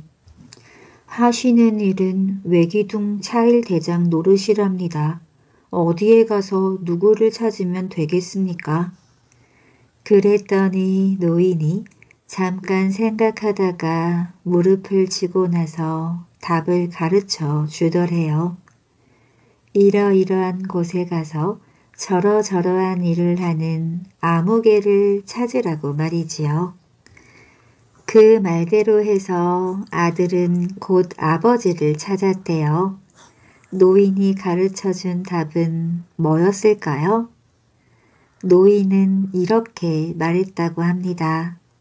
밥 뜸 들일 때 도망가는 것이라 하면 밥 뜸 들일 때 솥에서 나오는 것이니 김밖에 더 있겠느냐. 빨랫줄 기둥이라 하면 빨랫줄 떠받치는 막대이니 곧 장대란 걸 알 수 있지. 그래서 성은 김이요. 이름은 장대가 되겠구나.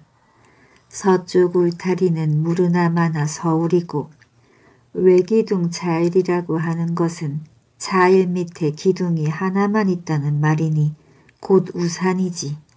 대장 노릇이라는 건 그 우산을 많이 거느리고 다닌다는 뜻인데 우산 장수 말고는 누가 우산을 그렇게 많이 가지고 다니겠느냐.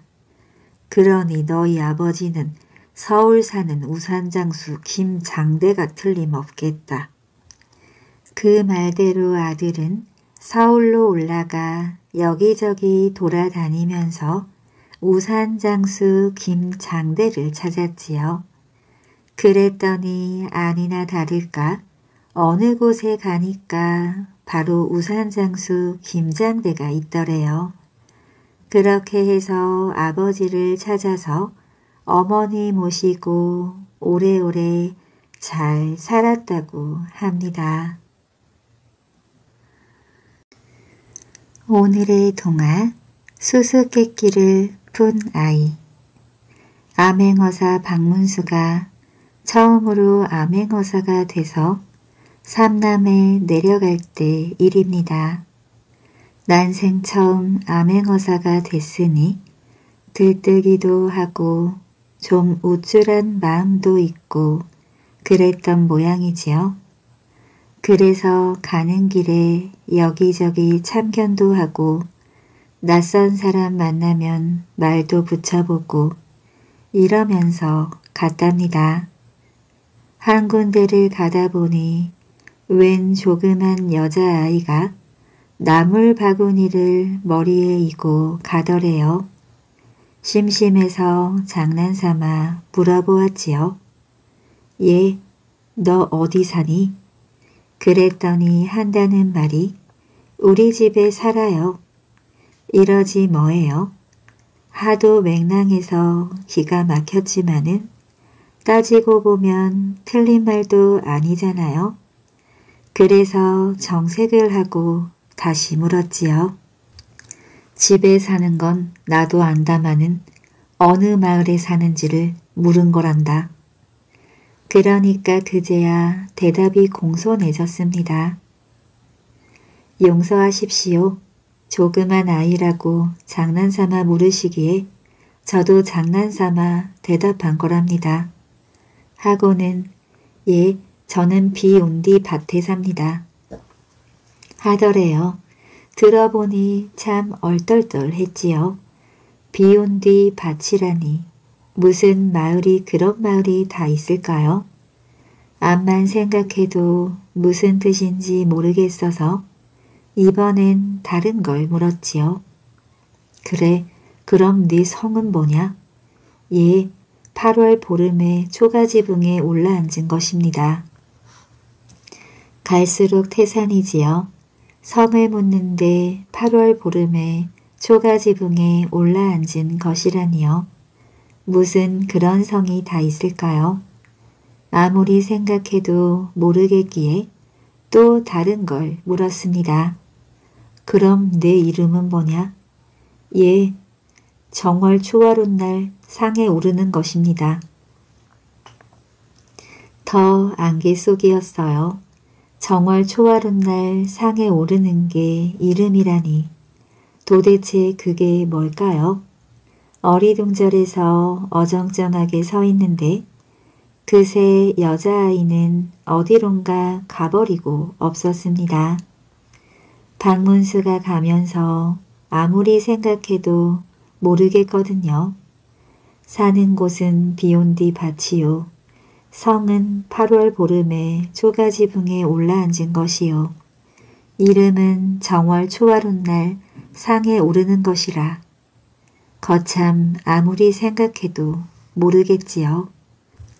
그러면서 한 심리 가다 보니 이번엔 조그만 사내 아이가 나무찌개를 지고 가더래요. 또 장난삼아 물어보았지요. 예, 네 성이 뭐냐? 그랬더니 한다는 말이 우리 아버지 성하고 같아요. 하거든요. 맹랑하잖아요. 하지만 그것도 틀린 말은 아니어서 뭐라고는 못하고 상냥하게 다시 물었답니다. 아버지와 아들이 같은 성을 쓰는 건 나도 안다마는 성을 무슨 자 쓰는 건지 물은 거란다. 그러니까 그제야 제대로 대답을 했습니다. 예, 그렇게 물으시니 저도 바로 말씀드리겠습니다. 제 성은 발바닥 맞은 편입니다. 이건 또 무슨 말인가요? 발바닥 맞은 편이라니요. 세상에 그런 성이 어디 있어요? 하지만 정색을 하고 공손하게 대답을 하는데 야단을 칠 수는 없잖아요. 그래서 얼른 다른 걸 물어보았습니다. 그래, 그럼 네 이름은 뭐라고 하느냐? 예, 상주 입는 배옷입니다. 이번엔 상주 입는 배옷이래요. 들어도 안 들은 것만 못하지요. 대체 무슨 뜻인지 알아야 말입니다. 그렇다고 어른 체면에 모른다고 할 수는 없어서 또 다른 걸 물었습니다. 그럼 네가 사는 마을은 어디냐? 예, 목마른 나그네 엎드리는 곳입니다. 이쯤 되면 물은 게 잘못이지요. 하나도 알아들을 말이 없으니 말이에요. 한숨을 쉬고 탄식을 하는데 그새 사내 아이는 어디론가 가버리고 없었습니다. 길을 가면서 아무리 국리를 내도 안개 속이었어요. 성은 발바닥 맞은편이요. 이름은 상주 입는 배옷이요. 사는 곳은 목마른 나그네 엎드리는 곳이라. 도대체 무슨 말인지 원. 그러다 보니 슬그머니 부끄러운 생각도 들었습니다. 내가 명색이 암행어사로서 조그만 아이들 말도 못 알아듣다니 이래서야 어찌 백성들 형편을 살피고 그 괴로움을 덜어주겠나. 그러면서 가는데 한 심리 더 가다 보니 길가에서 아이들 몇이 원님 놀이를 하고 있더래요. 한 아이가 원님이 되고 다른 아이들은 육방 사령이 되어 재판을 하며 놀고 있는 거지요. 그런데 박문수가 그 노는 곳 한가운데를 그냥 휘젓고 지나갔어요.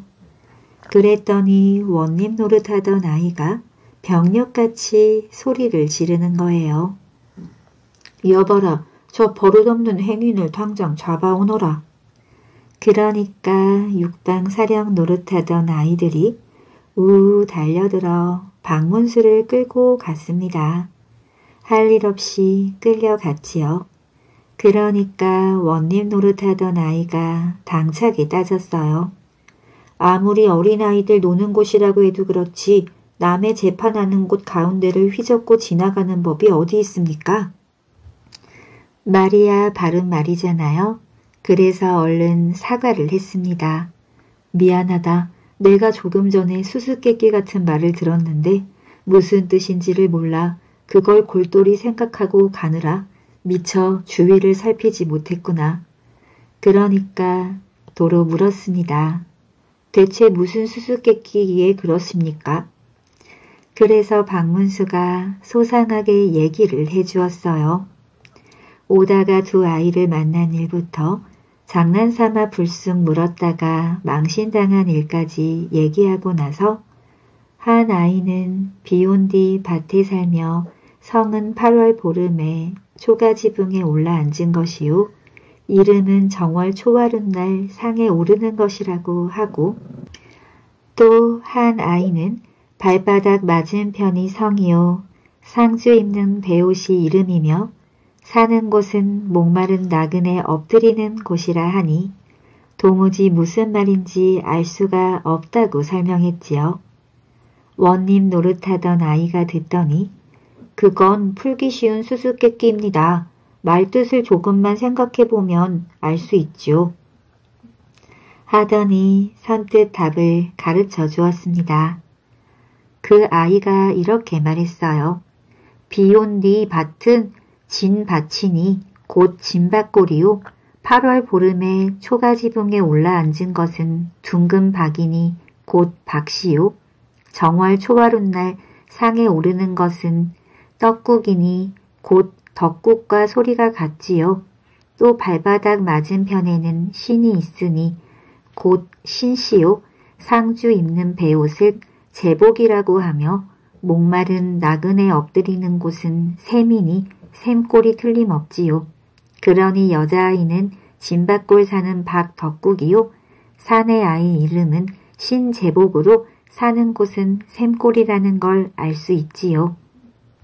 듣고 보니 다 말이 맞지 뭐예요. 아이 소견이 어른보다 나았습니다. 박문수는 자기가 우물한 개구리였다는 걸 알고 그 뒤로는 우쭐대지도 않고 덤벙대지도 않고 하나하나 배우고 살피면서 일 잘해서 이름난 암행어사가 되었다는 이야기입니다. 오늘의 동화 도령과 진의 부인 어느 마을에 홀 어머니와 사는 부잣집 도령이 있었어요. 이 도령은 얼굴도 잘생기고 글재주도 뛰어났지요. 하지만 한번 놀기 시작하면 끝낼 줄 모르는 게 흔이었어요. 어느 날 도령은 과거를 보러 한양으로 갔습니다. 배를 타고 한강을 건널 때였지요. 건너편에 사람들이 모여 활 쏘고 술 마시고 춤추며 놀고 있는 거예요. 참새가 방앗간을 그냥 지나칠 수 있나요? 도령은 그곳에서 세월 가는 줄 모르고 놀다 과거 보는 날도 잊어버린 거예요. 당나귀에 하나 가득 싣고 온 돈도 다 써버렸지요. 그래서 집으로 사람을 보내 돈을 한 벌이 실어왔어요. 그렇게 도령은 3년을 먹고 마시며 놀았지요. 또 돈이 떨어졌습니다. 이번에도 집에서 돈자루가 왔는데 그 속에는 어머니 편지가 들어 있었어요. 아버지가 물려준 재산을 네가 전부 탕진했다. 이게 마지막 재산이니 그런 줄 알고나 써라. 도량은 이 편지를 보고도 눈 하나 끔찍하지 않고 여전히 놀고 먹으며 돈을 다 써버렸어요. 그동안 형님 형님 하며 따르던 사람들은 슬금슬금 하나씩 둘씩 떠나고 도령 혼자만 남았지요. 아차 내가 속았구나. 과거도 못 보고 집에서 가지고 온 돈도 다 썼으니 어머님 얼굴을 어떻게 뵌단 말인가. 차라리 저 삼각산으로 올라가서 죽자. 도령이 죽기로 마음먹고 삼각산으로 올라가는데 갑자기 천둥 번개가 치면서 비가 쏟아지기 시작했어요. 도령은 비를 피하려고 커다란 바위 밑으로 들어갔습니다. 그때 여인네들이 비를 맞으며 떡시루를 이고 올라왔어요. 여인들은 총각이 있는 바위 앞에 떡시루를 놓고 절하기 시작했습니다. 그 중 한 여인이 말했어요. 3년이면 연분을 만난다고 했는데 아가씨 옷잔데요. 이렇게 비가 오고 천둥번개가 치면 그분이 올 리가 있것이요. 그러니 아가씨가 말했지요. 산실령님도 거짓말을 하시는가? 둘은 그러면서 절을 하는 거예요. 도령이 가만히 숨어서 듣자 하니 궁금했어요. 그래서 불쑥 일어나 말했지요. 어떤 사람을 기다리는데 그러십니까? 어머나 이렇게 뵙기를 학수고대하며 3년 동안 지성을 드렸습니다. 오늘이 마지막 날인데 당신을 만났으니 당신이 바로 저의 연분입니다. 어여쁜 여인은 도령을 자기 집으로 데리고 갔어요. 어찌나 집이 넓고 좋던지 도령 눈이 휘둥그레졌지요. 도령은 날마다 시녀들과 활을 쏘고 장구를 치면서 지냈어요. 복 많은 놈은 오나가나 복인 거지요. 이렇게 세월을 보내고 있는데 부인이 말했습니다. 당신 내 소원 하나 들어줘야 됩니다. 내일 이 산을 넘어가면 작은 동네가 나오는데 그곳에서 수염이 하얗게 난 노인을 볼 것입니다. 그 노인이 무슨 말을 해도 듣는 척만 하세요. 다음 날 도령은 산을 넘어 작은 동네로 갔습니다.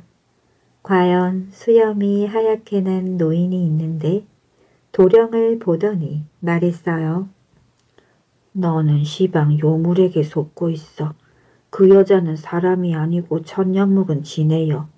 네가 집으로 돌아가면 소복을 입은 부인이 밥상을 차려두고 맞이할 것인데 그 밥을 먹으면 니는 죽어. 네가 살람은 부인에게 침을 세 번 뱉고 부인 뺨을 세 번 때려라. 그러면 부인이 죽을 겨. 집으로 돌아오는 도령의 발걸음은 무겁기만 했습니다. 아니나 다를까 소복 입은 부인이 밥상을 차려놓고 기다리고 있었거든요. 도령은 생각했어요. 그래, 어차피 죽기로 한 몸인데 며칠간이나마 즐겁게 살았다. 이 또한 이 여자의 덕인데 어찌 요물이라고 하여 죽일 수가 있겠는가. 도령이 밥 한 숟가락을 떠서 입에 넣으려고 했어요. 그 순간 부인이 도령의 손을 잡더니 말했어요. 어째 그 밥을 먹고 죽으려 하십니까? 나는 본디 예전에 죽으려고 했었소. 다만 부인 덕에 며칠을 더 살았으니 무슨 여한이 있겠소. 이제 저의 모든 애곤이 다 지났습니다. 원래 저는 진해이고 노인은 구렁이입니다. 저는 저를 진심으로 사랑하는 사람을 만나면 승천할 수 있습니다. 당신 덕분에 승천하게 되었으니 소원을 말해보시오. 나는 돈도 원없이 써봤소. 다만 조상 대대로 내려온 유산을 전부 팔았었으니 무슨 면목이 있겠소. 그것만 다시 되찾을 수 있다면야. 잘 들으십시오. 날이 새면 산을 내려가 꼬챙이 하나 들고 다니면서 금을 그어 놓으세요.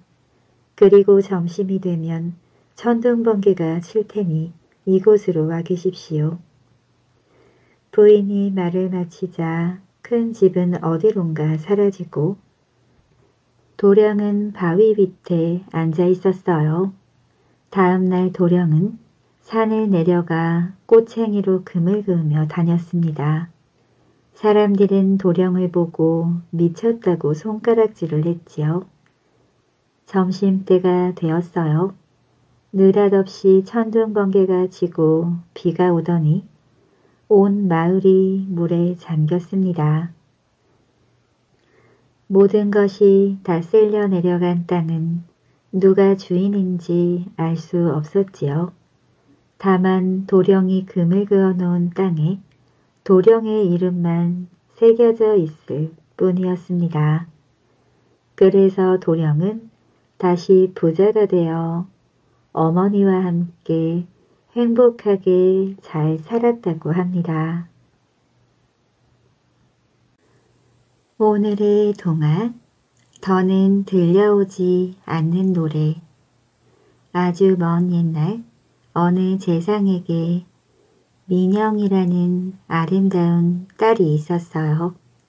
민영은 강가에 있는 크고 멋진 집에 살았답니다.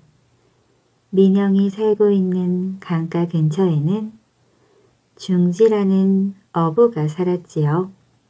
중지는 매일같이 강가에서 물고기를 잡으며 노래를 불렀답니다. 노래소리는 매우 아름다웠어요. 중지의 노래소리를 듣게 된 민영은 한 번도 본 적이 없지만 노래를 부르는 어부를 마음속으로 그리워하게 되었답니다.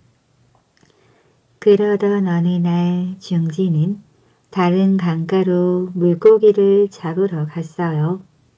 그러자 민영은 노래를 들을 수 없어서 몹시 우울해졌답니다. 그녀는 초조해하며 기다렸지만 오랫동안 노래소리는 들려오지 않았어요. 결국 그녀는 밥도 먹지 않고 시름시름 앓기 시작했답니다.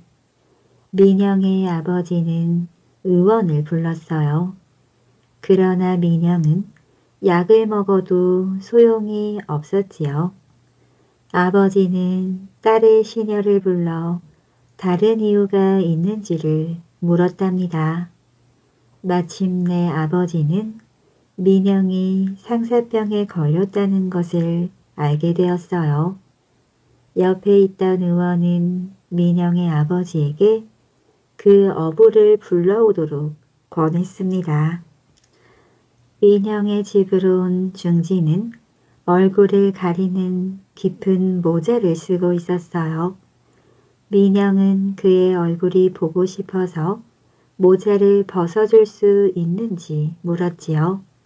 그러나 중지는 쉽게 모자를 벗지 않았답니다.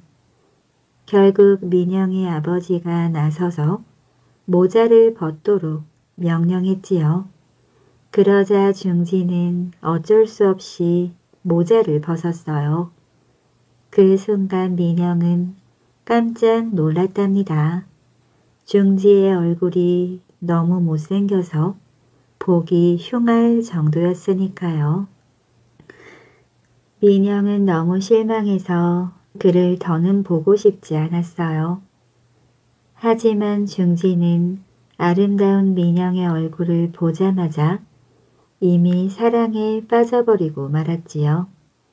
중지는 자신의 운명이 너무 슬퍼서 그때부터 아무것도 먹지도 않고 일도 하지 못했답니다.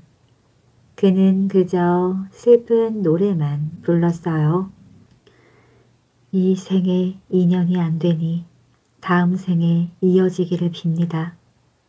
결국 중지는 민영을 그리워하다 병에 걸려 세상을 떠나고 말았어요. 세월이 흐른 어느 날 민영은 그의 노랫소리가 그리워졌습니다. 그런데 그가 죽었다는 소식을 듣게 되었어요. 민영은 안타까운 마음이 들었지요. 그래서 중지를 위해 아주 큰 무덤을 만들어 주었어요. 그런데 사람들이 중지의 무덤을 살피다가 이상한 것을 발견했답니다. 중지의 몸 대부분은 썩어 없어졌지만 그의 심장만 반짝이는 보석으로 남아 있었던 거예요.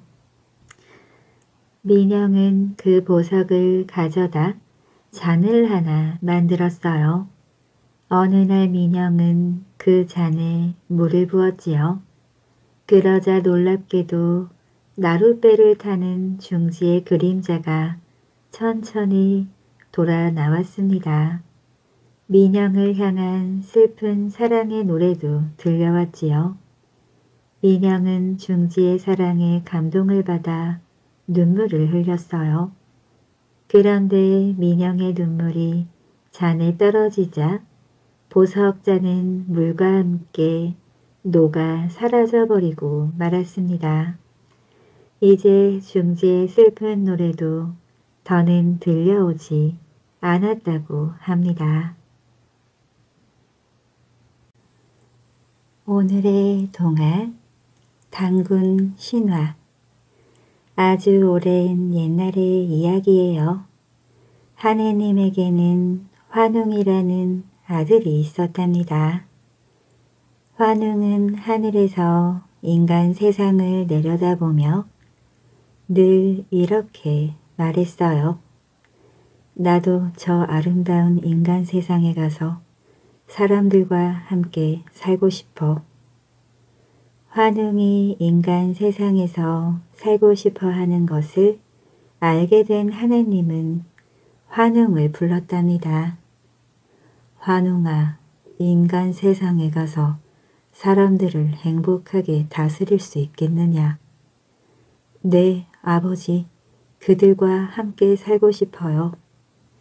그럼 이것을 가지고 가거라.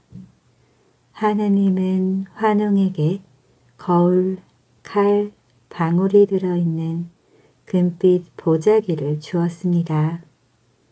거울은 재물, 칼은 권력, 방울은 신성한 제사를 나타내는 하늘의 보물이었어요. 이것은 인간 세상을 다스릴 때 쓸모가 있을 것이다. 하느님은 환웅과 함께 신하 삼천 명을 가도록 했습니다. 너를 도와 인간 세상을 행복하게 만들어 줄 것이다. 마침내 환웅은 구름을 타고 인간 세상으로 내려갔어요. 우선 환웅은 농사를 짓는 것이 좋겠다고 생각했지요. 농사를 잘 지으려면 좋은 날씨가 필요했습니다. 인간들을 위해 좋은 날씨를 만들어주렴. 환웅은 바람, 구름, 비를 불러 말했어요. 그리고 여기저기 인간 세상을 둘러보던 환웅은 하늘까지 뻗어 있는 큰 나무를 보았습니다. 그 나무는 신령스러운 나무 신단수였어요. 신단수는 신령한 나무이니 이 주변에 새로운 도시를 만들면 좋겠다는 생각이 들었습니다. 신하 삼천 명은 환웅의 말을 듣고 신단수 주변에 도시를 만들기 시작했어요. 이 모습을 본 인간 세상 사람들도 함께 어울려서 도시를 만들었답니다.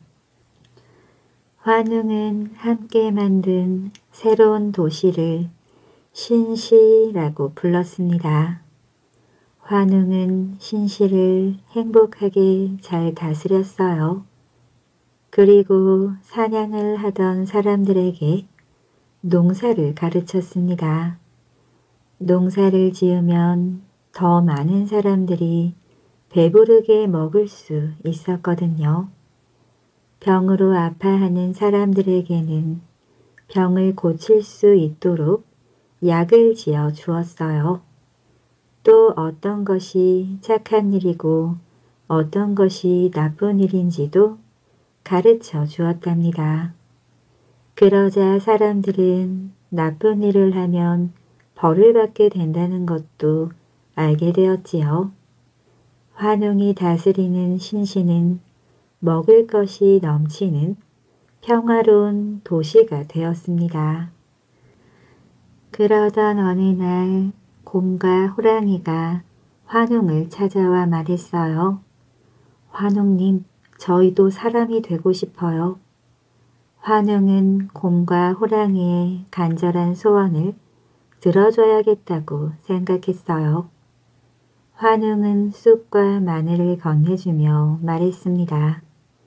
100일 동안 동굴에서 이 쑥과 마늘만 먹으면 지낸다면 너희도 사람이 될 수 있을 것이다. 사람이 될 수 있는 방법을 찾은 곰과 호랑이는 너무 기뻤답니다.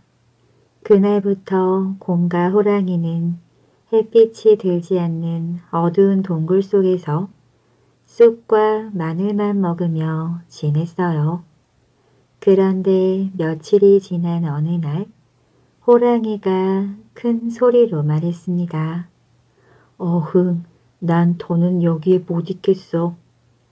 호랑이는 남은 시간을 참지 못하고 그만 동굴을 나가버렸어요.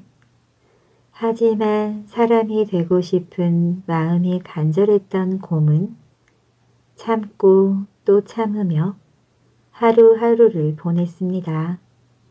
드디어 100일이 되는 날이었어요. 동굴 안에서 큰 소리가 들려오는 것이 아니겠어요? 사람이다. 내가 사람이 되었어. 100일을 잘 참아낸 곰은 어여쁜 여자가 되었습니다. 환웅은 여자가 된 곰에게 웅녀라는 이름을 지어주고 아내로 맞이했어요. 환웅의 혼례를 치르는 신시에는 풍성한 잔치가 열렸지요. 얼마 후 환웅과 웅녀 사이에 아들 당군이 태어났어요. 당군은 지혜롭고 정의롭게 자랐습니다. 어른이 되자 더 넓은 세상을 꿈꾸었지요. 당군은 신시를 떠나 새로운 땅 아사달로 갔어요. 그곳에서 당군은 나라를 세웠는데 나라 이름을 고조선이라고 했답니다. 당군 또한 아버지 환웅처럼 나라를 평화롭고 행복하게 잘 다스렸어요. 그래서 주변의 많은 나라들도 찾아와 당군의 백성이 되었답니다. 당군이 나라를 다스린 지 1500년이 지난 어느 날 당군은 혼자 깊은 산속으로 들어갔어요. 그 후 당군은 신선이 되어 자신이 세운 나라를 항상 지켜주고 있다고 합니다. 오늘의 동화 황희정승 이야기 정승 중에 정승을 든다면 세종 임금 시절에 살았던 유명한 황희정승을 꼽을 수 있을 것입니다. 황희정승 이야기는 책을 하나 만들고도 남을 정도로 많다고 합니다. 그 중에 오늘은 두어 가지만 이야기하도록 해보겠습니다. 황희 정승이 한 번은 부하를 거느리고 길을 가다가 길가에 서 있는 버드나무를 보고 크게 절을 하였습니다. 선생님 안녕하십니까? 부하들은 크게 놀랐습니다. 버드나무에 절을 하는 사람도 처음 보았지만 거기에 선생님이라는 말을 하는 사람은 더더구나 없는데 거기에 절까지 하는 사람이 있다면 바보가 틀림없을 것이니까요. 그런데 거기에 이름이 드높은 황희 정승이라는 점에 더 놀라고 놀랐지요. 대감님, 버드나무가 어떻게 해서 선생님입니까? 음, 자네들은 잘 모를 것이네. 내가 어려서 공부를 하지 않고 밖에 나가 놀기만 좋아해서 글방 선생님이 저 버드나무 가지를 꺾어 회초리를 만들어 내 종아리를 때렸네. 그래서 내가 정신을 차려서 공부를 열심히 하여 오늘날 정승이 되었네. 그때 종아리를 때리시던 훈장님은 돌아가셨으니 나를 깨우쳐준 저 버드나무에게 절을 하고 선생님이라고 한 것이네. 이 말을 들은 부하들은 고개를 숙이며 더 이상 말을 하지 못하였습니다. 그러나 그렇게 훌륭한 황희 정승도 자식을 바로잡는 데는 어려움이 많았습니다. 황희 정승의 아들 이름은 수신이었는데 벼슬은 맨 아래 말단인데도 술을 잘 먹고 기생방에 잘 다니며 돈을 헤프게 쓰고 다른 사람에게 실수를 하는 등 정승은 아름답지 않았습니다. 위로는 임금 한 분만 계시고 아래로는 만천하 백성 위에 있는 황희 정승이라도 자식 교육은 마음대로 안 되었던 거지요. 아들이 나이가 어리면 몰라도 벼슬을 살 나이이면 어른이 아닙니까? 그런데도 술에 기생에 부모 속을 썩이는 일만 하니 안타깝기 짝이 없었습니다. 하루는 너그러운 황희 정승도 화가 나서 아들 수신을 불러서 단단히 나무랐지요. 앞으로 기생방에 다니며 술을 그렇게 먹으면 내 자식으로 여기지 않겠다. 그때에는 나하고 너하고는 부자지간이 아니다. 이렇게 선언을 했습니다. 이 말을 들은 수시는 그날부터 마음을 굳게 먹고 몸조심을 하였습니다. 그러나 며칠이 지나자 아리따운 기생이 눈앞에 아른거리고 목이 컬컬하여 참을 수가 없었지요.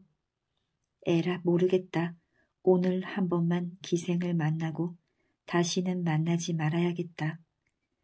그러면서 다시 기생방에 가서 술을 먹었습니다. 그런 사람이 다짐을 하면 뭘 합니까? 처음부터 가지 말아야지. 한번 유혹에 넘어간 사람이 다음에 안 간다는 것은 믿을 수 없는 말이었지요. 그래서 수신의 결심도 도로함이 타돌이 되었습니다. 다시 옛날로 돌아간 것이지요. 황희정승은 이 일을 알고 화가 났지만 이제는 다른 방법을 쓰기로 하였습니다. 새벽 일찍 황희정승은 입궐을 미루고 아들이 잠자고 나오는 기생집 앞에서 기다렸습니다. 한참 기다리니까 수신이 하품을 하면서 나왔지요. 황희정승은 기다리고 있다가 아들을 보고 큰 절을 하였습니다. 날이 밤새 안녕히 주무셨습니까? 아버지가 기다리고 있는 줄 몰랐던 아들은 기겁을 하게 놀랐습니다. 그런데다가 아버지가 사람이 다니는 길에서 아들에게 절을 하다니 수시는 그만 온몸의 기운이 쭉 빠졌습니다. 아버님, 어서 집으로 가시지요. 수시는 아버지를 모시고 부랴부랴 거기를 떠나려 하였습니다. 날이 아닙니다. 제가 모시고 가지요. 그러면서 아들을 부축하였지요. 집으로 돌아온 황희 정승은 방에서 아들에게 큰 절을 하였습니다. 세배드리듯 아들에게 절을 한 것입니다. 댁은 어느 집 귀공자이신지요. 재산이 많은 대갑집 아들이 아니면 그런데 출입을 못하실 것인데 처음 뵙는 대감자제 같습니다. 부치는 어느 대감이신지요? 얼굴이 빨개진 수시는 아버지를 일으키면서 아버님, 제가 죽을 죄를 지었습니다. 용서하십시오. 하고 빌었습니다. 아니요, 내게 수신이라고 하는 아들이 있었는데 얼마 전에 잃었습니다. 네 집 자제인 줄 모르나 할 일이 많은 이 나라 건국한 지도 얼마 안 된 이 나라 대감의 자제라면 기생방 출입으로 세월을 보내서는 안 되겠기에 남의 부모지만 안타까워서 이러는 것입니다. 사실 나라에는 할 일이 많았습니다. 조선 왕조를 건국한 지 몇십 년도 안 되었는데 임금은 어리고 황희정승은 나이가 많을 때입니다. 오죽하면 아버지가 저러실까 하고 생각하니 수시는 몸둘 바를 몰랐습니다. 나중에는 엉엉 울었지요. 그럴 때 황희정승은 말없이 방문을 열고 나갔습니다. 그 후에 수시는 기생방 출입을 끊고 열심히 공부하면서 나란 일을 잘 보아서 후에 아버지 못지않게 훌륭하게 되어 정승 영의정까지 하였다고 합니다.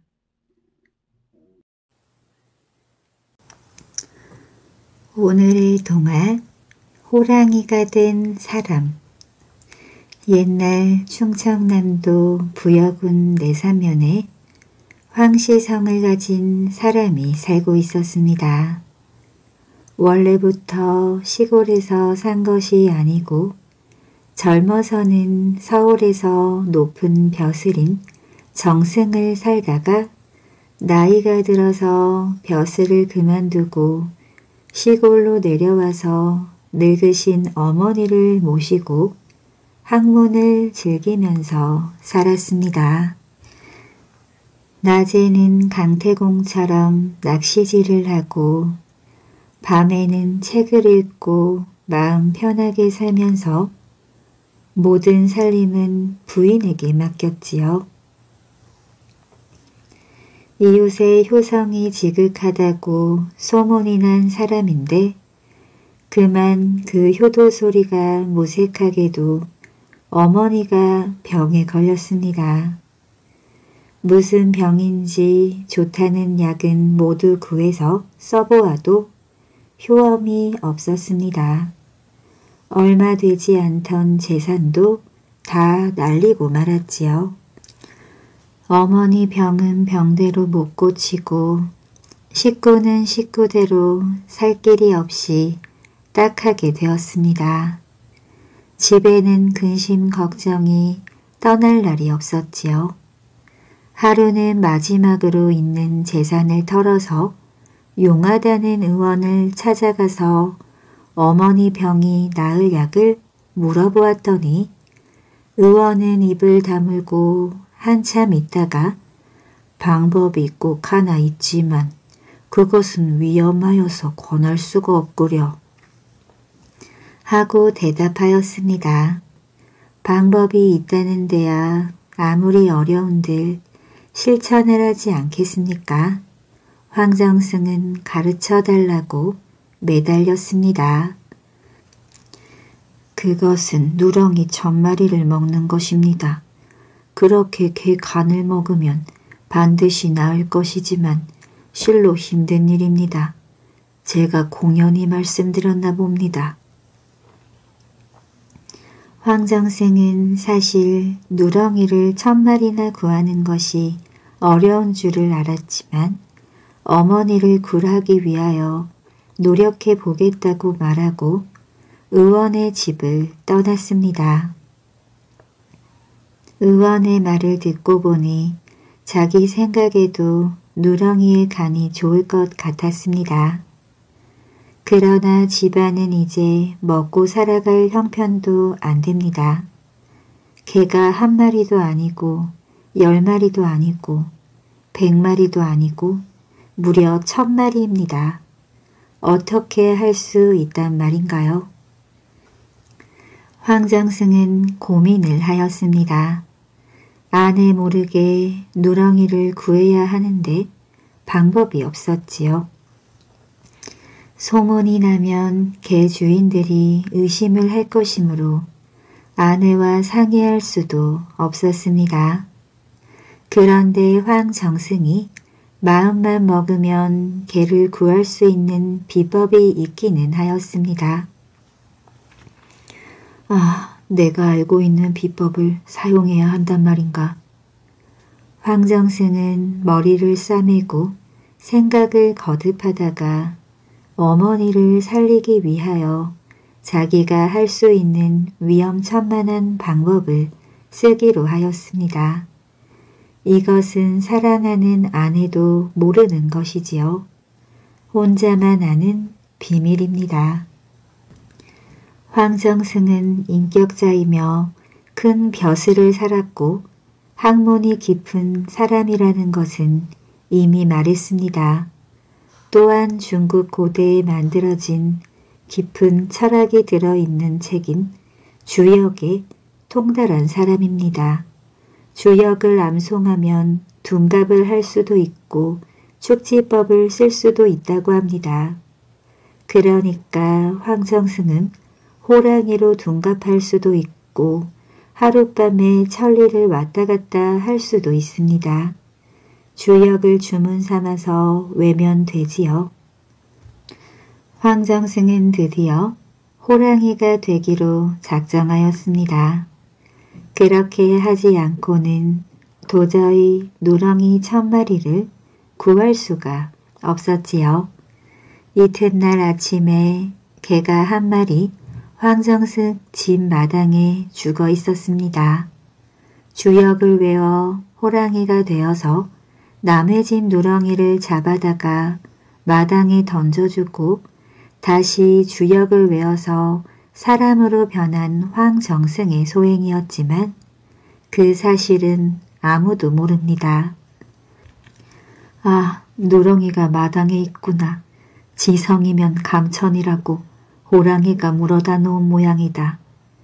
황정승은 이렇게 말하며 누렁이 간을 꺼내어 어머니에게 드렸습니다. 약간 효과가 있는 것 같았지요.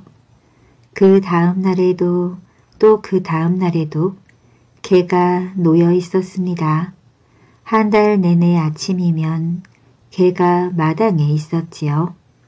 1년 내내 개가 마당에 있었습니다. 2년 내내 있었지요. 어머니는 누렁이 간을 먹고 거의 다 나았습니다. 머지않아 천 마리가 다 차는데 그때까지만 별 탈이 없으면 어머니는 완쾌할 것이고 조마조마하게 살아온 황성승도 마음을 놓게 될 것입니다. 근 천마리나 누렁이를 잡아들이다 보니 이웃 마을을 벗어나서 전국을 다 다녀야만 되었기에 황시성을 가진 호랑이가 팔도 강산을 누비고 다닌다고 해서 황팔도라고 할 것이지만 아무도 모르기에 이런 말은 황정승이 자기 자신을 그렇게 불러본 것에 불과합니다. 황팔도 그렇습니다. 아무도 모르니까 근 천마리를 잡도록 내버려 두었을 것입니다. 황팔도도 양심의 가책이 없는 것은 아닙니다.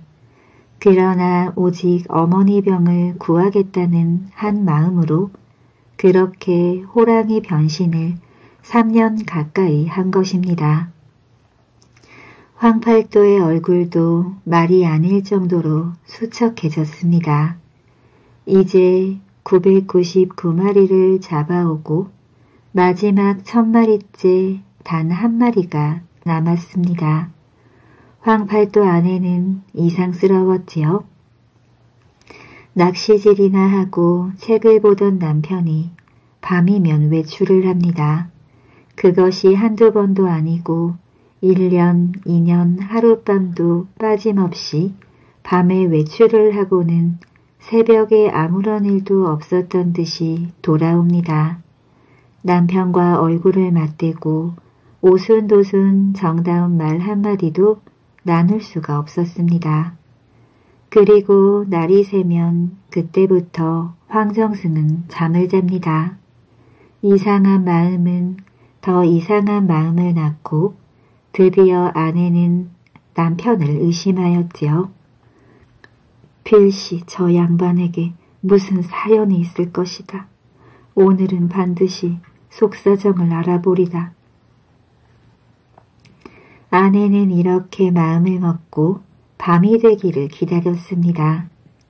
아내가 이렇게 자기 뒤를 캐려는 줄도 모르고 낮잠을 자고 난 황팔도는 밤이 되자 밖에 나가서 돌담 속에 숨겨두었던 주역을 꺼내 수리수리 마수리 식으로 주문을 외웠습니다. 아내가 나무 뒤에 숨어서 보니까 남편이 아래에서 위로 차차 모습이 변하더니 커다란 호랑이로 둔갑하였습니다. 그리고 어디론가 사라졌습니다. 아내는 크게 놀랐지요. 우리 남편이 호랑이라니 그러면 지금까지 마당에 아침이면 떨어져 있던 누렁이는 저 남편 호랑이가 물어온 것이구나. 개 도둑 호랑이 세상에 사랑하는 아내에게도 3년이나 비밀을 지킨 무정한 사람 어떻게 할까?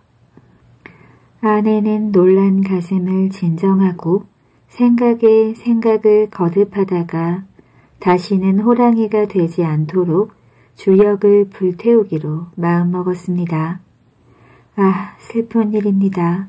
아내는 주역이 호랑이로 만드는 힘이 있을 뿐만 아니라 호랑이가 사람으로 다시 돌아올 때에도 주역이 있어야 한다는 것을 몰랐지요. 사랑하는 남편이 이제는 다시 호랑이가 되지 않겠지 하고 생각하면서 돌담 속에서 주역을 꺼내 불태웠습니다. 주역은 재만 남고 아내는 남편이 새벽에 사람으로 돌아오기를 기다립니다. 날이 셀 무렵에 쿵 소리가 나면서 개가 마당에 떨어졌습니다. 드디어 999마리에서 한 마리를 보탠 마지막 천 마리가 된 것입니다. 황팔도는 숨을 헐떡이면서 주역을 감추어 둔 돌담으로 달려갔지요. 주역이 없습니다. 책이 없으면 주문을 웰 수 없어서 사람으로 돌아올 수 없습니다. 책이 있어야면 효력이 있는 것이지 그냥 외워서는 소용이 없습니다. 날이 희뿌옇게 밝아옵니다. 안타깝게도 주역은 어디 가고 없습니다. 다 이루었는데 이것이 웬일입니까? 그러다가 재를 보았습니다. 타다가 남은 종이 조각을 보았습니다. 아내의 손수건도 보았습니다. 아, 나는 이제 사람이 될수 없구나. 아내는 왜 마지막 하룻밤을 못 참았을까? 눈물이 났습니다. 통곡하였습니다. 아, 나를 사람으로 다시 만들어다오. 나는 어쩌란 말이냐. 이 원망스러운 아내야. 그렇게 울었습니다. 그러나 이 모든 소리는 목에 잠겨 나오지 않고 다만 으르릉 으르릉 소리만 나왔지요. 황팔도가 들어보아도 이제는 사람 소리가 아닙니다. 영원히 호랑이가 되는 순간이지요. 아니 이미 호랑이가 되어버린 것입니다. 아 이것이 무슨 운명인가. 마지막 한 마리를 어머니에게 못 드리다니. 그러면 그동안 노력한 것은 무엇이란 말인가? 그리고 나는 이제 호랑이로 끝나는구나. 생각할수록 기가 막혔습니다. 마지막으로 아내와 어머니를 보고 산에 들어가려고 하였습니다. 아내는 모든 것을 알고는 기절해 버렸지요. 겨우 병이 나아가던 어머니는 충격을 받아서 영영 눈을 감고 말았습니다. 얼마 후 깨어난 아내는 시어머니의 죽음을 보고 다시 깨어나지 못하고 세상을 떠났습니다. 황팔도 호랑이는 구슬피 울고 울었지요. 동네 사람들에게는 난데없이 나타난 호랑이를 보고 시어머니와 며느리가 놀라서 죽은 것처럼 보였습니다. 처음에는 황팔도도 아는 동네 사람을 해치지 않았습니다만 배도 고프고 동네 사람이 황팔도 집안을 해친 호랑이를 잡으려고 유명한 포수를 데려오고 함정을 파서 황팔도를 죽이려 하자 그만 화가 나서 성질이 거칠어진 나머지 사람을 해치게 되었습니다. 고향을 떠나 다른 곳에 가서 짐승으로 살다가 다시 고향이 그리워 돌아와 어머니 산소에 엎드려 있는 것을 기다리던 포수들이 불을 놓아서 죽였습니다. 죽어가면서 호랑이는 차차 사람으로 변하더니 마지막으로 완전한 사람이 되었습니다.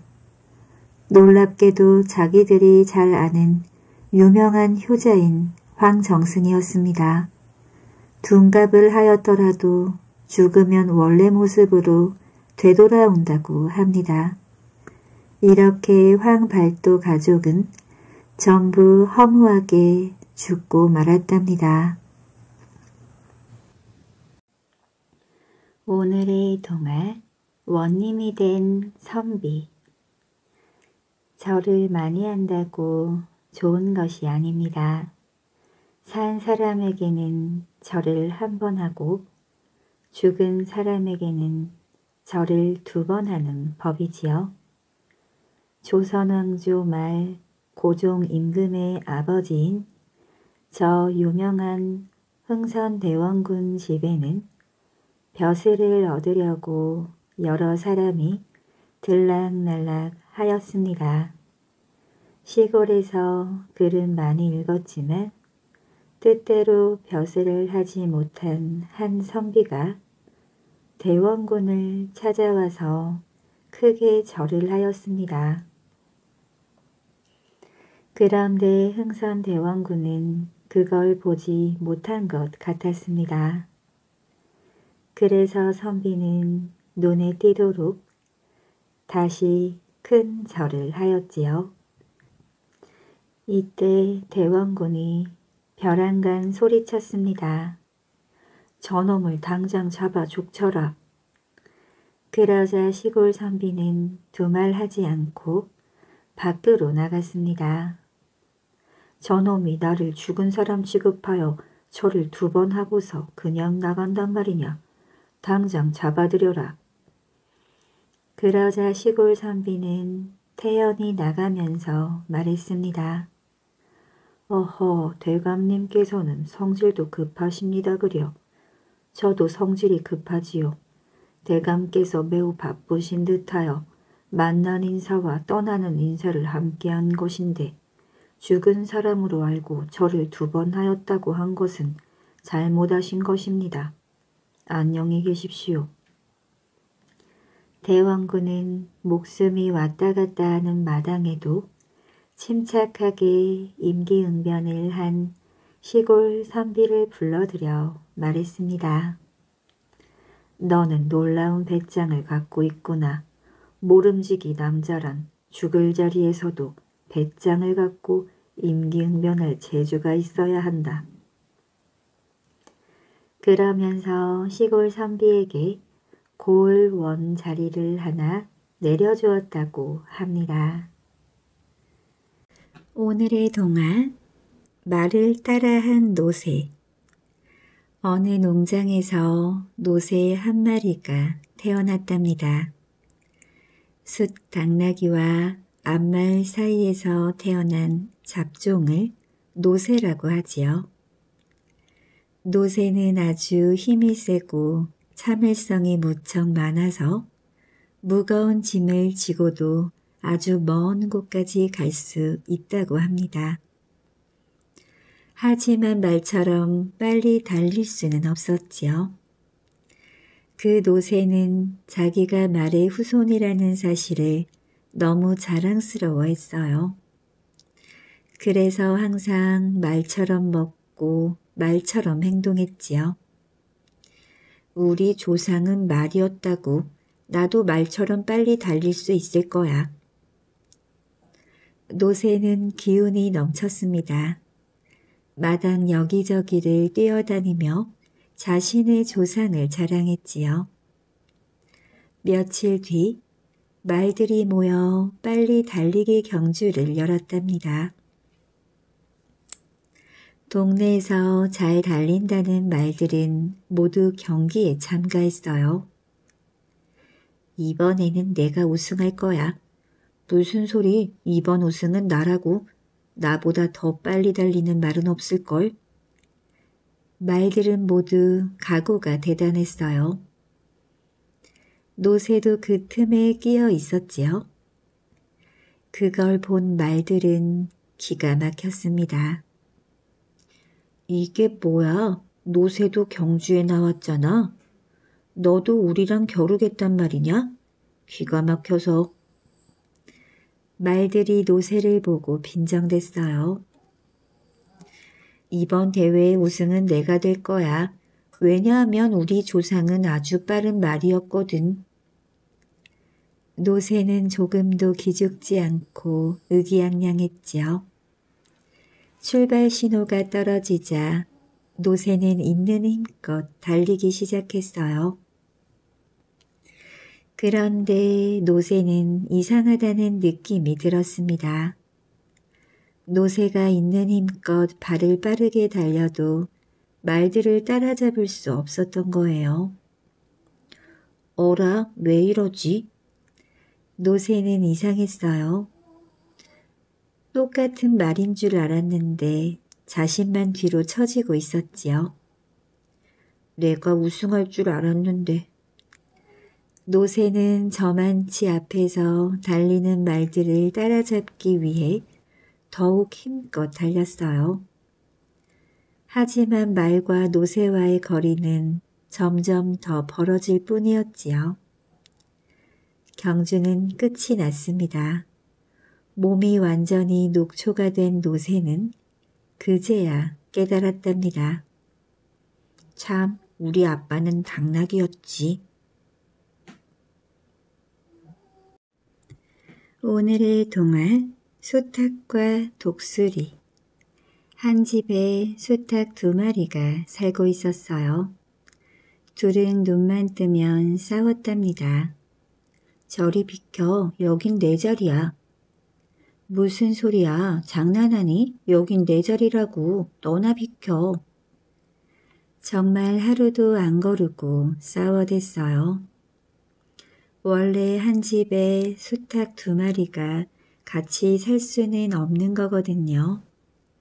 왜냐하면 수탉 한 마리가 모든 암탉을 다 거느려야 하기 때문에 서로 그 자리를 차지하기 위해선 싸울 수밖에 없답니다. 네가 있던 곳으로 돌아가 어디서 늦게 들어온 놈이 까불고 있어. 응, 웃기고 있네. 힘이 더 센 닭이 남는 거야. 내가 힘이 더 세니까 내가 남는 게 당연해. 그래, 어디 한번 싸워보자. 좋아, 지는 닭은 아무 소리도 않고 여길 떠나는 거야. 알았어? 두 마리의 수탉은 또 싸우기 시작했어요.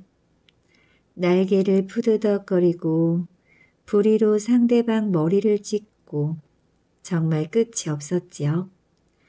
그러다가 두 마리 모두 피를 흘렸답니다. 그래도 싸움은 끝나지 않았어요. 오히려 점점 더 거칠어졌지요. 그렇게 얼마나 더 싸웠을까요? 마침내 힘이 센 수탉이 이겼습니다. 싸움에서 진 수탉은 비틀비틀 덤불 속으로 달아났답니다. 승리한 수탉은 기분이 너무너무 좋았어요. 푸드덕푸드덕 날갯짓을 하더니 담장 위로 올라간 거예요. 수탉은 개선 장군처럼 의젓하게 폼을 잡았답니다. 암탉들은 그 품으로 모여들었지요. 힘센 수탉은 세상을 다 얻은 것 같았어요. 그런데 그때였습니다. 갑자기 하늘에서 독수리가 나타난 거예요. 네가 그렇게 잘났냐? 어디 맛 좀 보자. 독수리는 잘난 척하는 수탉의 어깨를 억센 발톱으로 움켜쥐고 하늘로 날아가 버렸답니다. 정말 순식간에 일어난 일이었어요.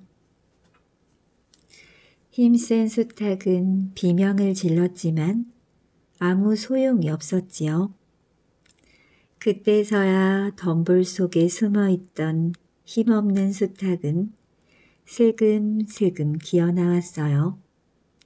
새로운 승리자에게 달라붙어 있던 암탉들도 다시 예전의 수탉에게로 모여들었지요.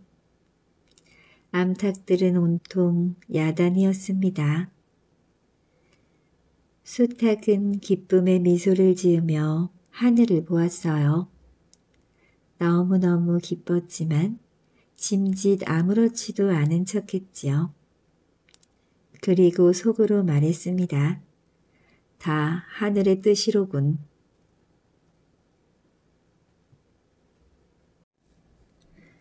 오늘의 동안 대원군의 말재주 대원군은 성격이 남달랐던 사람이었던 만큼 유난히 음담패설이나 농담을 잘했고 엉뚱한 얘기도 잘했다고 합니다. 하지만 그의 농담이나 듣기 거북한 음담패설마저도 그의 권력만큼이나 사람들을 놀라게 하는 힘을 지니고 있었다고 합니다. 다시 말하면 대원군은 말재주가 뛰어났고 재치가 있었다는 말이지요. 대원군이 정치적으로 모든 실권을 움켜쥐고 있을 무렵 한 번은 청나라 사신이 방문해 함께 서울 이곳저곳을 돌아보게 되었습니다. 일행이 경복궁을 막 지나는데 청나라 사신이 말했습니다. 참으로 멋진 건물이요. 이것을 짓는데 시간이 얼마나 걸렸습니까? 글쎄요. 정확하지는 않지만 3년 정도 걸린 것 같소. 이 말을 들은 청나라 사신은 마치 한심스럽다는 듯한 투로 말을 이어나갔습니다. 아니 이것을 짓는데 그렇게 많은 시간이 걸렸단 말이오. 우리네 정나라 사람들이라면 1년이면 충분했을 텐데. 그 어마어마한 자금성을 지은 나라니 경복궁 정도야 우습지도 않게 보는 것이었습니다. 자존심 강한 대원군이 기분 좋을 리가 없었지요. 하지만 어쩌겠나요? 손님인데요. 두 사람은 다시 걸었습니다. 걷다 보니 이번에는 창덕궁이 나왔지요. 청나라 사신은 다시 감탄했습니다. 이 건물 또한 참으로 아름다운 건물이요. 이 건물은 어느 정도 걸려 지었소? 아마 모르긴 해도 1년은 넘게 걸린 것 같습니다. 아, 그래요. 이 정도면 몇 달로 충분할 텐데 그렇게 오래 걸렸단 말이요. 사신이 묻는 의도가 마치 조선을 얕보기 위한 것처럼 들렸습니다. 기분은 극도로 나빠졌지만 그래도 손님을 안내하는 입장이므로 화를 감추려 애를 썼지요. 두 사람은 다시 걸었습니다. 조금 걷다 보니 이번에는 남대문이 나왔지요. 분명 사신이 뭐라고 물어볼 것만 같았습니다. 아니나 다를까 얄밉기만 한 사신은 또 물었습니다. 아하, 이 문은 참으로 위대해 보입니다. 이것을 짓는데 얼마나 걸렸습니까? 이번에는 대원군도 참을 수가 없었습니다. 분명 몇 달이 걸렸다고 하면 며칠 만에 지을 수 있는 것이라고 말할 게 분명했지요. 때문에 대원군은 이번에는 알 수 없는 말을 했습니다. 아, 그러니까 이문은 오늘 아침에도 없었던 것 같습니다. 그러자 청나라 사신은 아무 말도 하지 않았다고 합니다. 통쾌한 말로 청나라 사신의 뒤통수를 쳐준 셈이었지요. 예나 지금이나 정치인들은 말재주 하나는 타고나는 것이 아닐까 싶습니다.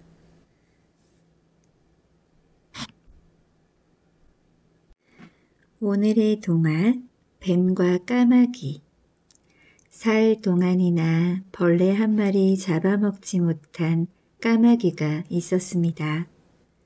오랫동안 비가 오지 않아서 풀들도 다 말라버리고 주변은 온통 푸석푸석한 먼지뿐이었어요. 아, 배고파. 배가 고파서 죽겠네. 온종일 날아다녀도 먹을 것이라곤 찾아볼 수가 없으니. 까마귀는 힘없이 말했답니다.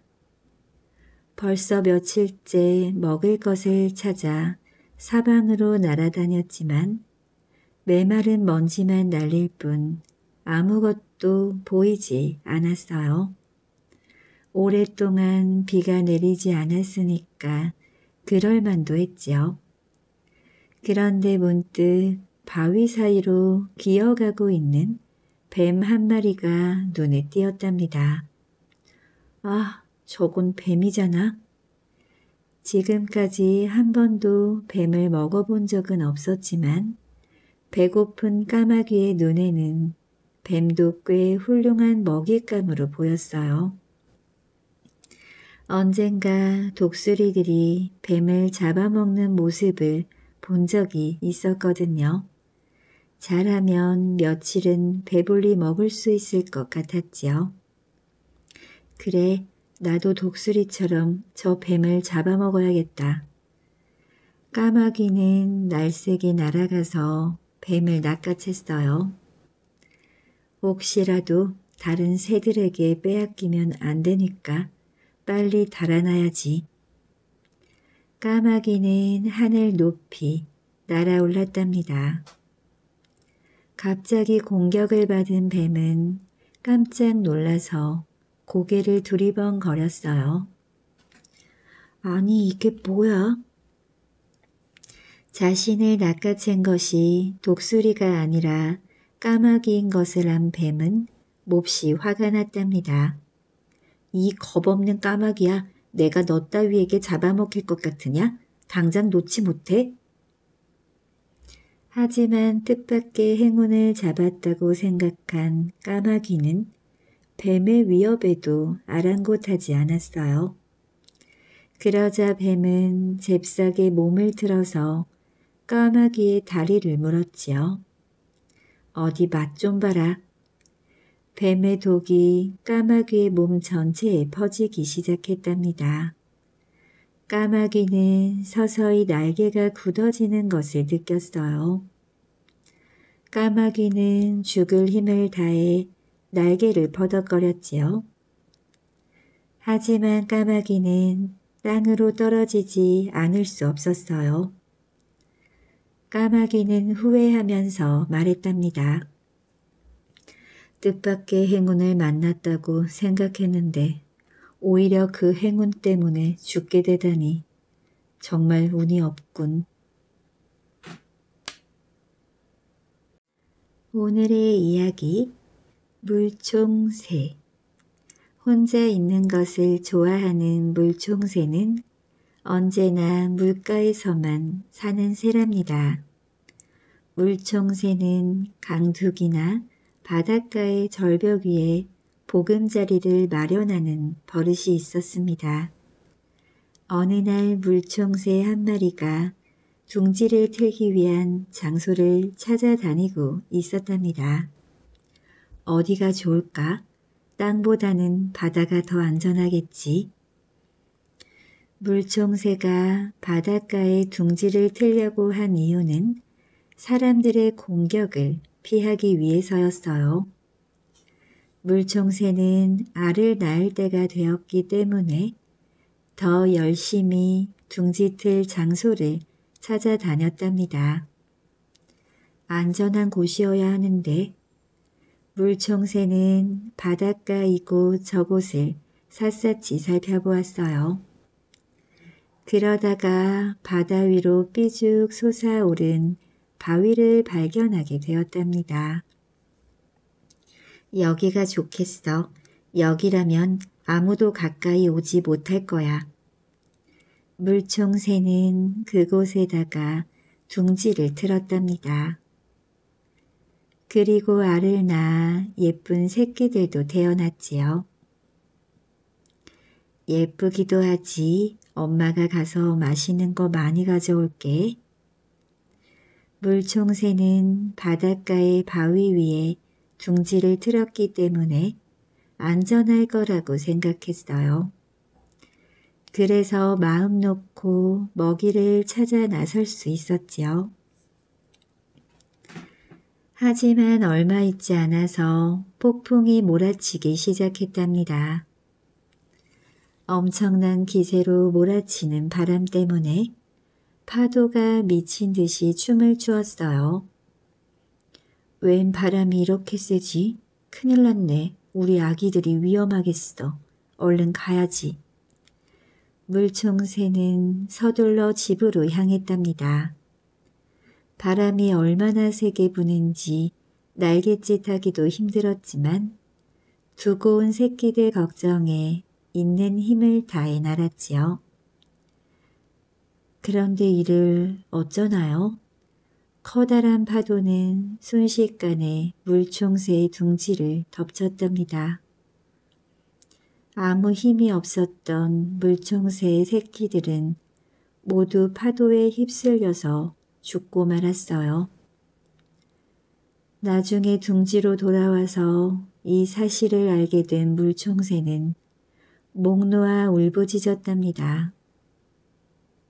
나처럼 불행한 새가 또 있을까? 땅 위에서 생길지도 모르는 위험을 피하기 위해 바닷가에 보금자리를 마련했는데 어떻게 이럴 수가 있단 말인가. 그렇게 믿었던 바다한테 내 새끼들을 모두 잃다니. 오늘의 동화 인어공주 바닷속 나라의 용왕과 용왕의 어머니 그리고 여섯 인어 공주가 살고 있었답니다. 용왕의 아내는 아주 오래전에 세상을 떠났으나 다행히 슬기로운 어머니의 보살핌을 받으며 여섯 공주는 무럭무럭 자랐답니다. 여섯 공주는 모두 예뻤는데 여섯째인 막내 공주가 가장 아름다웠어요. 너희가 열다섯 살이 되면 바다 위 세상을 구경할 수 있게 된단다. 할머니의 말에 공주들은 열다섯 살이 되기만을 손꼽아 기다렸습니다. 다섯 명의 언니 공주들이 처음 바다 위를 구경했을 때에는 신기해하고 놀라워했으나 얼마 가지 않아 어느 곳보다도 바닷속이 가장 살기 좋은 곳이라고 한결같이 말했어요. 어느덧 막내 공주가 15살이 되었습니다. 막내 공주는 거품처럼 가볍게 바다 위로 떠올랐어요. 막내 공주의 눈에 맨 먼저 띈 것은 세 개의 돛대를 가진 커다란 배였습니다. 왕자님 16번째 생일을 축하합니다. 화려한 불꽃이 하늘 높이 솟아올랐어요. 막내 공주는 잘생긴 왕자의 모습에 그만 넋을 잃고 말았답니다. 그러나 밤이 깊어가자 풍랑이 일기 시작하더니 폭풍이 몰아쳤어요. 왕자가 타고 있던 배는 거대한 파도에 휩쓸려 산산조각 나버리고 왕자도 몰려드는 파도에 휩쓸리고 말았답니다.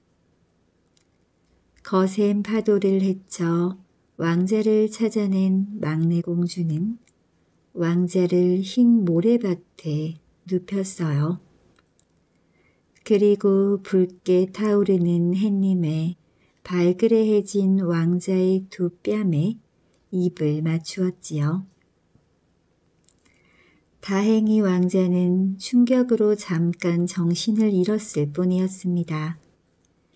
잠시 뒤 근처 교회에 머무는 처녀들이 나타나자 인어공주는 얼른 바위 뒤로 몸을 숨겼습니다. 왕자는 아무것도 모른 채 사람들에 둘러싸여 교회로 들어가 버렸어요. 용궁으로 되돌아온 막내 공주는 슬픔 속에서 하루하루를 보냈지요. 할머니, 저는 사람이 되고 싶어요. 네가 사람이 되기 위해서는 누군가 자신의 목숨보다도 널 사랑해 주어야만 한단다. 그렇게 해야만 사람들이 가지고 있는 영혼과 두 다리를 갖게 되지. 막내 공주를 가엽게 생각한 할머니는 차근차근 설명해 주었습니다. 그러나 막내 인어 공주는 왕자를 포기할 수가 없었어요. 고민 끝에 인어 공주는 뱀이 우글거리는 깊은 바닷속 마녀의 숲으로 찾아가 예쁘고 고운 목소리와 두 다리를 바꾸었습니다. 왕자가 다른 여자와 결혼이라도 하는 날에는 넌 물거품이 되어 사라지고 말게다. 명심해라. 마녀에게 목소리를 넘긴 대가로 공주는 꿈에 그리던 왕자를 만날 수 있었으나 한마디도 할 수가 없었습니다. 더구나 왕자는 이웃나라 공주가 자신의 목숨을 구해주었다고 철석같이 믿고 있었지요. 드디어 왕자와 이웃나라 공주가 결혼식을 올리는 날 슬픔에 빠져 있는 막내 인어공주에게 언니들이 찾아왔습니다. 널 다시 우리 곁으로 오게 하려고 머리카락을 잘라 마녀에게 주었단다. 해가 떠오르기 전에 이 칼로 왕자의 가슴을 찌르렴.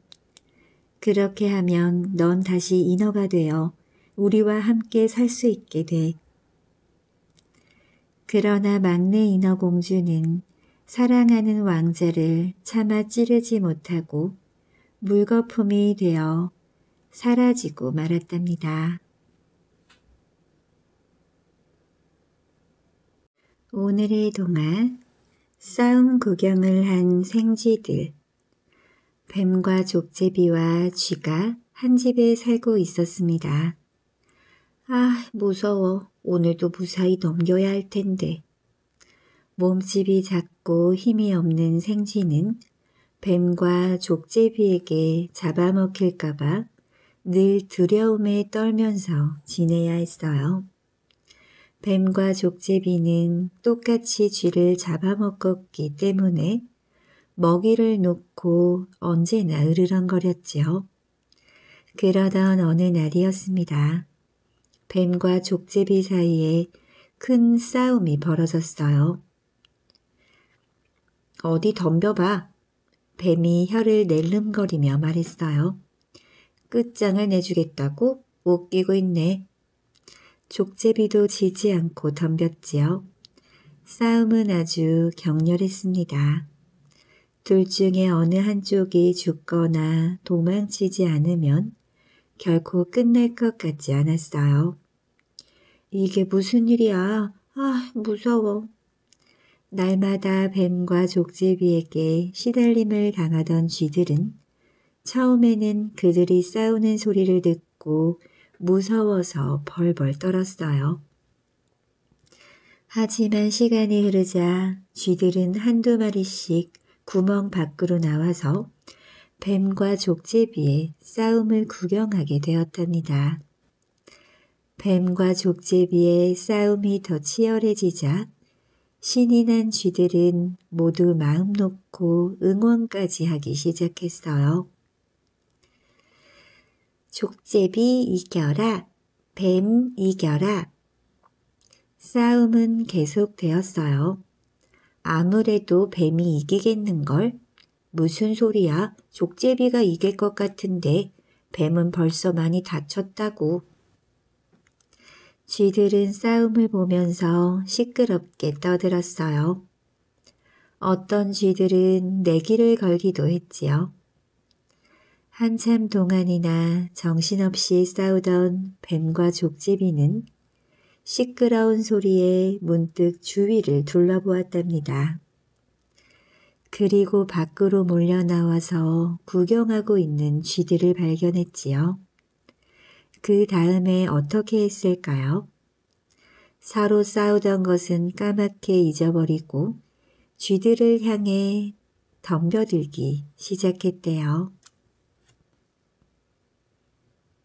오늘의 동안 사람과 독사 어느 마을에 새를 잡는 사냥꾼이 살고 있었습니다. 새 사냥꾼은 날마다 산으로 들로 다니며 많은 새들을 잡았어요. 그리고 언제나 더 많은 새를 잡을 수 있는 방법에 대해 열심히 연구했답니다. 그러던 어느 날이었어요. 사냥꾼에게 새를 많이 잡을 수 있는 좋은 생각이 떠오른 거지요. 그래, 바로 그거야. 새 사냥꾼은 기다란 장대 끝에 끈끈이를 잔뜩 바르고 새를 잡기 위해 숲속으로 들어갔어요. 이 방법이라면 많은 새를 손쉽게 잡을 수 있을 거야. 새 사냥꾼은 흐뭇한 미소를 지으며 새가 있을 만한 곳을 살펴보았답니다. 그러다가 높은 나뭇가지 위에 앉아있는 개똥 집박이를 발견했어요. 좋아, 저 새를 잡아야지. 새 사냥꾼은 끈끈이를 잔뜩 바른 장대를 개똥 집박이가 앉아있는 나뭇가지 근처에 올려놓고 숨어서 지켜보았어요. 어디 걸려들기만 해봐라. 개똥 집박이가 덫에 걸려들기를 기다리면서 새 사냥꾼은 꼼짝도 하지 않았지요. 그런데 좀처럼 걸려들지 않는 거예요. 그런데 갑자기 다리가 따끔했답니다. 새 사냥꾼은 소리를 질렀어요. 나무 위에만 신경을 쓰고 있던 새 사냥꾼은 자신의 발 밑에서 어떤 일이 벌어지고 있었는지는 전혀 몰랐던 거예요. 새 사냥꾼은 땅바닥에 털썩 주저앉았답니다. 다리가 너무 아팠거든요. 아, 다리야. 새 사냥꾼은 자신의 다리를 살펴보았어요. 다리에는 뱀의 이빨 자국이 나 있었답니다. 개똥 집박이가 덫에 걸리기만을 기다리고 있던 새 사냥꾼은 자신도 모르는 사이에 독사에게 물렸던 거예요. 뱀이 다가오는 것을 전혀 몰랐던 새 사냥꾼은 가슴을 치며 탄식했지요. 발 밑에 있는 뱀도 모르면서 나무 위에 새를 잡으려고 했던 내가 너무 어리석었어. 사냥꾼은 후회했지만 이미 늦은 때였답니다. 오늘의 동화 미운 우리 새끼 커다란 숲 한가운데에 있는 호수 기슭 우거진 숲을 속에서 오리 한 마리가 둥지를 틀고 있었습니다. 이제 막 새끼들이 알에서 깨어나는 참이었지요. 세상에 나온 새끼들은 꽥꽥 떠들어댔어요. 어머나 가장 큰 알이 아직 깨지 않고 있네. 어쩐 일이지? 며칠 뒤 늦게 태어난 오리는 크고 못생긴 녀석이었습니다. 그러나 어미 오리는 다른 새끼 오리들과 마찬가지로 못생긴 막내 오리도 귀여워했지요. 하지만 형제 오리들은 못생긴 새끼 오리를 상대해 주지 않았어요. 모두들 자기를 따돌리자 슬픔에 빠진 새끼 오리는 집을 떠나기로 마음먹었지요. 늦은 밤 새끼 오리는 기러기들이 사는 늪에 닿았습니다. 갈대숲에서 잠시 지친 몸을 쉬고 있는데 갑자기 사냥꾼들의 총소리와 사냥개 짖는 소리가 울려 퍼졌어요. 겁에 질린 새끼 오리는 재빨리 숲을 속으로 몸을 숨겼습니다. 이튿날 저녁 무렵 미운 오리 새끼는 허름한 농가에 다다랐어요. 그 집에는 주인 할머니와 수코양이 그리고 암탉 한 마리가 살고 있었지요. 숫고양이와 암탉은 미운 오리 새끼를 보자 야옹야옹 꼬꼬댁 꼬꼬댁 소란을 피웠습니다. 주인 할머니가 시끄러운 소리에 놀라 밖으로 나왔어요. 눈이 나쁜 주인 할머니는 미운 오리 새끼를 살찐 오리로 알고 기뻐했습니다. 넌 알을 낳을 수 있니? 넌 가르랑거리며 눈에서 불똥을 튀길 수 있니? 암탉과 숫고양이는 미운 오리 새끼를 놀렸습니다. 안 되겠어. 나를 이해해주지 못하는 이곳에 있기보단 더 넓은 세상으로 나가야겠어. 농가를 떠난 미운 오리 새끼는 여전히 못생겼다는 이유로 다른 동물들에게 따돌림을 당했습니다. 어느덧 가을이 가고 추운 겨울이 찾아왔어요. 미운 오리 새끼는 추위에 몸이 얼지 않도록 열심히 헤엄을 쳤으나 두 발이 꽁꽁 얼어붙고 말았습니다. 다음 날 아침이었어요. 길을 지나던 농부는 연못 물에 발목이 얼어붙은 미운 오리 새끼를 발견했습니다. 살릴 수 있을 거야. 농부는 미운 오리 새끼를 집으로 데려가 정성껏 돌봐주었어요. 그러나 틈만 나면 못살게 구는 아이들을 피해 미운 오리 새끼는 버터통 속으로 들어갔다 다시 밀가루통 속으로 들어갔다 하며 집안을 온통 뒤죽박죽으로 만들고 말았습니다. 화가 난 농부의 아내는 부지깽이를 휘두르며 미운 오리 새끼를 내쫓았지요. 미운 오리 새끼는 있는 힘을 다해 농부의 집에서 도망쳐 나왔습니다. 마침내 추운 겨울이 가고 따뜻한 봄이 되었어요. 미운 오리 새끼는 오랫동안 접고 있었던 날개를 활짝 펼쳤습니다. 몸이 훨씬 가벼워진 것 같아 그 사이 날개가 자란 걸까? 미운 오리 새끼는 깃털처럼 가뿐하게 날아올랐습니다. 눈 아래로 아름다운 정원이 펼쳐졌어요. 정원의 연못에는 눈처럼 새하얀 백조 세 마리가 헤엄쳐 다니고 있었습니다. 아, 너무도 아름다워. 저들에게 다가가면 못생겼다고 미워하겠지? 미운 오리 새끼는 우아하고 아름다운 백조들을 보자 눈물이 왈칵 솟았습니다. 못난 자기와는 너무도 동떨어진 아름다움에 저절로 고개가 수그러졌지요. 맨날 따돌림 당하느니 차라리 죽는 게 나아. 미운 오리 새끼는 머리를 물속에 집어넣고 죽음을 기다렸습니다. 그런데 이게 어찌된 일일까요? 맑은 연못물 위에 비친 미운 오리 새끼는 예전의 모습이 아니었어요. 놀랍도록 아름다운 백조의 모습으로 바뀌어 있었지요. 눈부시게 흰 백조 세 마리가 미운 오리 새끼에게 다가와 깃털에 입을 맞춰 주었습니다. 저기 좀 봐, 어린 백조가 새로 왔어. 새로운 백조가 가장 아름답고 귀여워.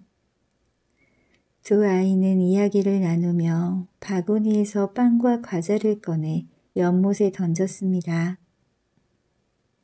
미운 오리 새끼였을 때는 꿈도 못 꾼 일이었습니다.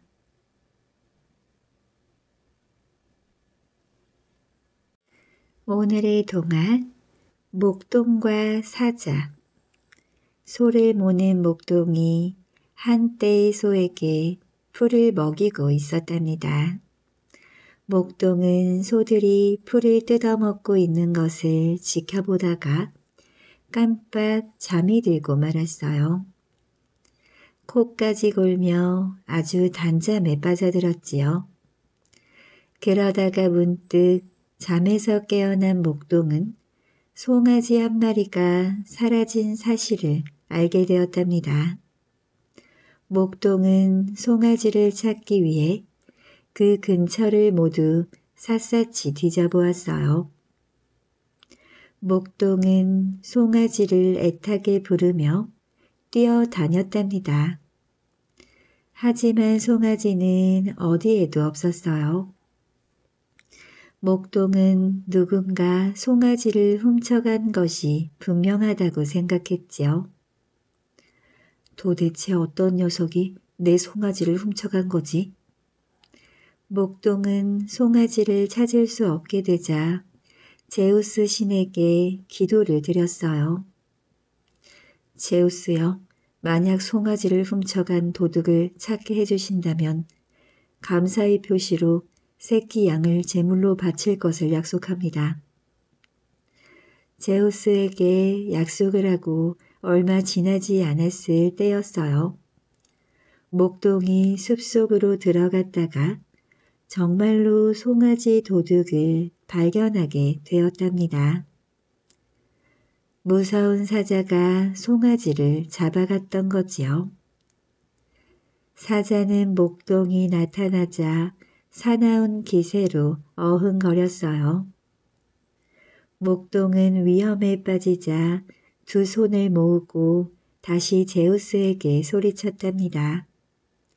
위대하신 제우스여, 조금 전에 저는 송아지 도둑을 찾게 해주신다면 새끼 양을 제물로 바치겠다고 약속했지만 지금 저를 저 도둑놈의 발톱에서 벗어나게 해주신다면 황소 한 마리를 제물로 바치겠습니다.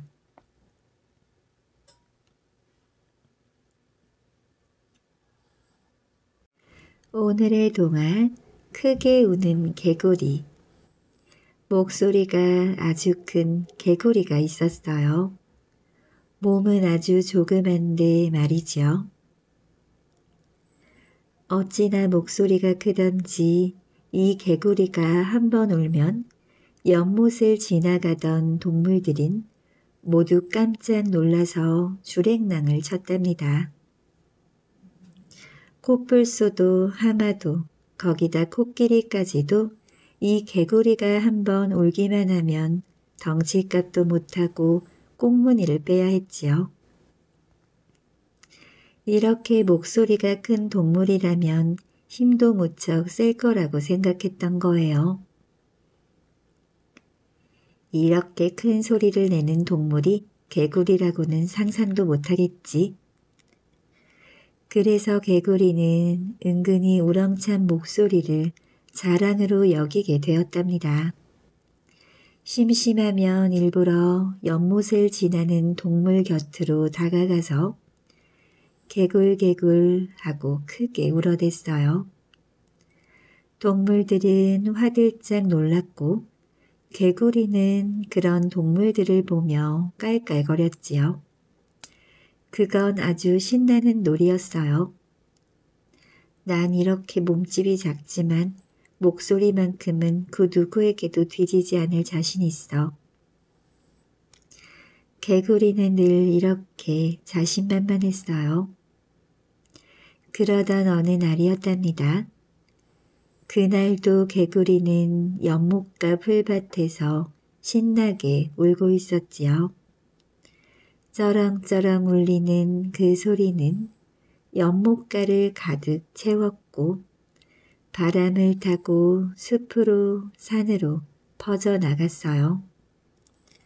마침 연못가를 지나가던 사자가 개구리의 울음소리를 듣고 깜짝 놀랐지요. 이렇게 울음소리가 크다니 대체 얼마나 큰 동물이기에 사자는 두렵기도 했지만 궁금하기도 했어요.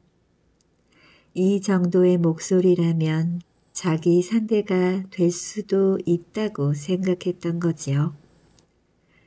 그래서 울음소리를 따라가기 시작했답니다. 사자도 질세라 크게 울었어요. 사자의 울음소리가 어찌나 크던지 주변에 있는 나무가 다 흔들릴 정도였지요. 개구리도 울음소리를 듣고 사자가 가까이 있다는 것을 알았어요. 하지만 지기는 싫었답니다. 목소리만큼은 그 누구보다 크다고 생각했거든요. 그래서 더욱 큰 소리로 울었지요. 사자와 개구리는 이렇게 서로 경쟁하듯 울어댔어요. 과연 나와 겨루는 이놈은 대체 누굴까? 사자는 연못에 도착해서 주위를 둘러보았어요. 눈치 없이 그때까지 크게 울고 있던 개구리는 쉽게 눈에 띄었지요. 작은 목에 힘을 잔뜩 쥐고 고막이 찢어질 만큼 큰 소리로 울고 있는 봄이라니. 사자는 기가 막혔어요. 나 원 참 전하의 사자가 이렇게 작은 놈에게 겁을 먹고 벌벌 떨었다니.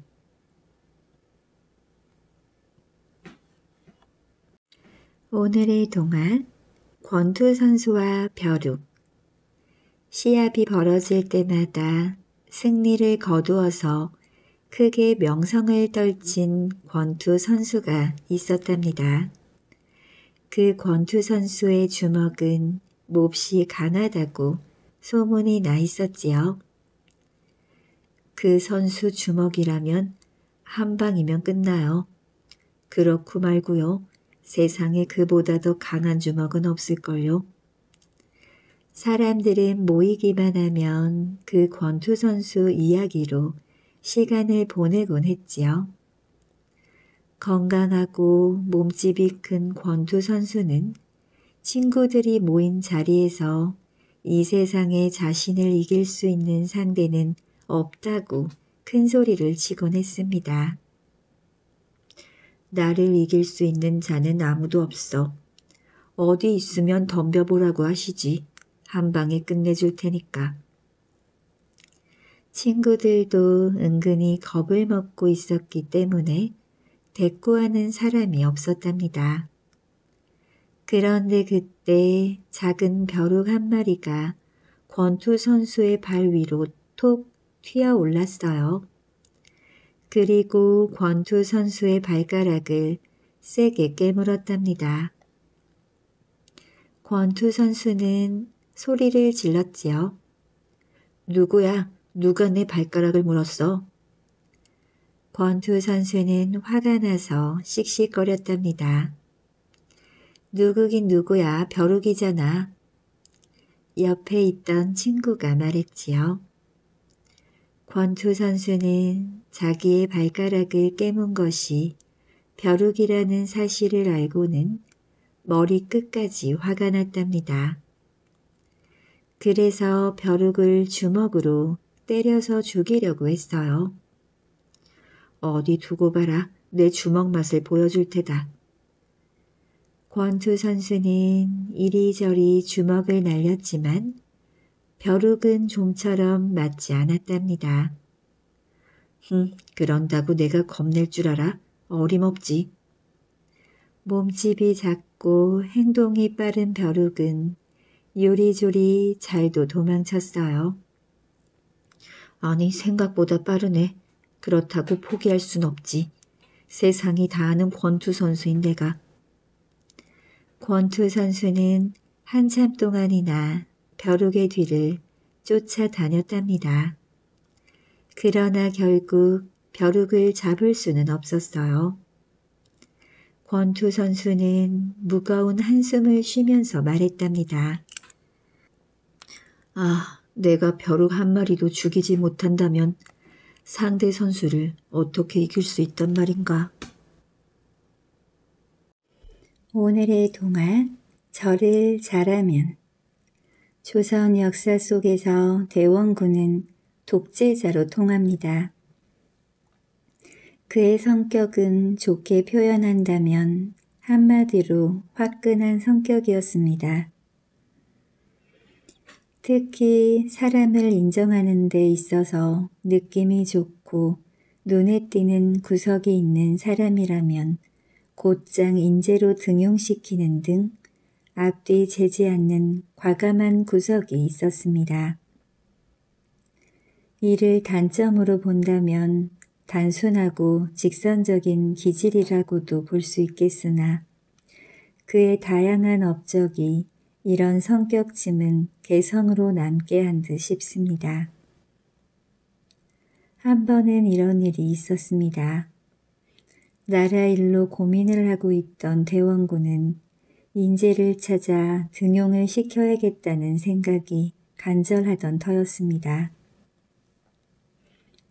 나라가 힘들 때는 유능한 인물이 나타나 난세를 이겨낼 수 있도록 능력을 발휘해 준다면 더할 나위 없이 좋은 일이 아니겠나요? 복잡한 심정을 다스리고자 난초를 그리고 있던 대원군에게 한 선비가 찾아왔습니다. 이 선비는 전라도 영광 사람으로 대원군과는 단 한 번도 만난 적이 없는 사람이었습니다. 손님이 찾아왔다는 하인의 말을 듣고 대원군은 그를 방 안으로 들어오게 했어요. 대원군은 단순히 지나가는 객이 인사 한번 하려는 것이라고 생각했지요. 때문에 큰 관심을 갖지 않고 난초를 그렸습니다. 선비는 조심스럽게 들어와서는 눈을 마주쳐 주지도 않는 대원군의 도도한 자세에 어찌할 바를 몰라 난처해 하더니 저를 올렸습니다. 그의 행동은 매우 공손했고 기품이 있어 보였지요. 하지만 대원군은 전혀 관심을 주지 않았습니다. 그런데 어찌된 일일까요? 선비는 절을 하고 일어나더니 다시 한번 큰 절을 올리는 것이었습니다. 본래 산 사람에게는 절을 한 번 하는 것이 예의이고 죽은 사람에게나 두 번을 하는 것인데 절을 두 번 받았으니 대원군으로서는 화가 날 수밖에 없는 일이었습니다. 내 이놈 여기가 어느 안전이라고 못돼 먹은 짓을 하는 거냐. 어찌 멀쩡하게 살아있는 나에게 저를 두 번씩 하는 것이냐. 대체 내 놈은 어떤 놈이더냐. 그러자 선비는 말했습니다. 저는 예의에 어긋나는 짓을 했다고 생각하지 않습니다. 처음 한 번은 인사를 올리는 절이었고 두 번째 절은 그만 물러가겠다는 인사를 드린 절이옵니다. 듣고 보니 틀린 말은 아니었습니다. 하지만 감히 자신 앞에서 당당하면서도 뻔뻔스럽게 말하는 선비이니 뭔가 큰일을 할 사람이라는 느낌이 들었지요. 이에 대원군은 말했습니다. 자네는 어디서 사는 사람이며 무얼 하는가? 이에 선비는 예의를 갖추어 점잖은 말투로 답했습니다. 저는 전라도 영광에 사는 김아무개라고 하옵니다. 평소 존경해 오던 어르신을 뵙고 싶어 이렇게 찾아왔습니다. 저로서는 얼굴을 한번 뵙는 것만으로도 영광스러운 일이라는 생각에 이렇게 찾아뵌 것이옵니다. 역시 성격 화통한 대왕군은 그 순간 이선비는 인재로 키워도 되겠다는 결심을 했습니다. 그러면 물러가 있게나 내 그대를 다시 부르리오. 그때까지 열심히 글을 읽고 있으시오. 대원군은 그 선비가 다녀간 지 열흘도 안 되어서 그를 영광 군수 자리에 앉혔습니다. 그야말로 절 두 번 하고 벼슬을 얻었으니 이 선비야말로 보통 지혜로운 사람이 아니었지요. 하지만 대원군의 직선적이고 화끈한 성격을 단적으로 드러내는 일화였답니다. 대원군의 성격을 드러내는 일화는 한두 가지가 아니었습니다. 어떤 이는 방귀를 뀌고 벼슬을 얻기도 했지요. 대원군은 직선적인 성격이다 보니 솔직하지 않은 사람들을 싫어했다고 합니다. 하루는 조대비의 친척인 사람이 찾아와 벼슬 자리를 부탁했습니다. 대원군으로서는 참으로 난감한 일이었지요.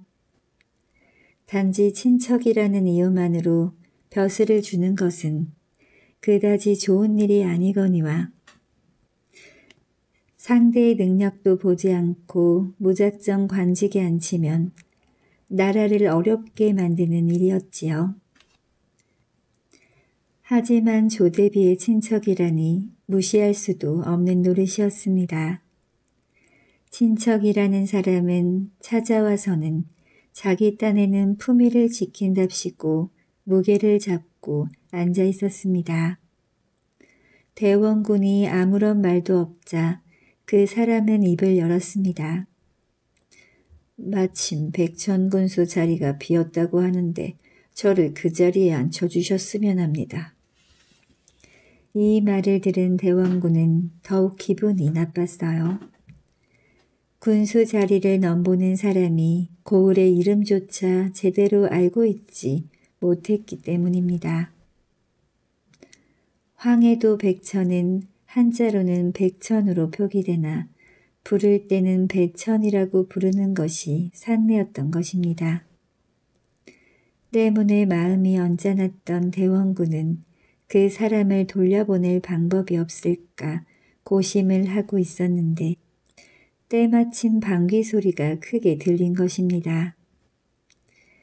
그러자 무관 한 사람이 관직을 부탁하러 온 조대비의 친척에게 이렇게 말했습니다. 어허 이런 버릇없는 사람 같으니라고 여기가 어느 안전이라고 그렇게 방귀를 힘주어 낀단 말인가. 사실은 그 방귀는 무관이 자신도 모르고 낀 것이었는데 그 사람에게 덮어 씌운 셈이었습니다.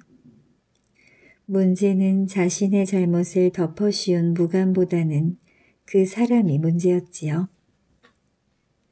자신은 방귀를 끼지 않았음에도 불구하고 태연하게 가만히 앉아 있는 것이었습니다. 대원군은 그가 솔직하게 자신은 방귀를 낀 적이 없다고 말하기를 바랬으나 체면을 중시한 나머지 그 사람은 아무 말을 하지 않았던 것입니다. 미운 사람은 미움받을 짓만 하는 것일까요? 손님이 왔기에 하인들이 음식을 마치 잔칫날처럼 푸짐하게 하여 상에 올렸습니다. 그러나 관직을 부탁하러 온 사람은 좀처럼 음식을 먹지 않고 있었습니다. 하지만 방귀를 낀 무가는 제 것을 맛있게 먹고서는 이렇게 말하는 게 아닌가요? 저는 본래 가난하여 집에서는 이런 진수성찬을 먹어보지 못했습니다. 배부르게 먹긴 했으나 평소 접하지 못하는 음식들인지라 저분이 먹지 않은 남은 음식을 제가 먹고 싶은데 괜찮겠습니까? 대원군이 고개를 끄덕이자 무가는 조대비의 친척이라는 사람 앞에 놓인 음식을 가져다가 맛있게 먹었습니다. 하지만 조대비의 친척이라는 사람은 여전히 무게만 잡은 채 헛기침만 하는 것이었습니다. 더 놀라운 일은 그 다음에 일어났어요. 음식을 맛있게 먹고 난 무가는 배짱 좋게 또 이런 말을 하는 것이었습니다. 저희 집에는 늙으신 부모님들이 계신데 집안이 워낙 가난하다 보니 부모님들을 제대로 모시지 못하여 늘 마음이 아프답니다.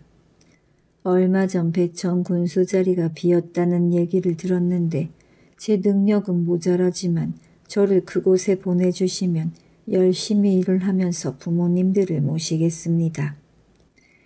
배천 군수를 시켜달라고 온 사람 옆에서 난데없이 자기를 배천 군수가 되게 해달라고 하니 참으로 묘한 일이 벌어진 것이었습니다. 그러나 대원군은 서슴지 않고 답했습니다. 좋네. 그렇게 하도록 힘써보겠네. 이에 조대비의 친척이라는 사람은 놀라지 않을 수 없었습니다. 방귀를 끼고 자신에게 덮어 씌운 데다 자신의 음식마저 다 먹어치운 무관이 이제는 자신이 청한 관지까지 빼앗으려는 것으로 보이니 참으로 황당한 일이었지요. 게다가 대원군은 자신의 물음에는 답을 하지 않고 오히려 무관의 말에는 시원스럽게 답을 해주니 쉽게 이해가 되질 않았습니다. 이에 그는 말했어요. 어르신 백천 군수 자리는 저에게 주실 것으로 알고 있는데 어찌 된 일인지요? 이 말이 끝나기 무섭게 대원군은 호통을 쳤습니다. 제 밥 그릇도 찾아 먹을 줄 모르는 사람에게 어찌하여 군수 자리를 준단 말인가. 자네는 방귀를 뀌지 않고서도 방귀 낀 것처럼 있었고 음식도 남이 먹도록 내버려 두지 않았는가. 어디 그뿐인가. 자네는 백천을 백천이라 하니 대체 어찌 자네 같은 사람이 군수될 자격이 있단 말인가. 어서 집으로 돌아가게나. 대원군의 이 같은 판단은 고개가 끄덕여지는 일이었습니다. 솔직하지 못한 사람을 싫어하는 대원군의 일화 중 잘 알려진 것 중 하나랍니다. 우리나라 옛날 이야기 중에는 꽃 이름에 얽힌 이야기가 참 많습니다. 꽃이 아름답기도 하고 땅에서 피기 때문에 착하게 살다가 억울하게 죽었거나 안타깝게 죽은 사람을 꽃에 비유한 건데요. 그런 사람들은 꽃으로 다시 태어난다고 믿었던 것에서 시작되어 이야기로 전해져 내려온 것입니다. 오늘도 신의 동화와 함께 편안한 잠자리 되시기를 바랍니다.